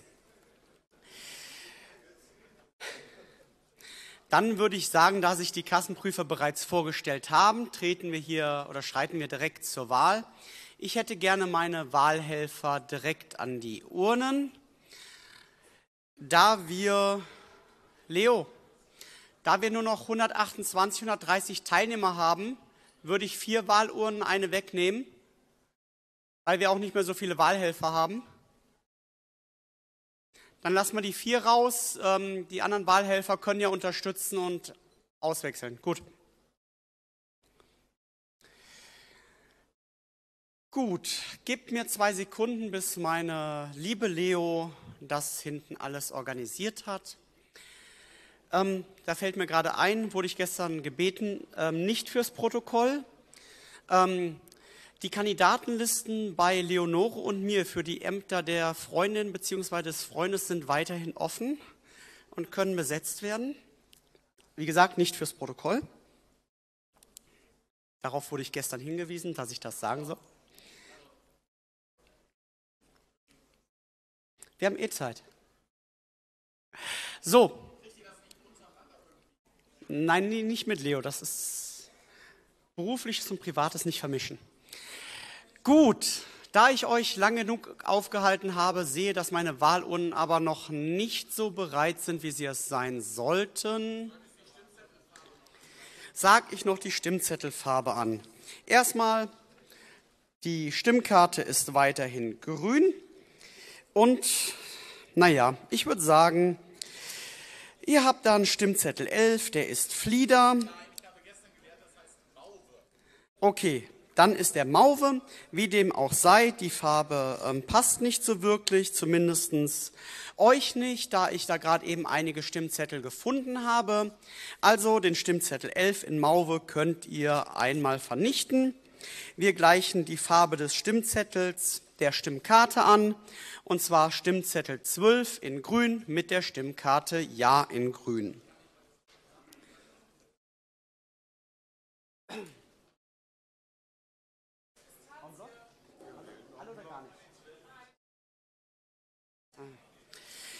Jetzt kommen die Eisliebhaber, es ist Pistazie, wie dem auch sei. Mir wurde gesagt von hinten, wir wählen en bloc. Das heißt, ihr habt die Möglichkeit, hier entweder Ja oder Nein anzukreuzen. Ein Ja für eine Zustimmung aller Kassenprüfer.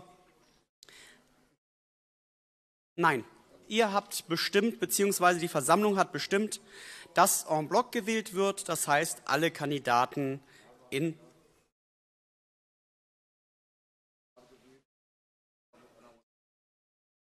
Wo, welcher Kassenprüfer steht an einer Urne? Wo ist Norbert? Winke doch mal. Wo ist Norbert? Okay. Ja, weil alle Uhren sind soweit voll. Ich habe schon. Nein, ist okay, alles gut, Norbert. Du stehst nicht an der Urne, von daher.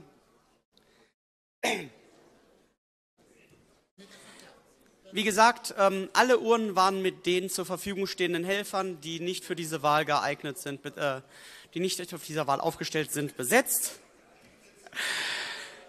Ähm, ja, Florian. Kannst du bitte nochmal klarstellen, weil hier geistern die übelsten Theorien gerade durch die Gegend, wie man in diesem Wahlgang korrekt zu wählen hat? Kann ich, ich habe also bei den Theorien, die ich hier gerade gehört habe, kriegen wir sonst gleich ganz viele ungültige Stimmzettel. Stell das bitte nochmal klar. Gut, mache ich.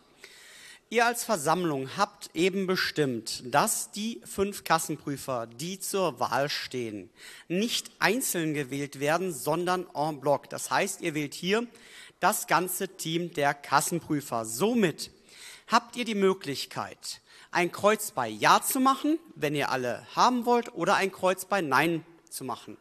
Ein Kreuz bei Ja wählt alle Kassenprüfer, ein Kreuz bei Nein wählt keine Kassenprüfer. Ein leerer Zettel erhöht das Quorum. Ja, aber im, unterm Strich. Und das Quorum ist natürlich bei 50 plus 1. Wie dem auch sei, wir sind bereit, meine Wahlhelfer stehen da. Diese zeigen euch die leeren Urnen.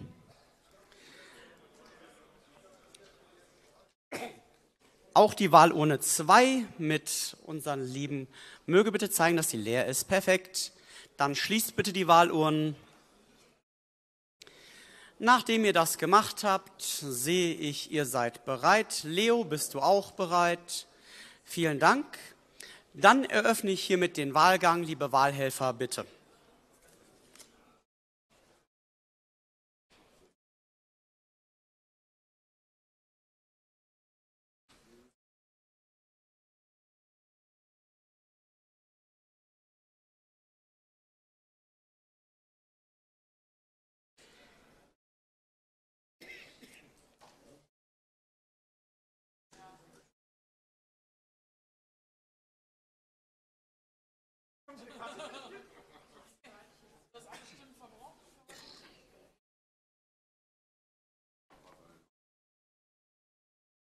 Ich hätte aber gern meine Karte wieder.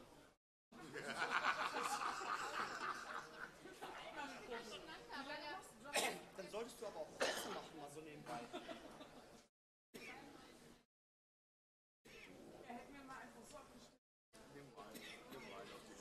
Krieg ich gleich wieder. Bei ihm kannst du auch ein Kreuz machen? Nein? 13, äh, 12. 12, 12, 12.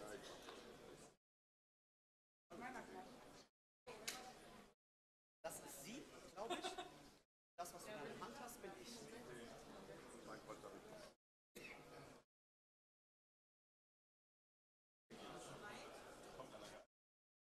Ja, komm. Mache ich jetzt. Die kriegst du jetzt. Wer fehlt denn noch?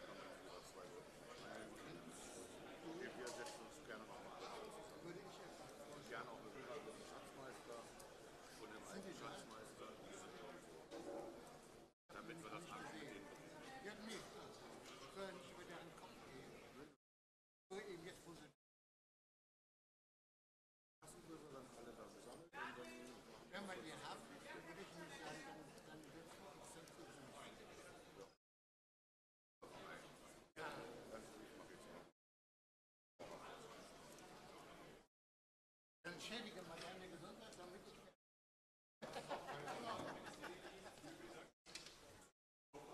Obwohl für dich ist das sinnlos, du hast das von dir äh, du hast die Rente. Ja gut, aber ich zahle ja noch mit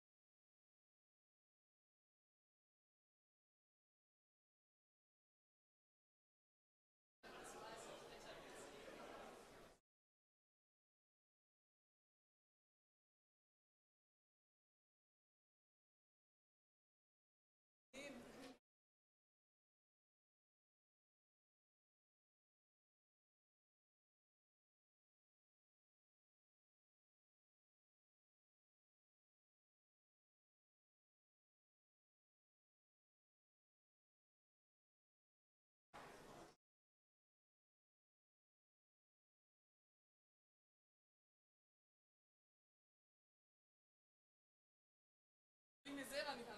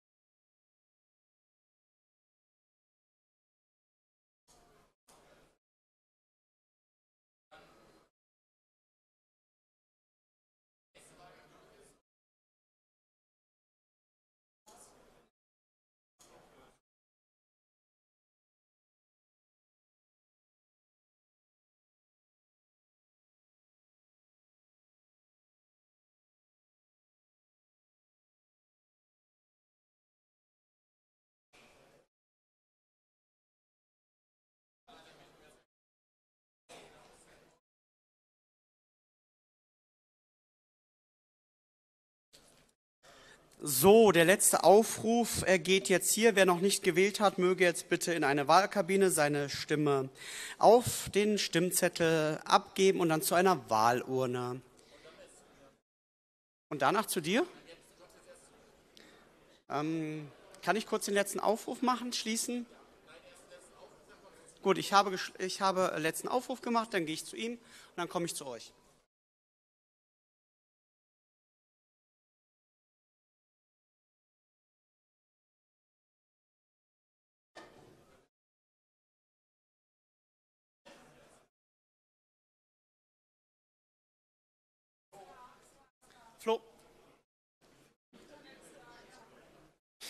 So. Ihr hattet jetzt genug Zeit. Sehe ich noch jemanden, der wählen möchte? Ich sehe niemanden mehr. Dann schließe ich hiermit die Wahl der Kassenprüfer. Vielen Dank. Liebe Wahlhelfer, zählt bitte aus. Leo. Achso, gut. Ähm, Nein, gerade nicht.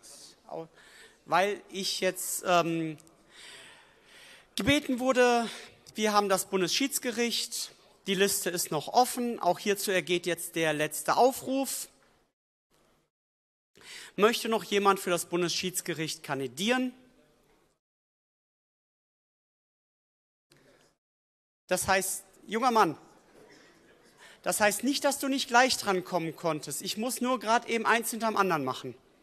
Und ähm, sprech das kurz mit der VL ab, die hat nämlich hier Hausrecht und kann sagen, ob du das Mikro kriegst. Gut.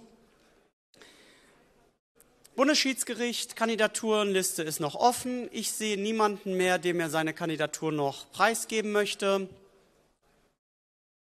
Letzter Aufruf war durch. Dann schließe ich hiermit die Liste zum Bundesschiedsgericht. Und ähm, während meine Helfer auszählen, die Kandidaten fürs Bundesschiedsgericht ähm, werden nach vorne gebeten und können sich dann gleich vorstellen. Ich übergebe mich wieder auf die Versammlungsleitung.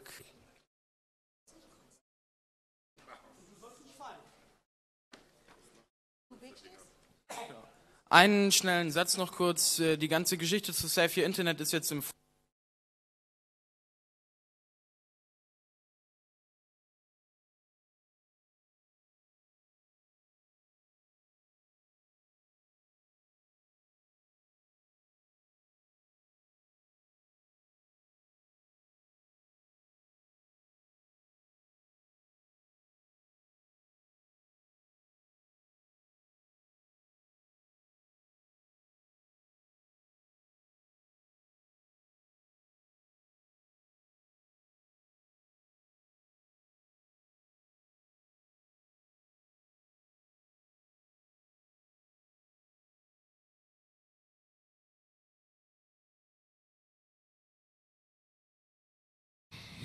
so, dann bitte ich einmal die Kandidaten für das Schiedsgericht. Äh, wir haben. Die Liste geschlossen worden. Ja, die ist geschlossen worden. Ja, alles Ja. klar. Die Liste ist, ist die Liste jetzt geschlossen worden, ja oder nein? Ja. Dann kommt keiner mehr. Fünf für die. Liste ist geschlossen.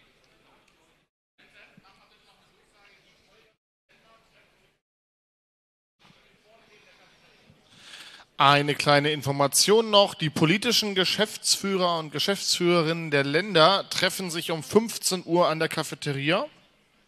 So, ich habe jetzt äh, drei Kandidaturen für äh, das Bundesschiedsgericht. Wir wählen einen Richter und zwei Ersatzrichter. Ich bitte jetzt die Kandidaten, sich hier einzufinden. Und äh, wir fangen an, wenn ich das jetzt richtig sehe, mit, mit äh, Milano äh, Gärtner. Ja, der ist aber erst später.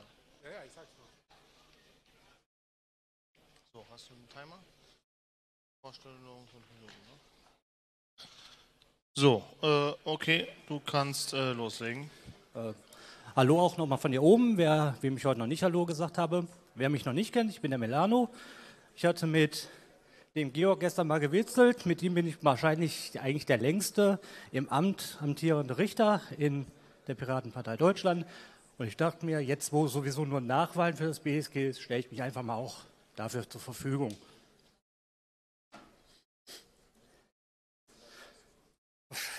Was soll man da groß sagen? Okay, äh, gibt es Fragen an den Kandidaten? Jo. Ja, ja. So, bitteschön, Frage. Danke. Kannst du uns noch ein bisschen was so beruflicher Hintergrund, was hast du sozusagen gemacht, äh, was so, sagen wir mal, sich die Auseinandersetzung, was die Auseinandersetzung mit rechtlichen Dingen so in der Breite, was ist so die Lebenserfahrung, die du in dem Kontext hast? Äh, Im Lebenskontext eigentlich gar nichts. Ich mache nur jetzt seit sechs Jahren in NRW erfolgreich Okay. Schiedsgericht. Also Landesschiedsgericht, aber Und perfekt. ja, da bin ich Wunderbar. jetzt seit sechs Jahren durchgehend Vorsitzender, seit einem Jahr in Sachsen Vorsitzender. Und so schwer ist die Materie nicht.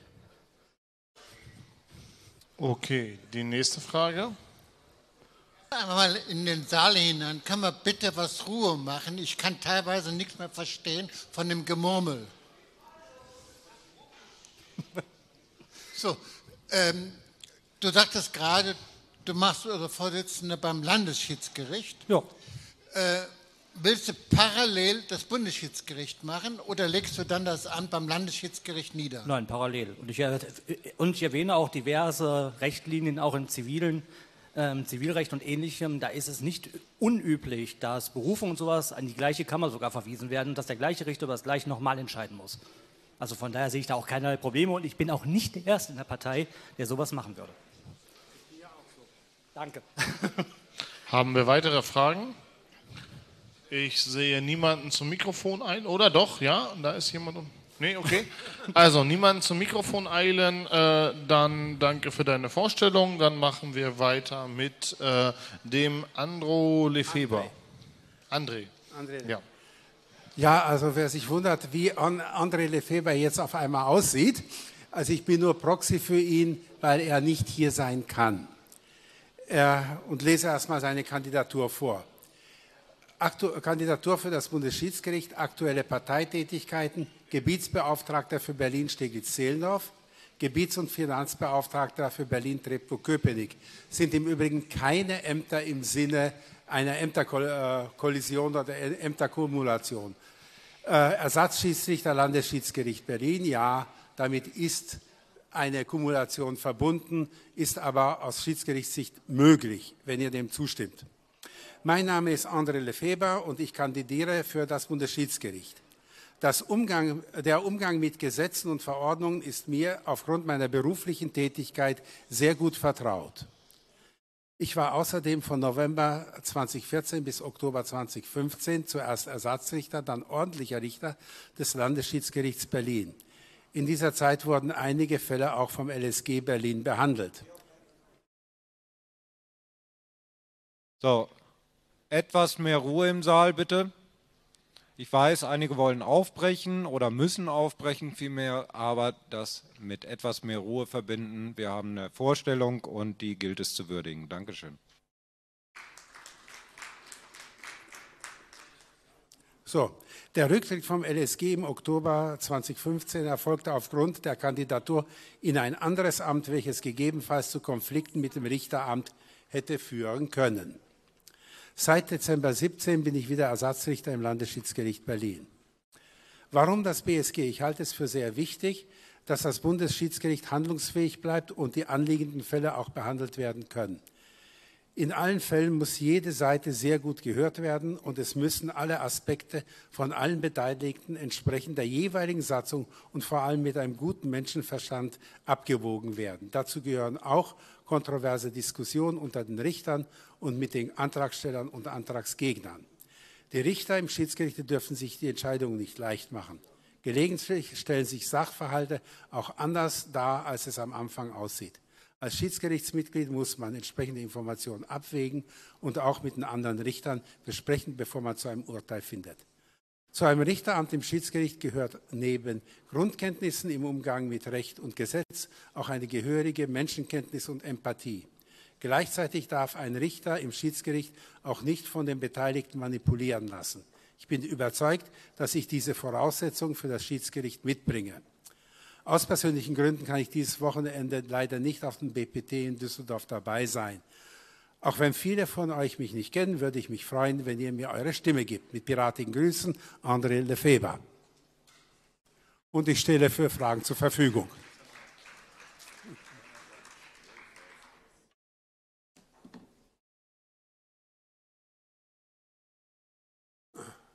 Gibt es Fragen?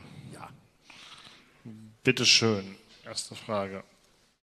Du hast dich für eine sehr schwierige Aufgabe gemeldet und dafür danke ich dir zunächst. Ich nicht. Die Frage ist, ein Kapitalist und ein Kommunist stehen auf einem Stück Land. Der Kapitalist sagt, das ist meins und der Kommunist sagt, Menschen müssen teilen. Das kommt zu einem Streit innerhalb der Piratenpartei. Wie entscheidest du, wer recht hat? Gut, ich glaube nicht, dass das eine Frage ist, die das Bundesschiedsgericht beantworten muss. Und eine, insofern. Das ist eine würde ich jetzt mal sagen, dass diese Frage nicht zulässig ist.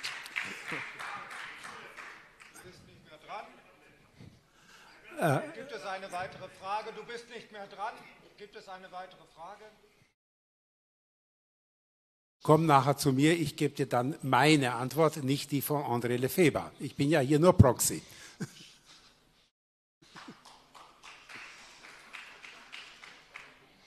Okay, dann haben wir die nächste Vorstellung, äh, Mirko Pauli. Mirko, bitte auf die Bühne. Ah, Proxy ist unterwegs.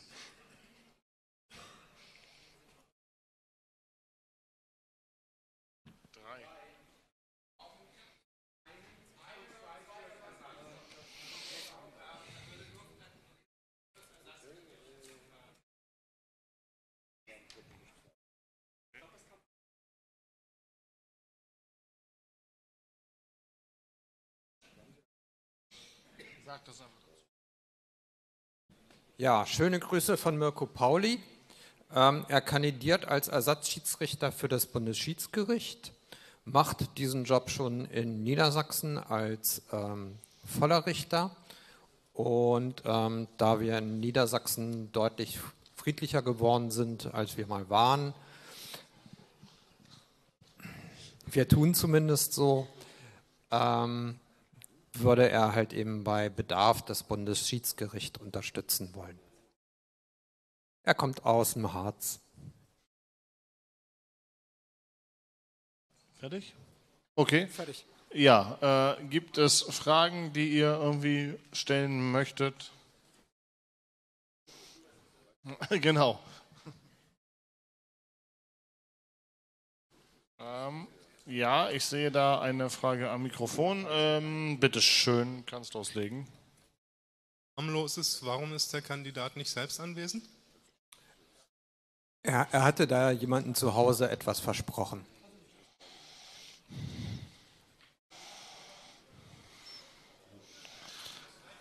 Bitte schön. Soll die Piratenpartei Teilhabe für alle Menschen ermöglichen oder nicht? Auch das äh, ist irgendwie keine Frage, die irgendwie mit dem Schiedsgericht jetzt zu tun hat und die auch ein Proxy schlecht beantworten kann. Weil ein, ein Schiedsrichter soll jetzt nicht über das Programm der Piratenpartei entscheiden, sondern soll Streitfälle lösen. Ja. Okay, haben wir weitere Fragen? Nein, dann äh, ja, sind wir mit der Kandidatenvorstellung durch. Ähm, was macht unser Wahlleiter? Wie sieht es aus?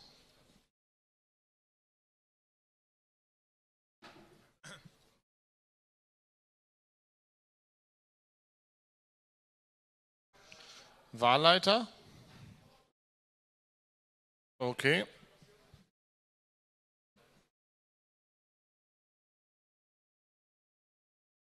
Womit?